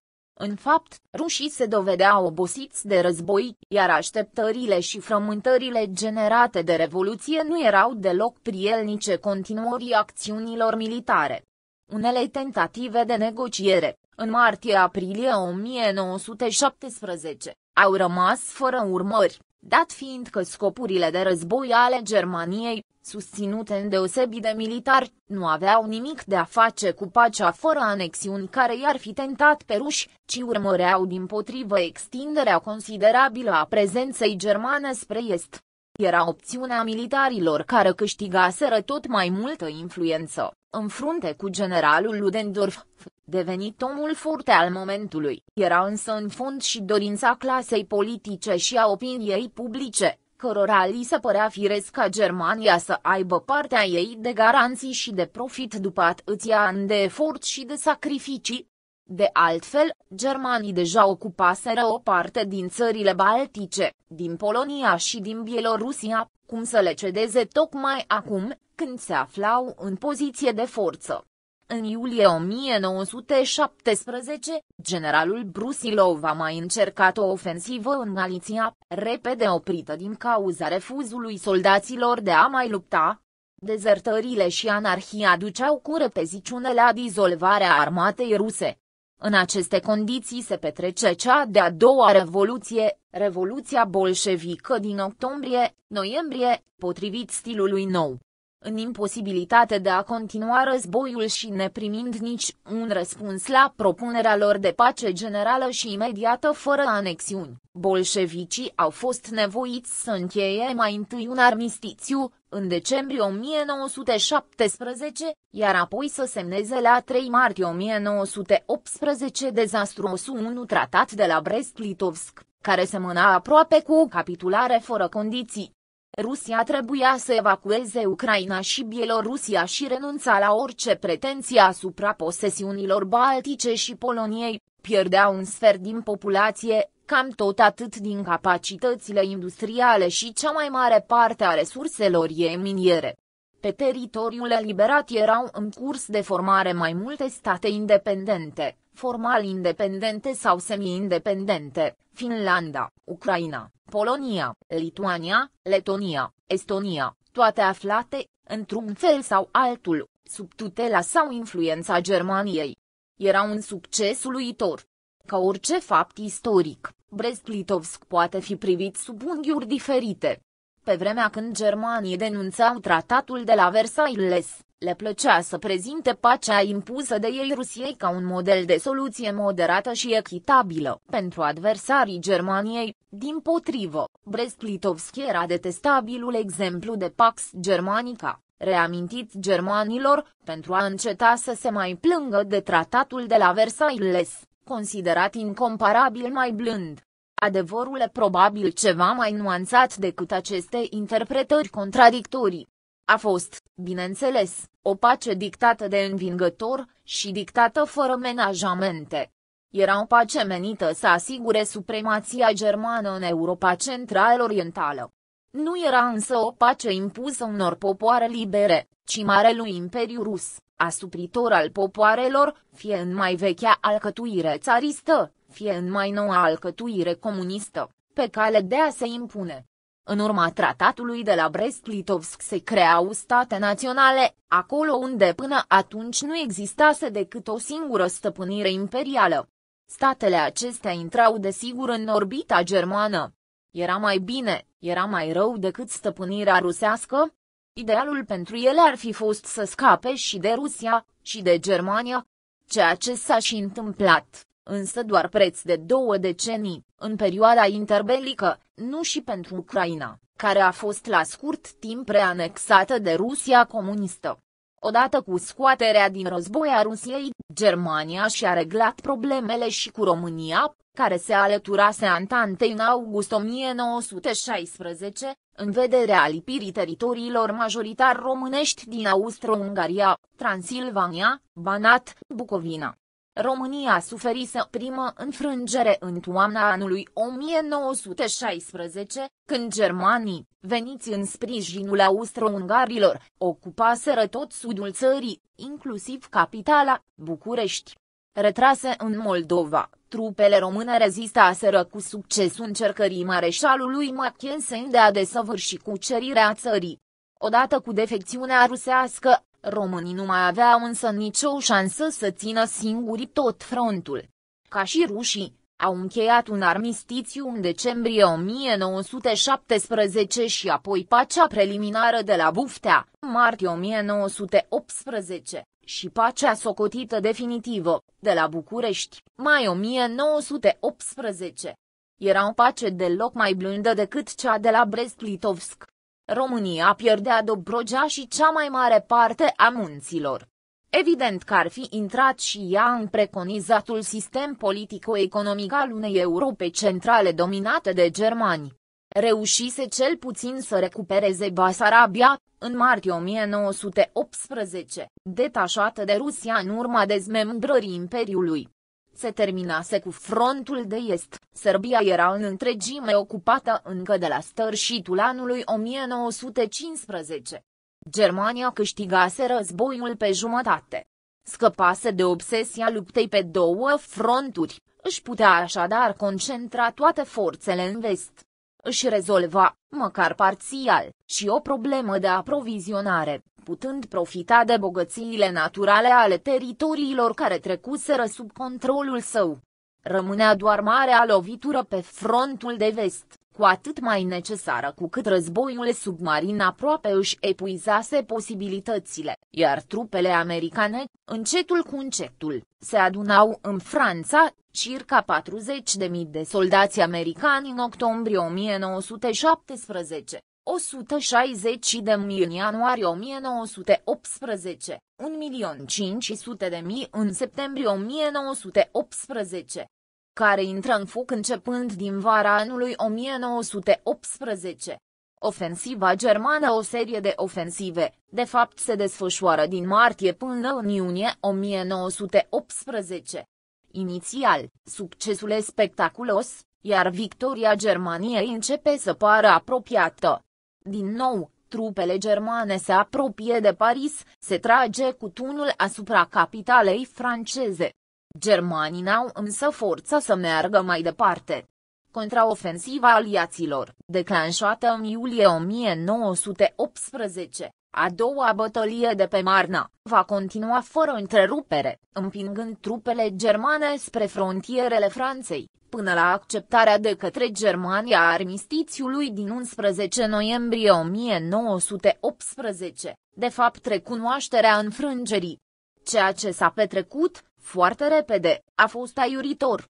De la un război deja câștigat în Est, și câștigat într-o manieră zdrobitoare, și de la un război desigur încă necâștigat în Vest, dar care evolua tot în favoarea sa, Germania a ajuns, în numai câteva luni, să fie complet înfrântă. S-au combinat mai mulți factori care explică această dramatică întorsătură. Mai întâi, stoparea ofensivei, în iunie 1918, le-a arătat germanilor că nu mai pot câștiga războiul. Iar un război necâștigat echivalea în perspectivă cu un război pierdut, dat fiind că balanța de forțe n-ar fi făcut decât să se modifice constant în defavoarea Germaniei, prin revărsarea pe front a forțelor americane. În plus, Succesiva defecțiune a aliaților a lăsat Germania singură, Bulgaria încheie armistițiul la sfârșitul lunii septembrie 1918, urmată de Turcia, o lună mai târziu, și de Austro-Ungaria, care suferise pe frontul italian înfrângerea de la Vittorio Veneto, și în fapt nici nu mai exista, dat fiind că Ungaria tocmai se separase de Austria, pe 3 noiembrie 1918 mai gravă decât orice s-a dovedit prăbușirea moralului. Germanii crezuseră în victorie, acum nu mai credeau. An de zile, înduraseră privațiuni mult mai severe decât aliații occidentali. Lipsurile de tot felul, mai ales alimentare, au generat o stare de nemulțumire, manifestată inclusiv prin greve, al căror număr s-a înmulțit în 1916 și 1917, apoi în ianuarie 1918.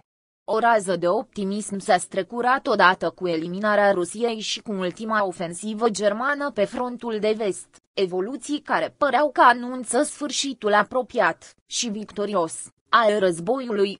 Cu atât mai mare a fost dezamăgirea atunci când s-a ajuns din nou în impas. Costurile umane ale ofensivei fuseseră enorme. Se presupune că Germania ar fi rezistat ulterior mai bine dacă în loc să forțeze inutil câștigarea războiului ar fi trecut în defensivă. În vara anului 1918, armata germană ajunsese la capătul puterilor.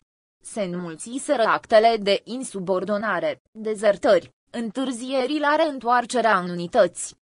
O parte cel puțin dintre soldații germani epuizați, prost hrăniți și cu speranțele pierdute nu mai voiau să lupte și destul de mulți se lăsau să cadă prizonieri.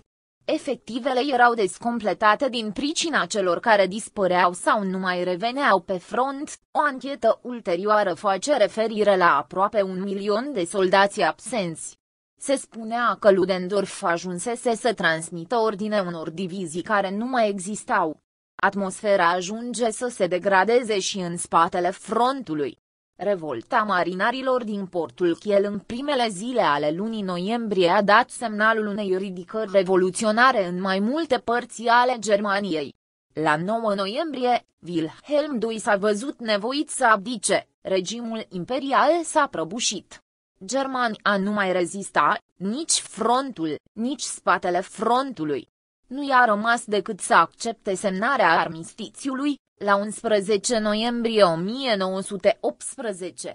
Ar fi putut să fie altfel? În principiu, totul poate fi și altfel. Pentru aceasta, ar fi trebuit însă ca germanii și cei de pe front, și cei de acasă să fie deciși să continue războiul, exact ceea ce nu mai voiau. Îndată după armistițiu, s-a conturat în Germania ceea ce se numește legenda loviturii de pumnală în spate. Punct 33 ea pune în cauză fie un grup relativ restrâns, spartachiști, comuniști, evrei, acuzați de subversiune, fie spatele frontului în genere, care ar fi abandonat o armată până atunci neînvinsă. În varianta restrânsă, legenda e desigur tendențioasă, așezată în tiparele bine cunoscute în mitologia conspirației. Forma extinsă ar fi mai aproape de adevăr, cu condiția unei și mai largi extinderi. Nu numai spatele frontului a cedat, a cedat și neînvinsa, până atunci armată germană, și nu doar sub influența propagandei revoluționare și agitațiilor din spatele frontului.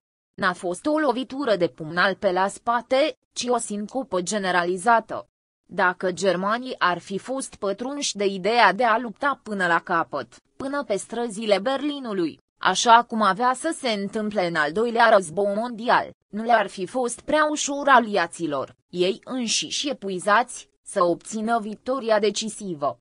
Sistemul de la Versailles Comparând, fără prejudecăți, tratatul de la Versailles, împreună cu tratatele conexe, Saint-Germain, cu Austria, Trianon, cu Ungaria, Neuilly, cu Bulgaria, Sevres, cu Turcia, nu pare să fi fost mai binevoitor cu un vin și de cum fuseseră tratatele de la Brest-Litovsk și București, dictate de Germania, Rusiei și României.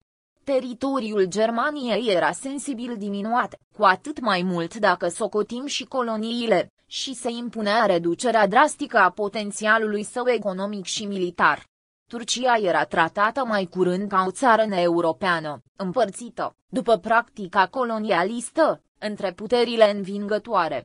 Austro-Ungaria, e drept, dispăruse de la sine, însă Ungariei, atât cât rămăsese din ea, i s-au trasat cele mai defavorabile frontiere, care lăsau o bună parte dintre maghiari în afara țării. Când au semnat armistițiul, responsabilii germani nu erau încă pe deplin lămuriți că semnează de fapt o capitulare necondiționată. S-au lămurit curând, însă pasul decisiv fusese făcut și Germania nu mai avea cum să reia ostilitățile. Articolul 231 al tratatului de la Versailles decreta că Germania și aliatele sale erau singure vinovate de războiul de agresiune pe care îl declanșaseră, și responsabile în consecință pentru toate pierderile suferite de statele aliate cum Austro-Ungaria dispăruse, iar ceilalți apăreau oricum ca o cantitate neglijabilă, Germania urma să suporte aproape întreaga povară morală și materială a răspunderilor. Știm astăzi că vina Germaniei a fost mai mică decât vina nelimitată care i s-a atribuit atunci. Această lipsă de generozitate, pe care, în numele Franței, o recunoaște recent președintele Sarkozy 34, a contribuit în mare parte, poate chiar în mod decisiv, la dereglările care au aruncat lumea în al doilea război mondial.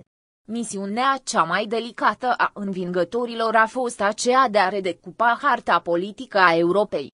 Imperiile aveau să dispară, iar locul lor îl luau statele naționale, potrivit dreptului popoarelor de a dispune de ele însele, principiu enunțat de președintele Wilson al Statelor Unite.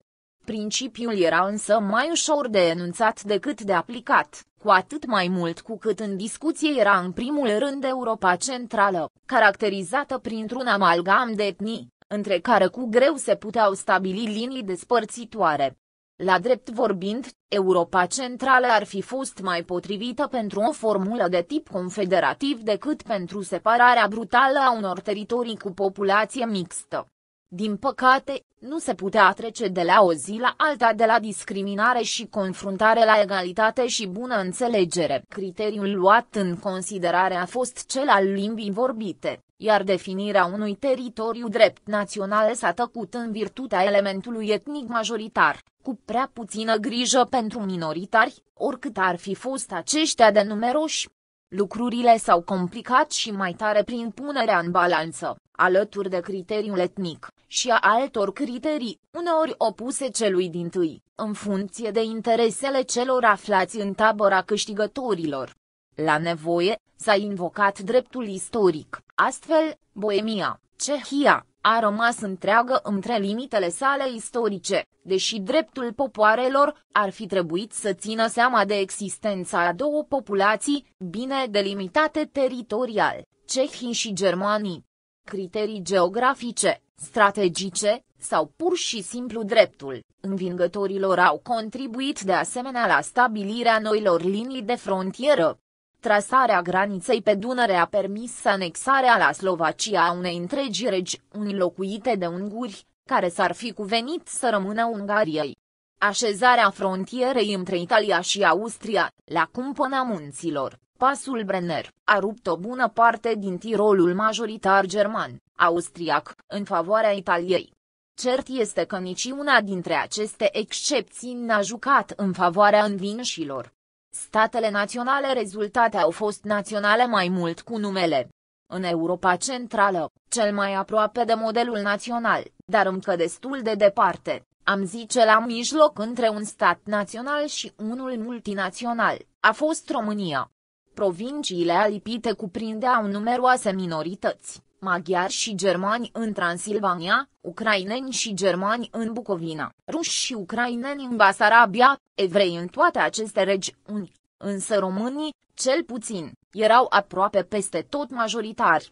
De aceea, România a și rezistat mai bine decât celelalte creații ale sistemului de la Versailles. Polonia s-a folosit de dreptul etnic spre vest, dar a revendicat în est dreptul său istoric înglobând în cele din urmă teritorii locuite majoritar de ucraineni sau bieloruși.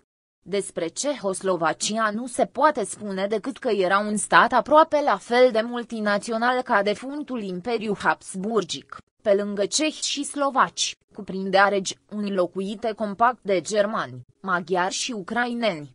La prima vedere, Iugoslavia semăna ceva mai bine cu un stat național, dat fiind că popoarele slave care o alcătuiau erau foarte apropiate prin limbă, deși, alături de ele, se aflau destule minorități, albanezi, unguri, români, germani. E un caz care dovedește însă insuficiența criteriului lingvistic pentru a contura, în lipsa altor factori de legătură, o unitate de tip național. Sârbii ortodoxi, croații catolici și bosniacii musulmani, chiar vorbind aceeași limbă, s-au dovedit în cele din urmă nu numai foarte diferiți, ci și ostili unii altora. În aceste condiții, de aplicare foarte generoasă a criteriului etnolingvistic, în fapt, definiția germană a națiunii, germanii aveau motive întemeiate să solicite un tratament egal. Cu alte cuvinte, în schimbul renunțării la teritoriile negermane pe care le dețineau, să realizeze în sfârșit reunirea tuturor ținuturilor germane. Regiunile pierdute au reprezentat 13% din suprafața și 10% din populația Reichului. Germania se reducea de la 540 de mii kilometri pătrați la 472 de mii kilometri pătrați. Franța a recuperat Alsacia-Lorena, fără referendum, singurul caz când nu limba vorbită a fost criteriul, ci apartenența națională. Potrivit concepției franceze, de fapt, germanizarea și integrarea în ansamblul german făcuseră între timp progrese. E greu de spus în 1918 în ce măsură alsacienii se simțeau mai mult francezi sau mai mult germani. Polonia a căpătat provinciile Posen și Prusia Occidentală, cu un coridor, până la Marea Baltică, cu certă majoritate poloneză, dar și cu o minoritate germană destul de semnificativă, în urma unui plebiscit a revenit și extremitatea estică a Sileziei. Tot prin plebiscit, Danemarca a intrat în posesiunea părții de nord a provinciei Schleswig. Pe lângă teritorii majoritar negermane, germanii au trebuit să cedeze și în câteva locuri unde erau ei majoritari, au pierdut astfel orașul Danzig, actualul Gdansk, devenit oraș liber, la capătul coridorului polonez. La Memel, în extremitatea Prusiei Orientale, ar fi urmat să se organizeze un plebiscit. Lituanienii au ocupat însă orașul fără să se încurce în formalități. Malmedy, de limbă franceză, a trecut la Belgia, dar, odată cu Malmedy și districtul Eupen, întru totul de limbă germană, și ca totul să fie perfect și de necontestat, populația germană din Eupen a ratificat prin referendum această anexare. În schimb, s-a refuzat categoric dreptul germanilor din afara Germaniei de a se uni cu Germania. Exista o puternică dorință de unire reciprocă între Germania și Austria, alungată, din Germania în 1866, dar rămasă acum fără imperiu, părea cu totul natural ca Austria, cu nimic mai puțin germană decât oricare alt stat german, să se reîntoarcă în sunul Germaniei. Vetoul opus Anschlussului de învingătorii a dezorientat pe austrieci și a nemulțumit profund pe germani. Discuția s-a încheiat și mai repede în privința alipirii la Germania a regiunii sudete, populată în mare majoritate de germani. S-a dat câștig de cauză cehilor și argumentului că nu se poate desface unitatea istorică a Boemiei. Nedrepte, aceste decizii sunt lesne de înțeles. Austria, cu 6,5 milioane de locuitori, și regiunea sudetă, cu 3 milioane, ar fi adăugat Germaniei, în termen de populație, dar și de valoare generală a teritoriilor, mai mult decât fusese nevoită să cedeze. În urma înfrângerii, Germania ar fi câștigat în loc să piardă. Așa ceva nu se putea accepta, cu atât mai rău pentru principii, ele nu se aplicau și germanilor, cel puțin nu s-a ajuns la dezmembrarea Germaniei, o idee nu lipsită de adepți în Franța, și care părea realizabilă, odată ce Reichul nu data decât de la 1871, iar în interiorul său diferitele state își păstraseră identitatea. Chestiunea Renaniei a fost însă mai spinoasă. Francezilor le-ar fi plăcut să anexeze acest teritoriu, situat la vest de Rin, 28.000 de kilometri pătrați, cu 5,5 milioane de locuitori și cu o importantă capacitate economică. Soluția anexării se arăta însă greu de înfăptuit, n-ar fi acceptat-o aliații anglosaxoni și bineînțeles nici populația germană a regiunii n-ar fi primit-o cu entuziasm.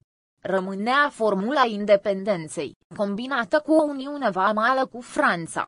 Sau, în varianta minimală, măcar o largă autonomie în cadrul Germaniei, susținută de altfel și de o mișcare autonomistă renană destul de activă, Francezii urmăreau ca într-un fel sau altul frontiera occidentală a Germaniei, și dacă nu frontiera politică, cel puțin frontiera militară, să se oprească pe Rin.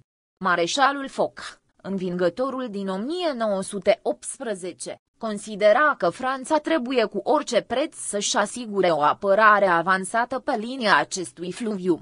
Francezii au venit la Congresul de Pace și cu teoria conform căreia locuitorii Renaniei au fost la origine celți, romanizați ulterior și doar în cele din urmă germanizați, însă supuși tot timpul unei puternice înrăuriri franceze, una peste alta, erau mai apropiați de francezi decât de germani. 35 englezii și americanii s-au opus cu hotărâre acestor tentative, de natură să provoace un nou diferent de tip al Sacia Lorena, în sens invers. În cele din urmă, Clemenceau s-a văzut nevoit să cedeze. Franța a continuat însă și în anii următori să pescuiască în apele tulburi ale separatismului sau autonomismului renan, fără să obțină însă vreun rezultat. Singura posibilitate de anexiune a rămas mica regiune de frontieră Saarland, Sarre în franceză, de 2000 de kilometri pătrați, cu 800 de mii de locuitori. O parte a ei aparținuse în timp Franței, până la 1815. Interesul cel mare privea însă bogatele sale zăcăminte de cărbune. Franța a obținut proprietatea minelor și includerea regiunii în propriul spațiu vamal. În termen de 15 ani, un referendum urma să decidă asupra statutului ulterior, fie unirea cu Germania, fie cu Franța, sau continuarea regimului de autonomie sub egida Societății Națiunilor. Verdictul populației, în 1935, a fost fără apel, marea majoritate în favoarea reintegrării în Germania, toate aceste pretenții franceze au înveninat încă și mai tare raporturile dintre cele două națiuni și au fortificat în Germania spiritul de revanșă. Dacă teritoriul Reichului a fost diminuat, însă nu dezmemblat, posesiunile coloniale germane au avut parte de un tratament mult mai radical, toate au fost confiscate. Învingătorii și le-au împărțit pentru a face impresie mai bună sub egida societății națiunilor. Marea Britanie primea Africa Orientală Germană, Tanganyika, corespunzând în mare parte Tanzaniei actuale. Togo și Camerun se împărțeau între Marea Britanie și Franța. Africa Germană de sud-vest era atribuită Uniunii Sud-Africane, deci tot Imperiului Britanic. Belgiei îi revenea Rwanda. Japonia lua concesiunea cu Qingdao, în China, și împărțea cu Marea Britanie posesiunile insulare germane din Pacific. Era un act de spoliere, pur și simplu, chiar dacă nedreptatea poate să pară astăzi mai puțin flagrantă, în măsură în care orice stăpânire colonială e socotită nedreaptă în raport cu populațiile colonizate. Evident că faimosul drept al popoarelor de a dispune de ele însele nu se aplica și raselor de culoare. Pentru germani a însemna mai puțin o pierdere materială, cât o pierdere de prestigiu, o pierdere simbolică. I se punea în vedere că e restrânsă de acum înainte la spațiul ei european, în contrast cu Marea Britanie și Franța, puteri mondiale, cu posesiuni și interese pe toate continentele. Încă o umilire. Sub toate dimensiunile, Germania trebuia să fie redusă. Armata ei se limita la 100.000 de mii de oameni, exclusiv pentru menținerea ordinii interne. Flota de război, care urma să fie predată, a fost sabordată. În plan economic i s-au impus Germaniei tot felul de obligații discriminatorii. Culmea abuzului l-a atins însă datoria de război, fixată în 1921 la enorma sumă de 132 miliarde mărci aur. Potrivit unei eșalonări ulterioare, Germania ar fi avut de plătit până în 1988. Dificultățile economice și financiare au dus de la bun început la o întârziere a plăților. Franța a profitat pentru a ocupa în 1923 regiunea Ruhr, urmărind, pe lângă forțarea achitării sumelor convenite, și punerea în slujba sa a potențialului economic al regiunii, ca și stimularea separatismului renan. Până la urmă, operația a fost un eșec, forțele franceze s-au retras în 1924 și în același an, prin adoptarea planului West, s-a recalculat și datoria germană, într-o manieră mai puțin împovărătoare. În total, Germania avea să plătească, până când va fi iertată, în 1932, suma de 23 de miliarde din totalul de 132, disproporție care ilustrează caracterul excesiv al pretențiilor inițiale. În aducerea Germaniei în stare de disperare, răspunderea Franței a fost mai mare decât a aliaților săi anglosaxoni. Nu odată aceștia au îndemnat Parisul la moderație. Inițial, nu păreau convinși nici de drepturile Franței asupra Alsaciei și Lorenei, oricum, n-au acceptat pretențiile ei asupra Renaniei. La scurt timp, de altfel, Statele Unite au adoptat o linie politică izolaționistă, dezinteresându-se de Europa. Marea Britanie își continua tradiționala ei strategie a echilibrului european, odată Germania slăbită, nu era cazul să se întărească prea mult Franța. Între Franța și Germania, lucrurile erau însă mult mai complicate se declanșase un angrenaj conflictual încă din vremea războaielor napoleoniene. Mereu, fie germanii, fie francezii aveau să-și ia revanșa pentru înfrângerile și pierderile anterioare. Anglia ocupând o poziție mai specială, de putere cu interese pretutindeni în lume, cele două țări concurau și pentru statutul de primă putere europeană. Acum, francezii aveau multe de recuperat și multe de plătit, înfrângerea din 1870, pierderea Alsaciei și a Lorenei, trecerea pe un plan de putere secundar în raport cu Germania, invazia din 1914, ocupația germană a unei părți din teritoriul național, cu toate daunele și traumele decurgând de aici. Din punctul de vedere francez, Germania trebuia să plătească, fără vreo limită, cu vârf și îndesat. O asemenea secătuire a puterii concurente ar fi trebuit să ducă la inversarea rolurilor, o Franță redevenită prima putere europeană, cu atât mai mult cu cât și Rusia era pentru un timp scoasă din joc.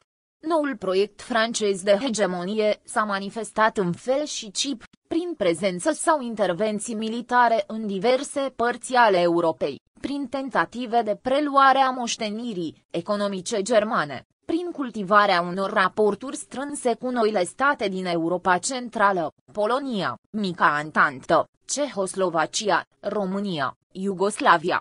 Problema este că această politică era prea ambițioasă pentru puterile Franței.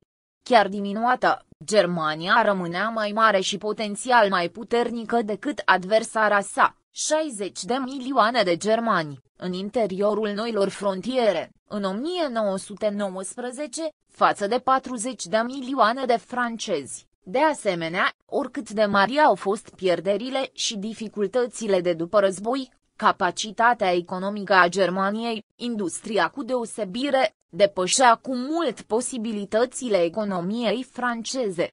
Spiritul de revanșă al francezilor este de înțeles, după toate câte se întâmplaseră, după cum și visul lor de hegemonie, întreținut de nostalgia unei epoci când Franța era de departe prima putere europeană.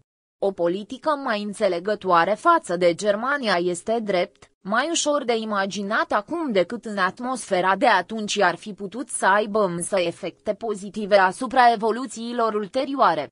Și Franța a lucrat, fără să știe și fără să vrea, la ascensiunea lui Hitler și la pregătirea propriei înfrângeri, două decenii mai târziu.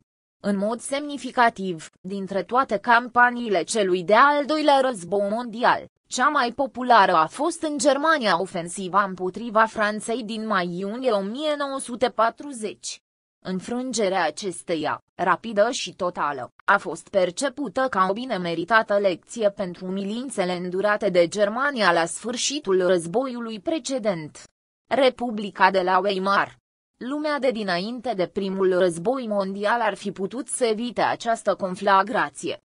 Însă greu de imaginat cum ar fi putut lumea de după primul război să le mai evite pe cel de-al doilea.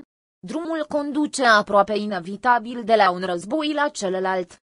În Europa anului 1914 exista un echilibru al puterilor care din păcate a funcționat prost în momentul decisiv.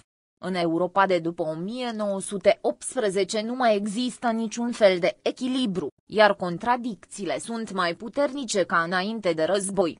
Statele Unite s-au spălat pe mâini, Franța joacă un rol care o depășește, iar Germania și Rusia pândesc momentul când vor putea recupera ce au pierdut sau chiar mai mult decât atât. Europa Central-Orientală, complet fragmentară în urma dispariției Austro-Ungariei, se prezintă ca o pradă ideală. În fața Germaniei, la 1914, se deschideau multe căi virtuale. După 1918, drumul se îngustează și conduce tot mai drept spre catastrofă. Sfârșitul războiului, mai întâi de toate, s-a dovedit pentru germani intolerabil, aproape de neînțeles. Germanii avuseseră impresia că aproape l-au câștigat, ca să afle a doua zi că în realitate le-au pierdut și încă în mod dezastros. Avuseseră convingerea că duc un război de apărare, ca să li se spună la sfârșit că tocmai ei fuseseră agresorii. Căpătaseră sentimentul în bună măsură justificat că civilizația germană atinsese un punct foarte înalt și se treziseră aruncați, fără menajamente, la marginea lumii civilizate. Niciun german nu putea accepta asemenea consecințe. Germania era programată să-și ia revanșa. Nu Republica de la Weimar avea să o țină în frâu.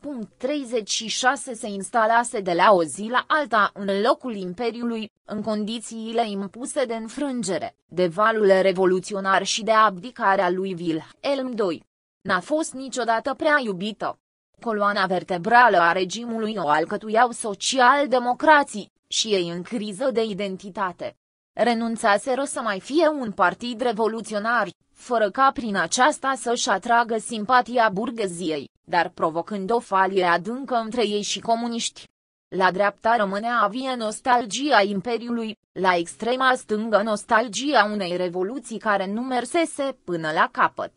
Mulți dintre germanii cu vederi de dreapta s-au raliat republicii din rațiune sau din oportunism, nu din vreun sentiment republican. Nici electoratul socialist nu era prea satisfăcut de o republică devenită mai mult burgheză decât socială, urmarea fiind, mai ales în anii crizei economice, erodarea voturilor tradiționale ale Partidului Social-Democrat. Scriitorii și artiștii, categorie influentă într-o perioadă de mare efervescență culturală, eliberați de prejudecățile și constrângerile Germaniei imperiale, nu numai că nu lăudau noua stare de lucruri, dar își manifestau neadaptarea la societatea în mijlocul căreia trăiau.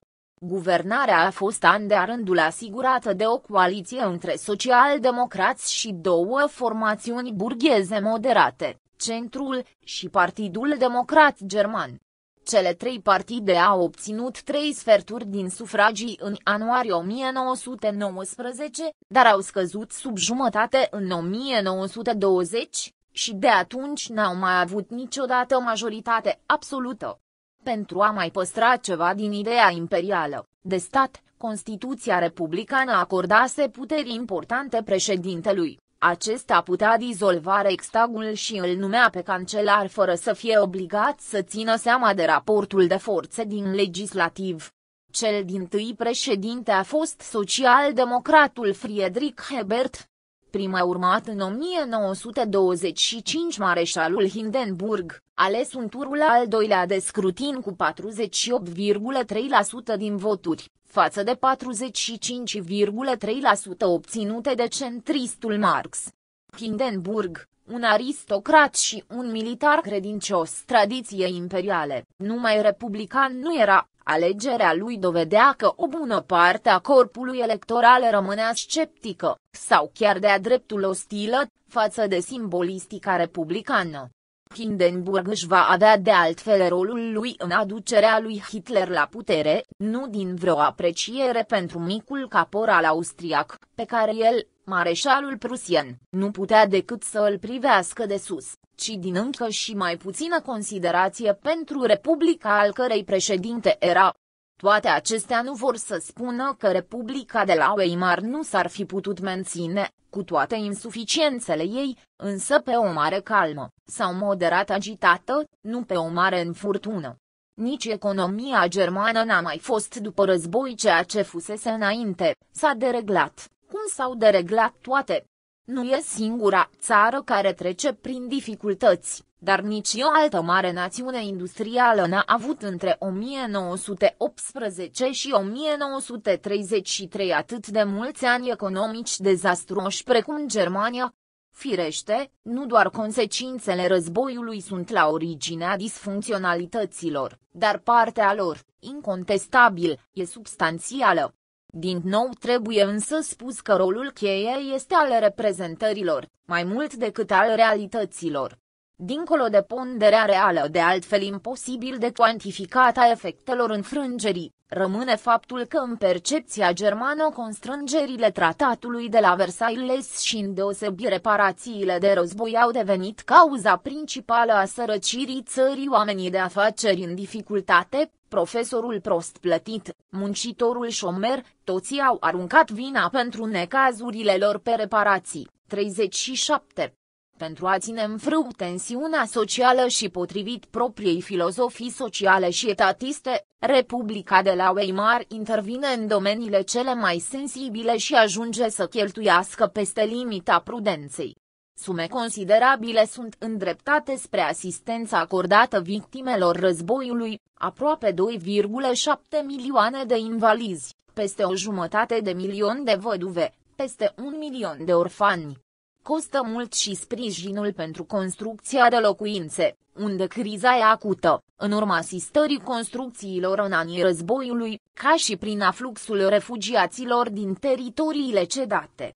În sfârșit, e completat și amplificat sistemul de asigurări sociale, existent încă din vremea lui Bismarck.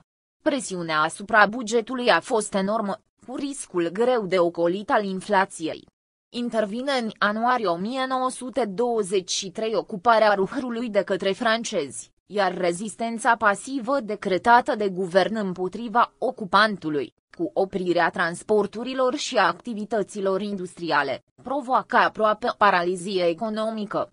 Inflația, deja în creștere, devine hiperinflație, cu recorduri neegalate în istorie, în ianuarie 1923, un dolar american valora numai puțin de 18.000 de mărci, dar era abia începutul. În noiembrie 1923 atinsese cota de 4.200 de miliarde de mărci. Situația se stabilizează în 1924, dar anii cu adevărat buni sunt puțini, doar până în 1928. Indicele producției industriale abia depășește nivelul din 1913, față de 100 în 1928. Curba indică 98 în 1913, 37 în 1919, 70 în 1922. Creșterea nu a fost prea sănătoasă penuria capitalurilor, care nu abundaseră în Germania nici înainte de 1914, devenise acută. De aici, necesitatea creditării externe și sensibilitatea la orice seism financiar pornit din afară. Marea criză economică atinge Germania încă înaintea celorlalte principale țări industriale, primele semne arătându-se în partea a doua a anului 1928. Dependentă îndeosebi de finanțarea americană, economia germană a resimțit din plin în anii următori șocul crizei care a afectat Statele Unite. În raport cu indicele producției industriale de 100 în 1928, nivelul rămâne tot la 100 în 1929, pentru a se prăbuși la 87 în 1930. 70 în 1931, 58 în 1932 și început de relansare, 66 în 1933.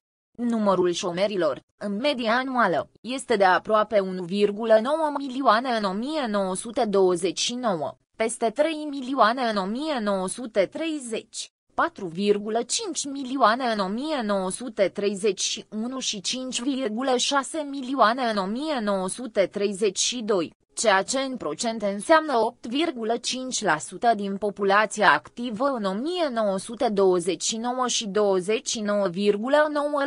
în 1932. Dezastrul de după război, urmat de o scurtă perioadă de speranță, apoi de o nouă cădere, germanii au avut parte de un tratament de șoc de o rară violență. An de umilință se succed începând cu armistițiul din noiembrie 1918, pentru a culmina cu ocuparea Ruhrului în 1923. Deznodământul acestui din urmă episode însă în defavoarea Franței, care se trezește izolată fără a-și realiza vreun obiectiv se petrece o întorsătură. Germania preia inițiativa și o va menține cât timp la cârma politicii sale externe se va afla Gustav Stresemann, din 1923 până în 1929. Pariul lui Stresemann a fost acela de a-și readuce țara în poziția de putere de dinaintea primului război mondial, nu prin forță, ci printr-o treptată înțelegere cu foștii învingători. 38 O politică a pașilor mici, Germania trebuia să convingă de buna ei credință și să recâștige cu timpul măcar o parte din ceea ce pierduse, și poate chiar mai mult. Cu abilitate, Stresemann a știut să exploateze disensiunile franco-britanice, ca și dispoziția pacifică și reconciliatoare a omologului său francez, Aristide Briand.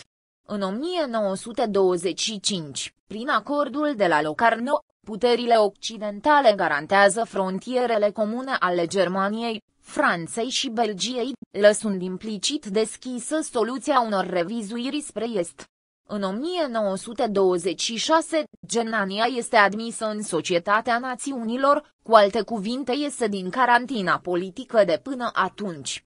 Stresemann avea în vedere, pe termen ceva mai lung, obținerea unei noi frontiere cu Polonia, în principal, recuperarea Danzigului și a coridorului, unirea Austriei, Anschlussul, și redobândirea unui spațiu colonial.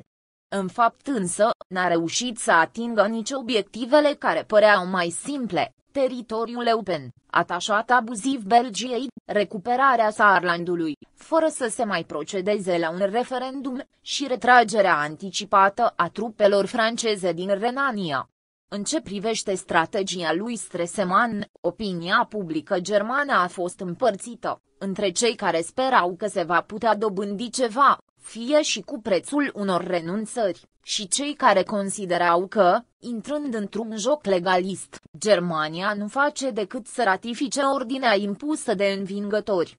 Inițial speranțele au fost mai mari, spre sfârșit s-a accentuat însă sentimentul de insatisfacție. În fond, în ce privește problema crucială, recuperarea, fie și parțială, a teritoriilor pierdute, nu se realizase nimic. Ar fi izbândit Streseman până la urmă? Greu de crezut, învingătorii n-ar fi acceptat să mutileze sistemul de la Versailles. La drept vorbind, alternativa era sau nicio revizuire, sau o revizuire radicală, însă nu cu mijloacele lui Streseman, ci cu cele puse în acțiune de Hitler un deceniu mai târziu. Dar chiar în varianta cea mai optimistă i-ar fi trebuit abilului diplomat foarte mult timp pentru a obține minime concesii și un timp liniștit, de consolidare a încrederii între puterile europene. N-a fost să fie nici una, nici alta. În 1929, Stresemann a murit pe neașteptate, avea doar 50 de ani. O dispariție, s-ar spune, simbolică. Nereușita lui deschidea calea unor abordări mai puțin diplomatice. Nu doar Germania, ca stat, ci și germanii, ca națiune, n-aveau deloc intenția să renunțe la obiective teritoriale pe care le considerau absolut justificate. Hitler și al treilea Reich E instructiv de urmărit procentajul voturilor obținute de naziști la alegerile legislative, din 1924 până în 1933. Iată cum se prezintă. Mai 1924, 6,5% decembrie 1924, 3% mai 1928, 2,6% septembrie 1930. 18,3% iulie 1932, 37,4% noiembrie 1932 minus 33,1% martie 1933, 43,9% 39 se constată lesnecă perioada de relativ echilibru și de creștere economică dintre 1924 și 1928 nu le-a prit deloc. Criza economică, în schimb, i-a favorizat masiv. Chiar și așa, scorul cel mai ridicat obținut a fost 37,4%. După care, la câteva luni, urmează un recul de câteva procente, 33,1%. Mai puțin decât au înregistrat socialiștii și comuniștii împreună, doar că socialiștii și comuniștii nu mergeau împreună. Semn că Partidul Național Socialist își atinsese limitele. Scăderea, cu siguranță, ar fi continuat, odată cu semnele ieșirii din criză. Dacă Hitler nu reușea să ajungă la putere în ianuarie 1933, așa cum s-au petrecut lucrurile, nici n-ar mai fi avut vreo altă ocazie. Desigur, l-a ajutat democrația. Fără vot universal și largi libertăți politice, naziștii n-ar fi avut cum să ajungă atât de sus. Însă democrația, pe fond de criză, nu le-a asigurat decât o treime din voturi. S-a adăugat sprijinul de conjunctură al unei drepte ostile Republicii de la Weimar, dar prea puțin apropiată de intențiile revoluționare ale nazismului, o dreaptă care a jucat greșit și s-a păcălit. Rămâne faptul că Hitler n-a avut niciodată o majoritate în Germania până când a devenit stăpânul țării, și alegerile din martie 1933 sunt semnificative, 43,9% din voturi, mai puțin de jumătate, în condiții de intimidare, chiar de teroare, împotriva adversarilor politici. Naziștii au beneficiat în cursa lor pentru putere, la începutul anilor 30, de un vot masiv al clasei de mijloc și de o parte, mai mică, a voturilor muncitorești.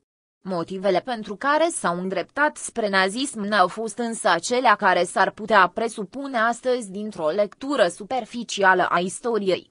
Ideile fixe ale lui Hitler, exprimate în cartea sa programatică Mein Kampf, le 925 la 1926, erau nimicirea evreilor și extinderea Germaniei cât mai departe spre răsărit, prin distrugerea Rusiei.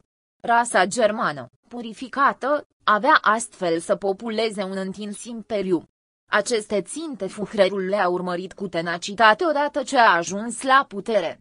Însă prin ele, și doar prin ele, n-ar fi ajuns la putere niciodată. Câți germanii nu ar fi votat doar ca să scape de evrei sau pentru a coloniza Rusia? Problema germanilor era criza cu repetiție a societății în care trăiau și umilința în care îi împinsese sistemul de la Versailles perfect regizată de Goebbels, imbatabilul specialist al domeniului, propaganda electorală nazistă a mizat pe nemulțumirea profundă și pe așteptările oamenilor, adaptându-și discursul, pe lângă temele generale, pentru fiecare categorie în parte.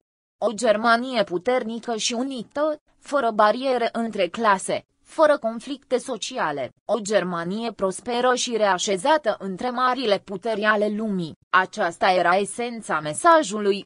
rasismul și antisemitismul, nucleul tare al doctrinei naziste, au fost lăsate la o parte sau în orice caz mult atenuate, socotite, pe drept cuvânt, contraproductive ca teme electorale. Nu numai că majoritatea germanilor n-au votat nazist, dar și majoritatea celor care au votat în acest fel n-au votat în fond pentru ceea ce constituia profilul specific al doctrinei naziste. A fost un vot al disperării și al speranței. Plătit scump. În ce măsură s-au raliat germanii în anii următorii regimului nazist? Pentru a răspunde la această întrebare, consultările electorale nu mai au nicio relevanță. În 1938, 48 de milioane 850 de mii de alegători spun da, listei unice și doar 75 de mii se pronunță împotrivă. În crearea acestei aparente quasi unanimități în jurul proiectului nazist a contat, firește, anihilarea opoziției. Liderii politici sau de opinie, socialiști, liberali, comuniști, universitari, evrei, sunt sau în închisori și lagăre, sau în exil. Au avut un impact. Pe de altă parte, succesele regimului, care își ține într-adevăr o parte din făgăduielii. Economia se relansează, șomajul scade de la aproape 6 milioane în 1932 la 1 milion spre sfârșitul anului 1937. Regimul face, se înțelege, mare caz de reușitele sale economice. Istoricii le-au mai redus ceva proporțiile. Și fără nazism, Germania, odată ieșită din criză, ar fi înregistrat, ca și celelalte țări, o creștere economică și o diminuare a șomajului. Este însă drept că, în condițiile date, un regim totalitar a dispus de mijloace mai eficiente pentru a mobiliza resursele și oamenii. Marile lucrări, îndeosebi construcția de autostrăzi, investițiile în industria grea, în primul rând în fabricile de armament, au stimulat economia în ansamblul ei și au oferit numeroase locuri de muncă. Reintroducerea serviciului militar obligatoriu avea, de asemenea, să contribuie la resorpția șomajului. Pe baza unor estimări recente, socotind 100 nivelul PIB-ului în 1932, se ajunge în Germania, în 1938, fără Austria și regiunea sudetă, la 155, în timp ce Marea Britanie înregistrează numai 125, și Franța, încă mai jos, doar 113.40 au crescut și salariile, nu foarte mult, însă au crescut. În ansamblu și mai ales în comparație cu dezastrul anilor de criză, situația socială s-a îmbunătățit sensibil, cu un preț, este drept, pe măsură, pierderea libertăților. În același timp, punctele marcate de Hitler în plan european, prin anexarea teritoriilor germane, Austria și regiunea sudetă, și reafirmarea poziției de prim rang a Reichului nu puteau să nu dea satisfacție unei națiuni care simțise din plin umilința de la Versailles. Impresia este a unei aderări masive la politica lui Hitler, cel puțin în perioada marilor succese, erodată treptat în ultimii ani, odată cu întoarcerea războiului în defavoarea Germaniei. De aici s-ar putea atrage ușor, prea ușor concluzia unei responsabilități colective. Judecata s-ar cuveni să țină seama de condiția specifică a sistemelor totalitare. Nazismul nu poate fi privit doar în sine, ci în contextul unei tipologii pe care o regăsim și în Italia mussoliniană, deși în forme mai puțin accentuate, și, cu prisosință, în regimurile comuniste nu e deloc adecvată cântărirea comportamentului unei societăți închise, prin analogie cu valorile și reacțiile unei societăți deschise.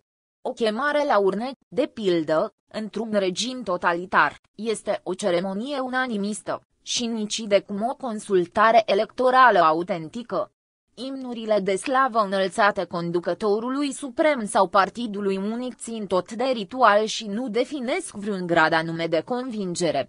Oamenii sunt manipulați și în democrații, din totdeauna au fost manipulați. Dar, cel puțin, în regimurile democratice, sunt manipulați în mai multe sensuri, ceea ce se traduce printr-o diversitate a opțiunilor. În totalitarisme se petrece o unică și masivă manipulare, al cărei rezultate spălarea parțială sau totală a creierelor, imună la acest procedeu rămânând o minoritate destul de restrânsă. Sunt, desigur, și destui entuziaști, seduși de ceea ce percep a fi noua condiție eroică a existenței, sunt desigur și cei legați prin tot felul de interese și avantaje de regimul totalitar. Majoritatea formează însă o masă influențabilă și manevrabilă. De la bun început, există o teamă generalizată, individul se simte lipsit de apărare, prins într-un angrenaj implacabil, care îl poate zdrobi în orice moment. Decisivă, peste toate, e răsturnarea derutantă a reperelor. Lumea totalitarismelor se înfățișează ca o lume nouă, clădită pe criterii sociale și morale cu totul altele, opuse celor din lumea anterioară. Lasă impresia de a se instala definitiv în istorie, pe ruinele lumii vechi. Așa se prezintă rexul de o mie de ani, așa se prezintă comunismul, proclamat ca încununarea întregii evoluții umane. Judecata individuală cedează în fața a ceea ce pare a fi verdictul istoriei, adesea, într-un schizofrenie amestec contradictoriu, definit de Orwell sub sintagma de dublă gândire. Istoria are întotdeauna dreptate. Puțini își păstrează de plina independență de spirit, încă și mai puțini au îndrăzneala sau inconștiența de a se opune efectiv. Activiștii regimului, instrumentele sale directe, sunt o minoritate. Dar și majoritatea îl susține în fapt, prin docilitatea cu care se supune comenzilor. O responsabilitate colectivă există, așadar, dar nu ca urmare a unei opțiuni libere și voluntare și, în acest caz, a unei vinovății pe măsură, ci în sensul unei alinieri pasive, în lipsa, reală sau aparentă, a oricărei alternative. Nu germanii sunt problema. Problema e mecanismul însuși al totalitarismului. În Germania, ca și pretutindeni unde asemenea regimuri au existat, pe fondul fragilității convingerilor și comportamentelor umane. Loviturile de forță ale lui Hitler de până la război reprezintă doar o primă etapă a planului său de expansiune și dominație. Dacă le detașăm însă de tot ce a urmat, apar drept rezolvări, desigur brutale, dar se putea altfel, ale imensei frustrări germane, rezultată din deciziile impuse la Versailles.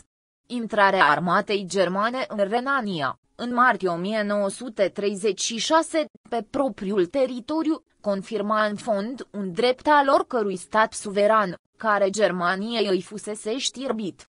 Anschlussul, în martie 1938, înfăptuia în sfârșit unirea Austriei cu Germania, un mai vechi deziderat al germanilor, ca și al austriecilor, ei înșiși germani, ar fi fost, desigur, preferabil să se facă în condiții democratice, și nu ca încă un pas spre război întreprins de un regim totalitar. Dictatul de la München, din octombrie 1938, a fost o încălcare flagrantă a suveranității Cehoslovaciei, însă nu trebuie uitat că Cehoslovacia însăși fusese o invenție a sistemului de la Versailles. Potrivit principiilor wilsoniene, aplicate celorlalte națiuni, regiunea sudetă s-ar fi cuvenit să fie considerată germană, și nu cehoslovacă. Totul arată urât fiindcă e vorba de Hitler, de metodele și de obiectivele sale, dar faptul că Germania își avea dreptatea ei în aceste dispute teritoriale n-ar trebui ignorat sau negat, fără ca o asemenea afirmație să însemne, mai e cazul să o spunem, readucerea în actualitate a unor dosare definitiv închise? Dacă Versaillesul ar fi fost întocmit altfel, nu s-ar fi ajuns aici nici la Hitler, nici la al doilea război mondial. Timiditatea Franței și a Marii Britanii, care au cedat cu ușurință la München, se explică prin dorința de pace a guvernelor și opiniei publice din țările respective, ceea ce le-a pus în netă poziție de inferioritate în fața unui dictator gata oricând să joace totul pe o carte. Dar explicația stă, parțial, și în lipsa de convingere a celor două puteri occidentale cu privire la validitatea Cehoslovaciei, și în recunoașterea tacită a faptului că exista totuși o parte de dreptate și în revendicările germane. În discuție e problema de principiu, și nu strategia lui Hitler, căruia nici prin gând nu-i trecea să se limiteze la frontierele etnice. Numai la câteva luni după Minchen, întreaga Cehia a fost anexată, cu statutul de protectorat.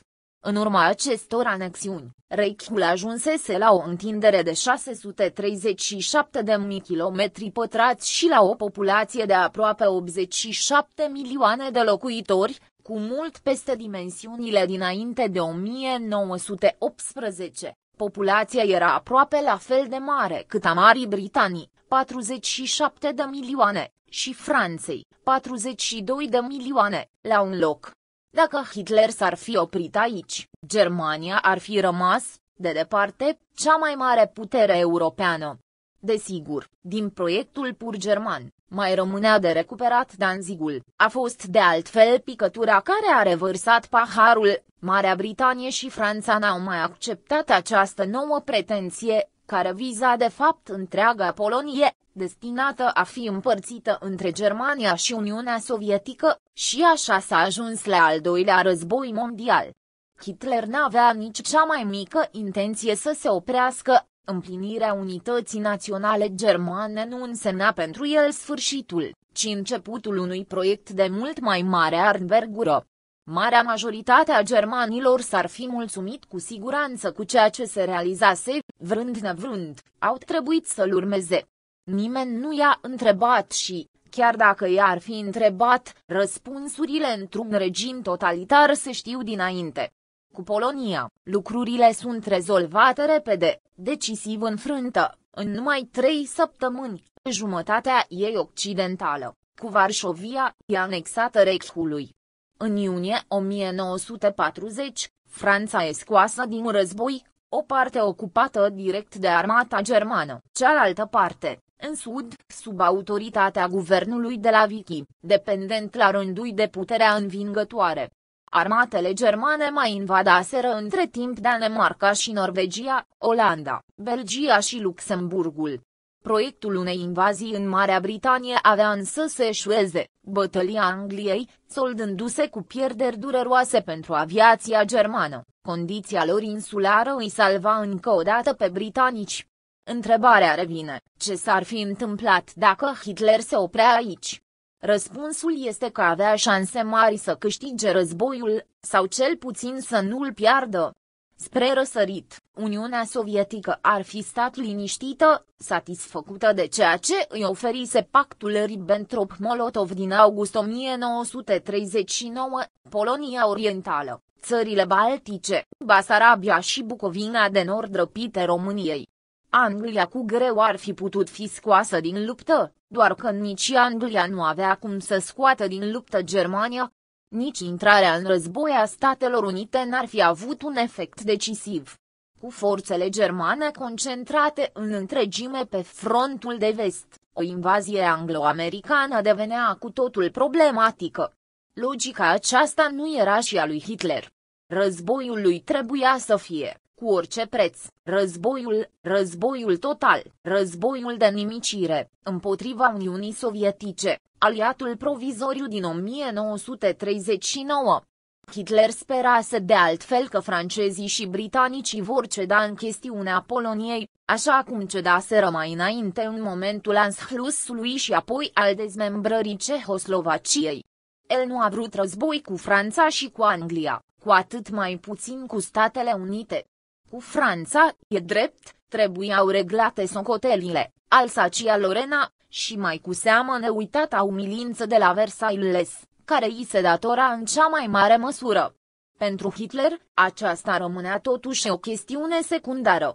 Cu Anglia, țară și ea de rasă germanică, ar fi dorit mai curând o alianță, o înțelegere vizând împărțirea lumii, Angliei, mările, Germaniei, continentul, încă din Mein Kampf, Hitler își exprimase convingerea, la care n-a renunțat niciun moment, potrivit căreia Germania nu mai trebuia să-și conceapă expansiunea spre vest și spre sud, ci spre răsărit. S-a trezit fără să vrea cu un război în vest, pentru un prim pas tăcut spre răsărit, prin desfințarea Poloniei. Ideea lui era că Germania, așa cum se înfățișa ea, nu putea fi socotită cu adevărat o mare putere. Nu fusese o mare putere nici la 1914, de aceea, înfrângerea, nu devenise o putere suficient de mare nici măcar prin anexiunile succesive din 1938 la 1939 țări mari, și doar cu acelea se putea face comparația, erau Imperiul Britanic, în felul său, deși mult prea fragmentat, și mai ales întinsele puteri continentale, Statele Unite, Rusia și China. Dintre toate, Statele Unite erau modelul de urmat. Interesant de constatat cât de sensibilă a fost Germania la diverse modele imitate succesiv. Mai întâi, s-a mulțumit să ia locul Franței, ca putere continentală. Apoi a râvnit la poziția Angliei, de putere maritimă și colonială. Odată cu Hitler, Statele Unite trec în prim plan, o parte întreagă de continent, populată de coloniști de rasă nordică, în detrimentul indienilor autohtoni, expulzați de pe pământurile lor sau, pur și simplu, exterminați. 41 Hitler se pasionase în adolescență de romanele de aventuri ale lui Karl May cu subiecte din vestul sălbatic și din războaiele cu indienii, acestea aflându-se în bună parte la originea interesului său pentru spațiul american. 42 Frustrarea pricinuită de înfrângerea din 1918 și-a găsit la el o soluție tocmai prin raportarea la imaginarul său american. Pentru cei mai mulți germani ar fi fost de ajuns ca țara lor să-și recapete poziția din 1914. Pentru Hitler, din potrivă, frontierele din 1914 nu însemnau o rezolvare, nici măcar extinse prin includerea teritoriilor germane limitrofe. S-ar fi ajuns din nou la situația care se soldase cu înftângerea Germaniei, nimic mai mult. Singura soluție era ca Germania să devină o America a Europei, un stat care să stăpânească cea mai mare parte a continentului, și nu prin simpla confederare a unor popoare puse sub dominația ei, așa cum se prezentau scopurile germane în primul război mondial, ci prin popularea cu element Germaniei a unor teritorii care urmau să fie curățate de prezența celorlalți. Un asemenea proiect nu putea să poarte decât un nume, Rusia. 43 aici, și doar aici, se aflau acele întinderi nesfârșite de care avea nevoie Reichul pentru a deveni o țară cu adevărat mare, ca și o populație de calitate socotită inferioară, menită a fi alungată, adusă în stare de sclavie sau exterminată. După logica strictă a războiului, Hitler a greșit, declanșând în iunie 1941 războiul împotriva Uniunii Sovietice, atunci când continua încă războiul cu Marea Britanie și când se întrevedea deja intrarea în conflict a Statelor Unite. Nu a greșit însă cu nimic potrivit propriei sale logici. Misiunea lui istorică era să întindă stăpânirea germană peste stepele rusești. Considera numai puțin că o victorie asupra Rusiei, pe care o credea rapidă, punându-i la dispoziție imensele resurse ale acestei țări, îi va consolida șansele și în înfruntarea ulterioară cu anglo-americanii. Rușii însă au rezistat, așa încât Germania a ajuns, ca și în primul război mondial, să lupte pe două fronturi, sau chiar pe trei, socotind la un moment dat și frontul din Italia. Un asemenea război nu putea fi decât pierdut. Desigur, Hitler n-a inventat din toate piesele expansiunea spre răsărit. Drang-Nach-Holstein a fost o constantă a istoriei germane. Partea răsăriteană a Reichului se întindea pe teritorii cândva slave, iar insulele germane răspândite până la Volga păreau a indica drumul unui viitor marș glorios. În preajma primului război mondial, persoane sau organizații mai înfierbântate, precum Liga Pan-Germană, au imaginat și vagi proiecte de anexări și colonizări spre Baltica și Polonia, deși, în fapt, germanii nu reușiseră până la capăt nici colonizarea internă, în zonele estice ale Reichului, unde se menținea încă o majoritate poloneză. Chestiunea a devenit de actualitate în anii războiului, pe măsura înaintării trupelor germane pe țărmurile Balticei, în Bielorusia și Polonia și, încă și mai mult, în urma păcii de la Brest-Litovsk. În viziunea lui Ludendorff, Crimea ar fi fost locul ideal pentru o colonizare germană. Responsabilii politici s-au arătat însă reticenți, din grija de a nu stârni susceptibilitățile popoarelor care tocmai se desprinseseră de fostul imperiu al țarilor, cum să atragi Ucraina plănuind colonizarea Crimei. Imposibil de spus cât de departe ar fi mers expansiunea est-europeană a Germaniei în cazul victoriei definitive, în anii Republicii de la Weimar, doi autori cu deosebire au contribuit la dezbaterea în jurul spațiului vital, Lebensraum, geopoliticianul, Karl Haushofer, profesor la Universitatea din München, ale cărui argumente, prin admiratorul său S, au putut ajunge la Hitler, și Hans Grimm, autorul romanului cu titlu explicit Volkochnerraum un popor fără spațiu publicat în 1926 și devenit un bestseller. Însă, în ce privește stricta expansiune teritorială, Haushofer nu mergea mai departe de unificarea tuturor teritoriilor germane și restaurarea imperiului colonial, iar Grimm era preocupat strict de colonii. 44 Cum se vede, chiar dacă a preluat tendințe existente, Hitler a mers incomparabil mai departe, de la o Europa de Est, zona de influență și hinterland economic al Germaniei, la o Europa de Est anexată și colonizată. Să mai spunem că istoria i-a atras încă o dată pe germani într-o cursă. Când a început războiul, supușii Führerului nu s-au arătat prea optimiști și până și generalii aveau îndoieli. Înfrângerea, cu o ușurință neînchipuită, a armatei franceze, considerată cea mai bună din lume, a creat, deodată, un sentiment de invincibilitate și l-a propulsat pe Hitler, în proprii săi ochi, ca și ai altora, în postura de geniu militar fără egal. Cu puțin înainte, imensa Rusie fusese la un pas de înfrângere în războiul cu mica Finlandă, un examen penibil pentru armata roșie. Dacă Franța ar fi rezistat mai bine, iar Rusia i-ar fi înfrânt fără efort pe finlandezi, poate că și Hitler s-ar fi gândit mai temeinic la pașii următori. Dar așa, cum să se îndoiască de succesul campaniei din răsărit? În lunile care au urmat invadării Rusiei, vara și toamna anului 1941, Hitler se delecta evocând, în fața invitațiilor săi, grandioasele proiecte răsăritene. O rețea de orașe și de sate germane, precum și de căi rapide de comunicație, avea să acopere fostul spațiu sovietic. Slavii urmau să rămână în afara civilizației într-un fel de rezervații, s-ar spune și, zbătându-se în lipsuri, să piară treptat de boli și de mizerie, iarăși, analogia cu indienii americani. În 20 de ani, coloniștii vor fi 20 de milioane. Peste un secol, populația slavă va fi fost complet înlocuită prin germani. S-a adoptat oficial în iulie 1942 un plan general pentru răsărit. Se prevedea evacuarea, spre est, a peste 30 de milioane de oameni, 80 la 85% din populația poloneză, 64% din populația ucraineană și 75% din populația bielorusă, le-ar fi luat locul 10 milioane de germani. 45 și era numai începutul. E straniu cum Hitler nu și-a dat seama de diferența enormă de nivel istoric, demografic, social, tehnologic, între triburile răzlețe ale indienilor americani și masivul imperiu al Rusiei.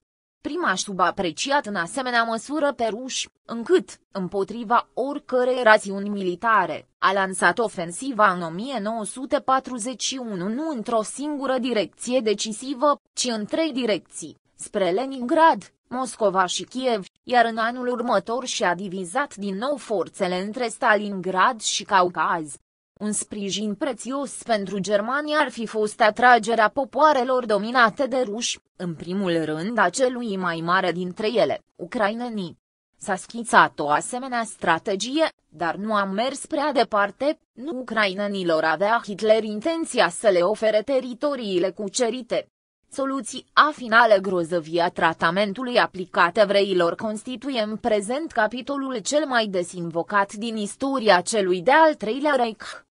Pare aproape de necrezut până unde s-a putut ajunge, însă, în fond, totul este explicabil, nu în logica normală, desigur, ci potrivit logicii perverse a nazismului, și a lui Hitler în particular. Problema evreiască se integrează, de fapt, pentru naziști, într-o filozofie mai cuprinzătoare a raselor.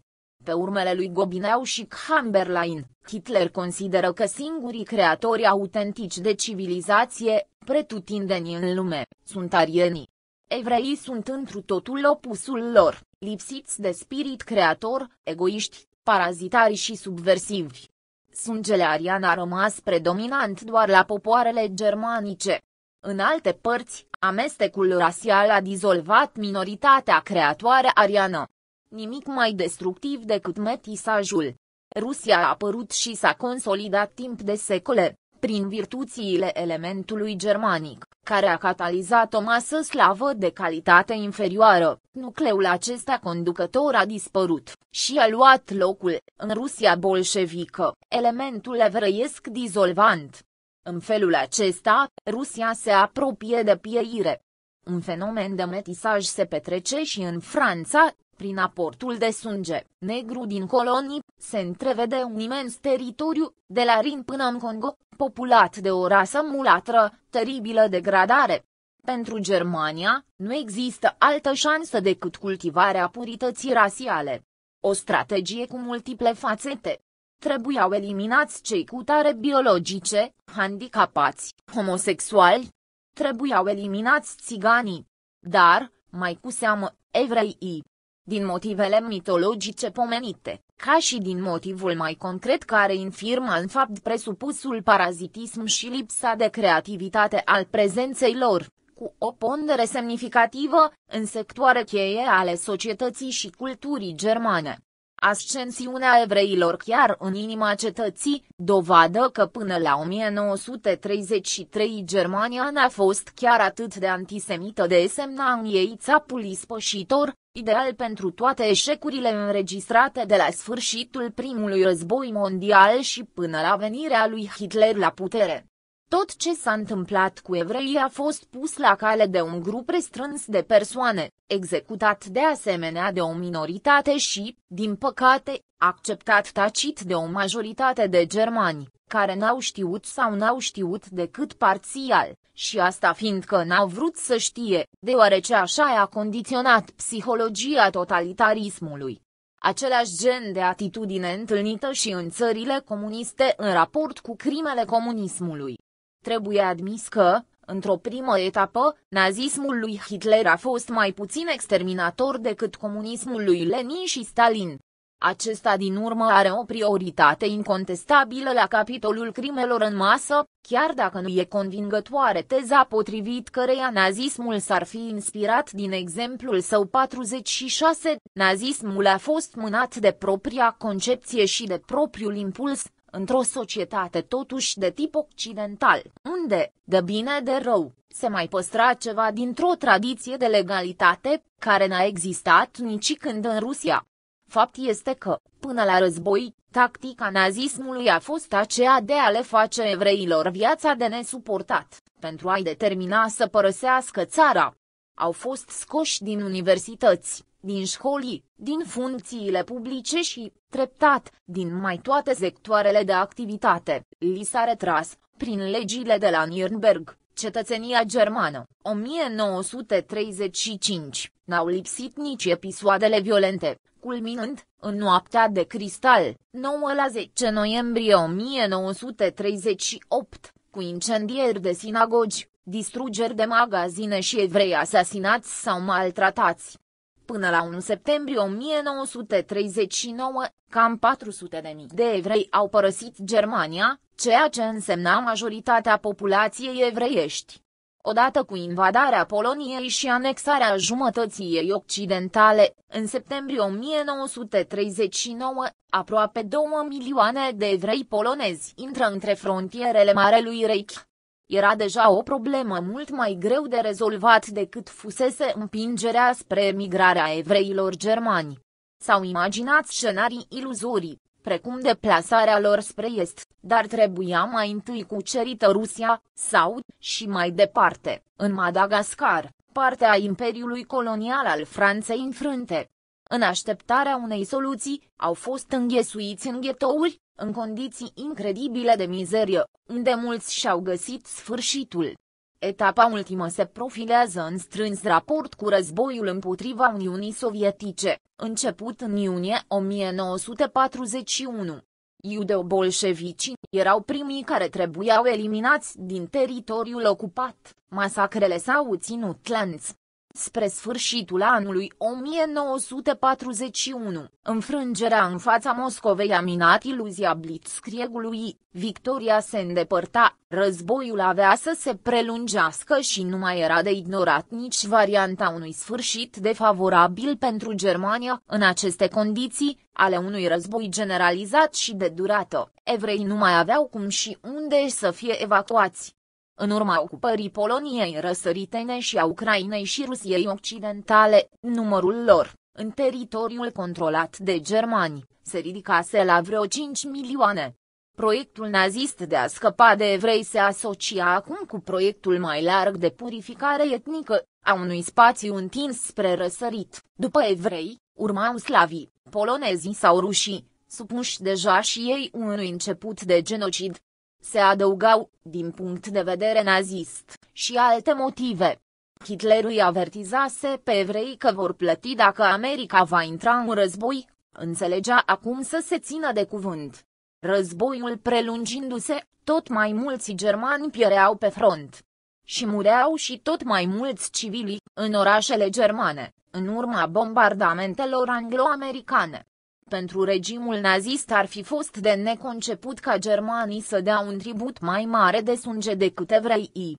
Iar ipoteza unei eventuale înfrângeri nu tăcea decât să accentueze urgența eliminării lor. Cel puțin asta trebuia să rămână din opera lui Hitler, nu li se putea permite să supraviețuiască Reichului suficiente argumente pentru a motiva trecerea, decisă spre sfârșitul anului 1941 și la începutul anului 1942, la noua fază a unei exterminări sistematice. Punct 47 Cele două proiecte exterminatoare, nazist și comunist, au determinări similare, în ciuda diferențelor.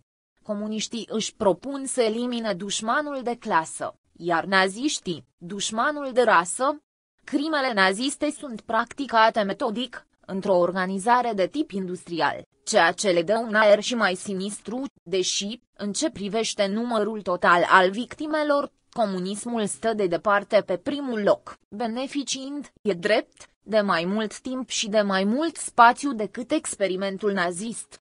Ceea ce apropie ambele sisteme este imaginarul ieșirii din istorie și al inaugurării unei ere post-istorice de armonie și perfecțiune, în sens universalist la comuniști, în sens rasial și etnic la naziști. Construcții de tip milenarist, variante secularizate ale mai vechilor scenarii milenariste de factură religioasă, vizând schimbarea din temelia lumii, deloc întâmplător, lucrurile au luat o asemenea întorsătură în Rusia și în Germania, două societăți, altminteri foarte diferite, dar unde, în egală măsură, clocoteau contradicțiile și resentimentele. Perfecțiunea de mâine trece prin violența de azi, Corpul social sau rasial trebuie purificat. Printre călăi se întâlnesc și monștri sadici, cărora chiar le place să tortureze și să ucidă. Cei mai mulți sunt însă banali funcționari ai noii ordini, cazul tipic al lui Eichmann. Nu ucid din plăcere, ci din datorie. Au o misiune istorică de îndeplinit. Pagina trebuie întoarsă cât mai repede, pentru a se instaura definitiva armonie, Germania, printre victime, nenorocirea abătută de naziști asupra lumii a trecut într-un plan secundar, abia perceptibil, suferințele pe care, nu în mică măsură, le-au îndurat germanii înșiși. După cum vinovăția germană a acoperit aproape în întregime partea de vinovăție a celorlalți. Reechilibrarea se petrece încet, cu prudență și cu destulă ipocrizie. Printre altele, se exprimă temerea că punerea în evidență a crimelor săvârșite de alții sau compasiunea arătată pentru victimele din partea germană ar avea ca obiectiv sau ca rezultat relativizarea crimelor nazismului, așezarea lor pe același plan cu numeroasele fără de legi comise de-a lungul istoriei. Istoricul nu mai poate accepta să fie prizonierul unei asemenea dialectici. A venit timpul în Europa de astăzi ca responsabilitățile istorice să fie cântărite cu mai mult echilibru și cu mai multă detașare. Ar fi indecent să se conteste legitimitatea sentinței de la Nimberg. 48 Oamenii aceia, care au însungerat Europa și au trimis la moarte, cu sânge ce, milioane de semenii ai lor, meritau să plătească, și doar o singură dată, cu propria viață, dacă sentința este justificată, aceasta nu înseamnă că totul a fost în regulă cu tribunalul de la Nimberg. Soluția cea mai puțin contestabilă s-ar fi înfățișat sub forma unui tribunal cu adevărat internațional, or, a fost un tribunal al puterilor învingătoare și, mai precis, al marilor puteri din tabăra victorioasă, Statele Unite, Uniunea Sovietică, Marea Britanie și Franța. Desigur, țări neutre rămăseseră puține, dar, într-o formulă mai echitabilă, s-ar fi cuvenit să se apeleze și la judecători neutri și chiar la judecători germani. Încă o dată, rezultatul nu e de contestat, dar metoda poate să fie ca și faptul că tribunalul și-a întocmit singur propriile norme juridice, în timp ce o regulă bine cunoscută de drept stipulează că nimeni nu poate fi judecat decât pe baza unor legi deja în vigoare în momentul comiterii faptelor. Din cele patru capete de acuzare, conspirație, agresiune împotriva pocii, crime de război, crime împotriva umanității, Primele două nu se înfățișau prea convingător, după unii autori, absența lor ar fi fost în avantajul acuzării, prin concentrarea asupra punctelor 3 și 4, greu de contestat conspirația, era un concept familiar doar juriștilor anglosaxoni și destul de neclar pentru ceilalți, iar agresiunea împotriva pocii simplifica prea mult, în defavoarea Germaniei, Problematica istorică a originilor celui de-al doilea război mondial era o problemă cu care să-și bată capul istoricii și mai puțin potrivită pentru dezbaterile unui tribunal.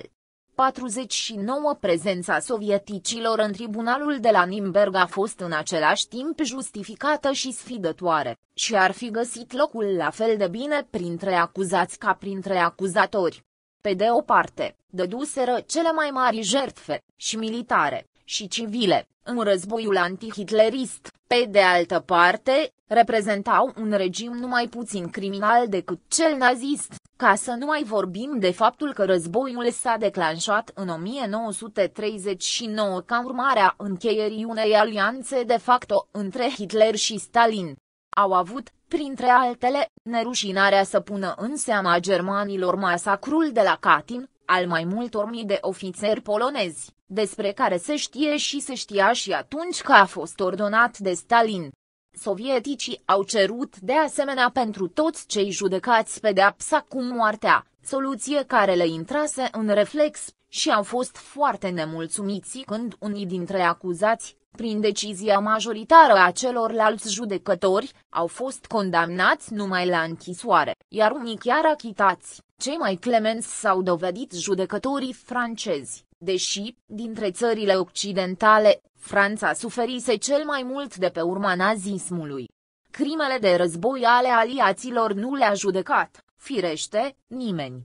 Rușii comiseseră nenumărate acte de barbarie în teritoriile pe care le ocupaseră, în Germania cu deosebire. Dar și anglo-americanii aveau o pată pe conștiință, bombardamentele aeriene, îndreptate în mare parte împotriva populației civile. Germanii dăduseră tonul la Varșovia, la Rotterdam, la Londra și Coventry. Englezii și americanii amplificaseră însă cu mult această strategie de frângere a moralului prin terorizarea populației civile. În consecință, la Nimberg nici n-a fost vorba de așa ceva, e singurul gen de crimă, pe care și germanii îl comiseseră, dar pentru care n-au fost acuzați. Neincriminate juridic, bombardamentele anglo-americane ar trebui supuse unei drastice judecăți morale și istorice. La Dresda, în zilele de 13 la 14 februarie 1945, au pierit sub bombe vreo 40.000 de oameni. Comparația, care s-a putut sugera, cu Auschwitzul este nepotrivită. Auschwitzul a fost, incontestabil, o crimă de mult mai mari proporții și cu siguranță mai sordidă, atât prin mijloacele folosite, cât și prin țelul urmărit al anihilării unei întregi comunități. Dar, dacă Auschwitzul a fost o crimă mai mare, nu înseamnă că Dresdea nu a fost o crimă. Puține orașe germane au scăpat de acest calvar. Vizate au fost, firește, obiective militare sau industriale, dar, într-o măsură considerabilă, populația civilă este ceea ce s-a petrecut, la scară mai mică, și în România, îndeosebi bombardamentul de la 4 aprilie 1944 asupra Bucureștiului, soldat cu 3.000 de morți. Numărul victimelor civile, majoritatea femei și copii, în Germania, este apreciat, cu destulă aproximație, la a fi în jur de 500 de mii de persoane. Istoricul Georg Friedrich a stâmit senzație publicând în 2002 o carte minuțios documentată despre incendiul, care a mistuit orașe și oameni. 50 spunea ceea ce se știa prea bine, dar timp de decenii nu se pomenise decât într-un registru discret, din grija de sigur de a nu se relativiza crimele naziste prin aducerea în discuția unor crime concurente. Pentru regimul sovietic, Evident, oamenii nu contau, nu numai germanii, dar nici rușii. Stalin a forțat cucerirea Berlinului, cu prețul mai multor pierderi sovietice decât au fost pierderile germane, raportul pierderilor umane a fost în tot cursul războiului mult în defavoarea sovieticilor. În asemenea condiții, ce respect li se putea acorda germanilor din teritoriile intrate sub controlul armatei roșii? S-a manifestat din plin și dorința de răzbunare, dorința de a da dușmanilor o lecție pe care să nu uite generații de rândul. Era și lui ala unei societăți puțin evoluate, cel puțin la nivelul ei de jos, intrată brusc în contact cu o țară mult mai avansată în civilizație. A devenit proverbială atracția irezistibilă a rușilor pentru ceasurile de mână, primele obiecte pe care le confiscau. Tot ce putea fi luat a fost luat. Mulți civili au fost uciși fără vreun motiv, în afara jafului sau a răzbunării. Iar femeile violate într-o proporție nemai întâlnită, violuri în genere colective, săvârșite sub supravegherea atentă a ofițerilor și încheiate uneori cu uciderea victimei. S-a avansat cifra de 1.400.000 de femei violate, majoritatea în repetate rânduri. Dincolo de simpla satisfacere a instinctelor, era un ritual menit să desăvârșească umilința învinșilor. Un mare număr de germani, militari căzuți prizonieri, firește, dar și civili, au ajuns în lagărele sovietice, unde o bună parte și-au sfârșit zilele, abia după un deceniu, în 1955, fiind eliberați supraviețuitorii, Alții, și nu numai naziști au fost internați chiar în zona sovietică de ocupație, inclusiv în fostul lagăr nazist de la Buchenwald, și dintre aceștia au pierit zeci de mii. Germanii nu se purtaseră mai bine în Uniunea Sovietică, probabil chiar mai rău, dar erau acum supuși oprobriului lumii și unii dintre ei aveau să cunoască ștreangul, pe când un imn de slavă se înălța către glorioasa armată sovietică eliberatoare. Partea estică a Germaniei, Pomerania, Prusia Orientală, Silezia, a fost retezată și incorporată în Polonia, un mic teritoriu revenind și Uniunii Sovietice, cu orașul Königsberg, patria lui Kant, devenit Kaliningrad, după numele mai puțin onorabil al unui lider bolșevic, unul dintre puținii cruțați de Stalin. Din aceste locuri, ca și din fâșia sudetă a Cehoslovaciei, au fost expulzați toți etnicii germani. Era totuși pământul lor, de mai multe secole. Argumentul că mai înainte de germani locuitorii fusese răslavi este absurd și lipsit de onestitate, ar însemna să se refacă întreaga hartă a continentului, luând eventual ca reper anul 000, sau, în varianta mussoliniană, epoca Imperiului Roman. În total au fost evacuați, socotindu-i și pe cei care fugiseră deja de teama armatei roșii, vreo 11 milioane de germani. Inițiativa a aparținut sovieticilor, dar nici aliații occidentali nu s-au împotrivit. E cea mai amplă purificare etnică pe care a cunoscut-o Europa. Iarăși se poate spune și cu deplin temei că germanii ar fi procedat și mai rău. Dar asta nu face ca lucrurile să arate mai echitabil. Subiectul continuă să fie abordat cu destulă discreție. În atât de detaliata sa istorie a celui de-al treilea Reich, Richard G.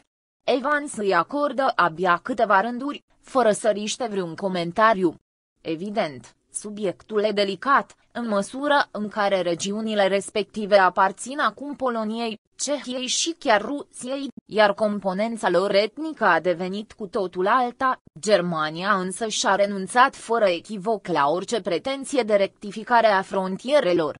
Lucrurile, se înțelege, așa trebuie să rămână, dar asta nu înseamnă că ele au fost altfel de cum au fost. Să mai spunem că în partea ocupată de ei din Germania, occidentalii s-au comportat în genere corect.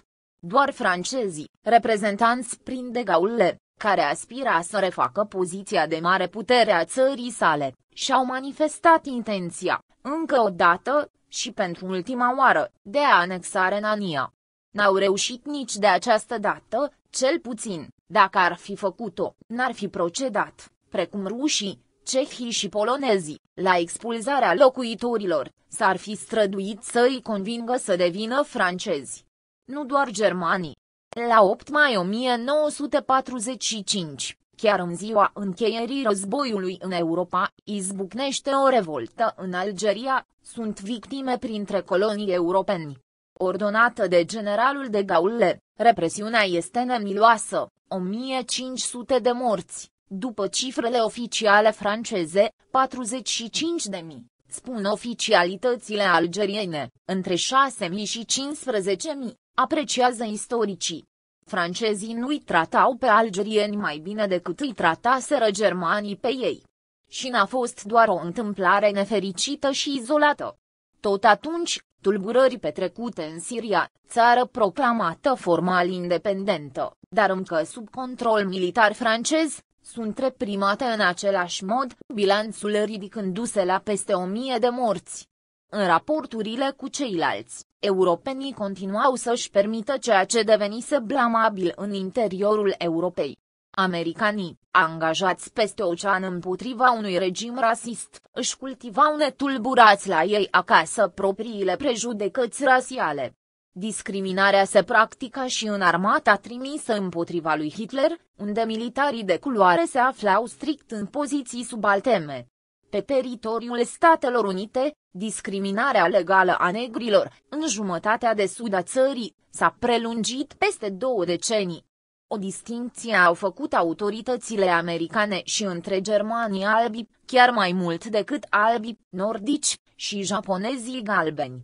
Când au intrat Statele Unite în război, americanii de origine japoneză, unii dintre ei perfect integrați, au fost internați în lagăre, ceea ce nu li s-a întâmplat celor de origine germană, e drept, mult mai numeroși.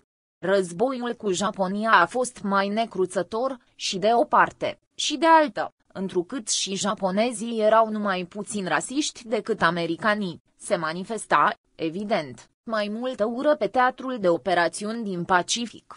Bombardarea orașelor japoneze a fost de o violență care a depășit violența bombardamentelor din Europa. Ar fi recurs până la urmă americanii la arma atomică împotriva Germaniei? Nu e deloc sigur. Au făcut-o însă, fără o umbră de remușcare, fiind vorba de japonezi. Am spus că n-ar fi decent să comparăm Auschwitz cu Dresda. Dar cu Hiroshima și Nagasaki? Există, firește, justificări strategice și chiar umanitare, scurtarea războiului, cruțarea vieții soldaților americani.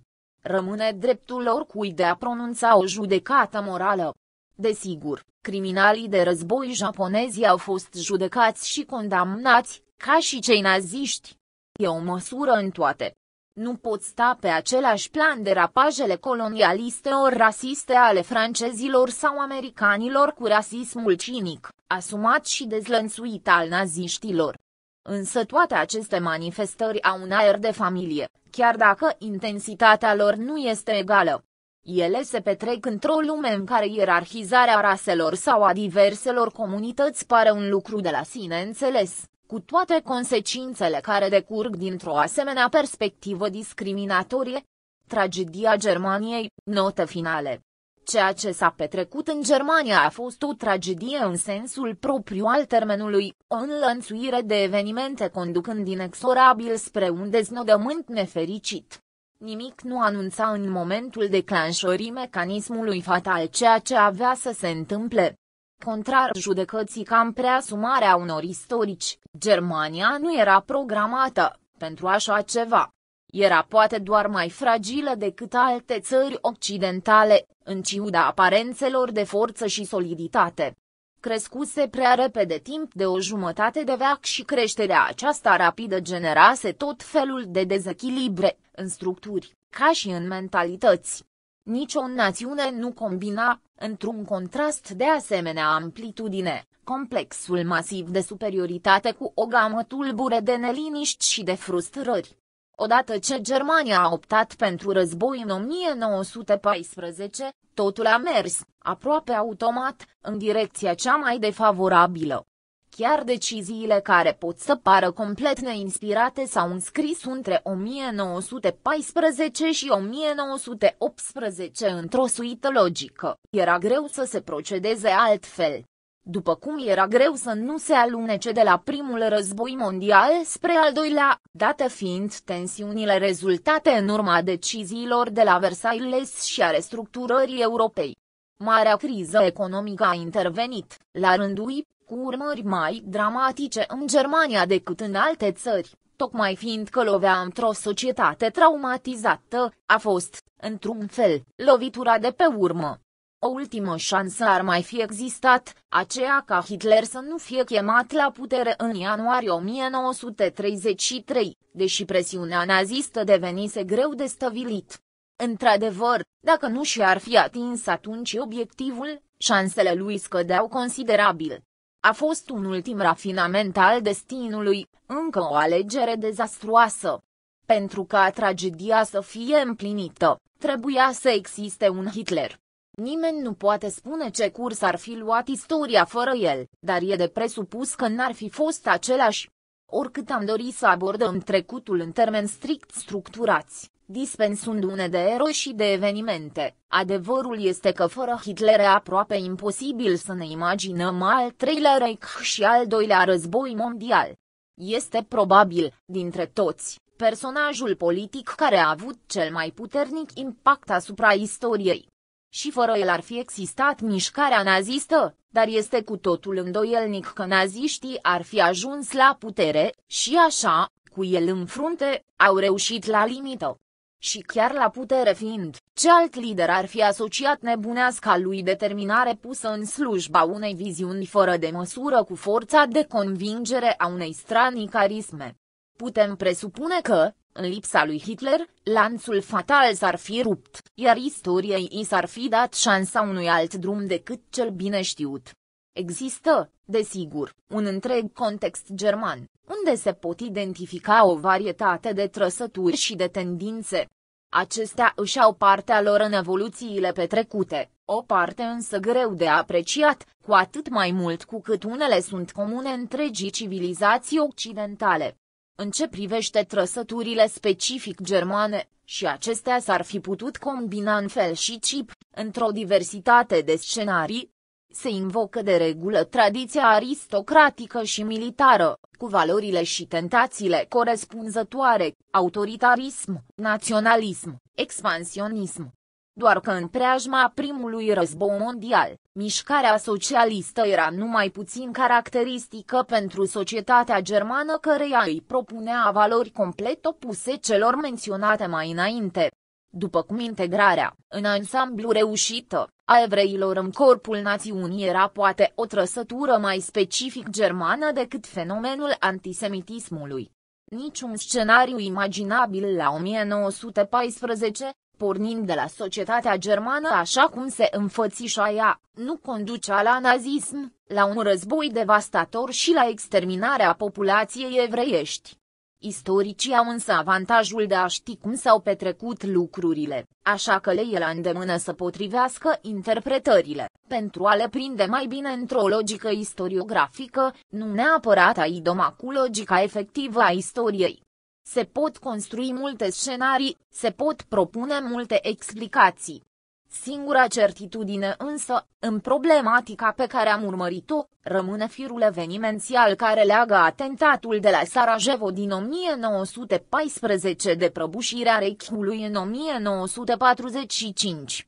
Privită în această perspectivă, tragedia Germaniei pare a sta mai puțin sub semnul unor deficiențe structurale, cât al unei perverse îmbinări de evenimente neașteptate și de decizii cu urmări nebănuite. Sfârșit.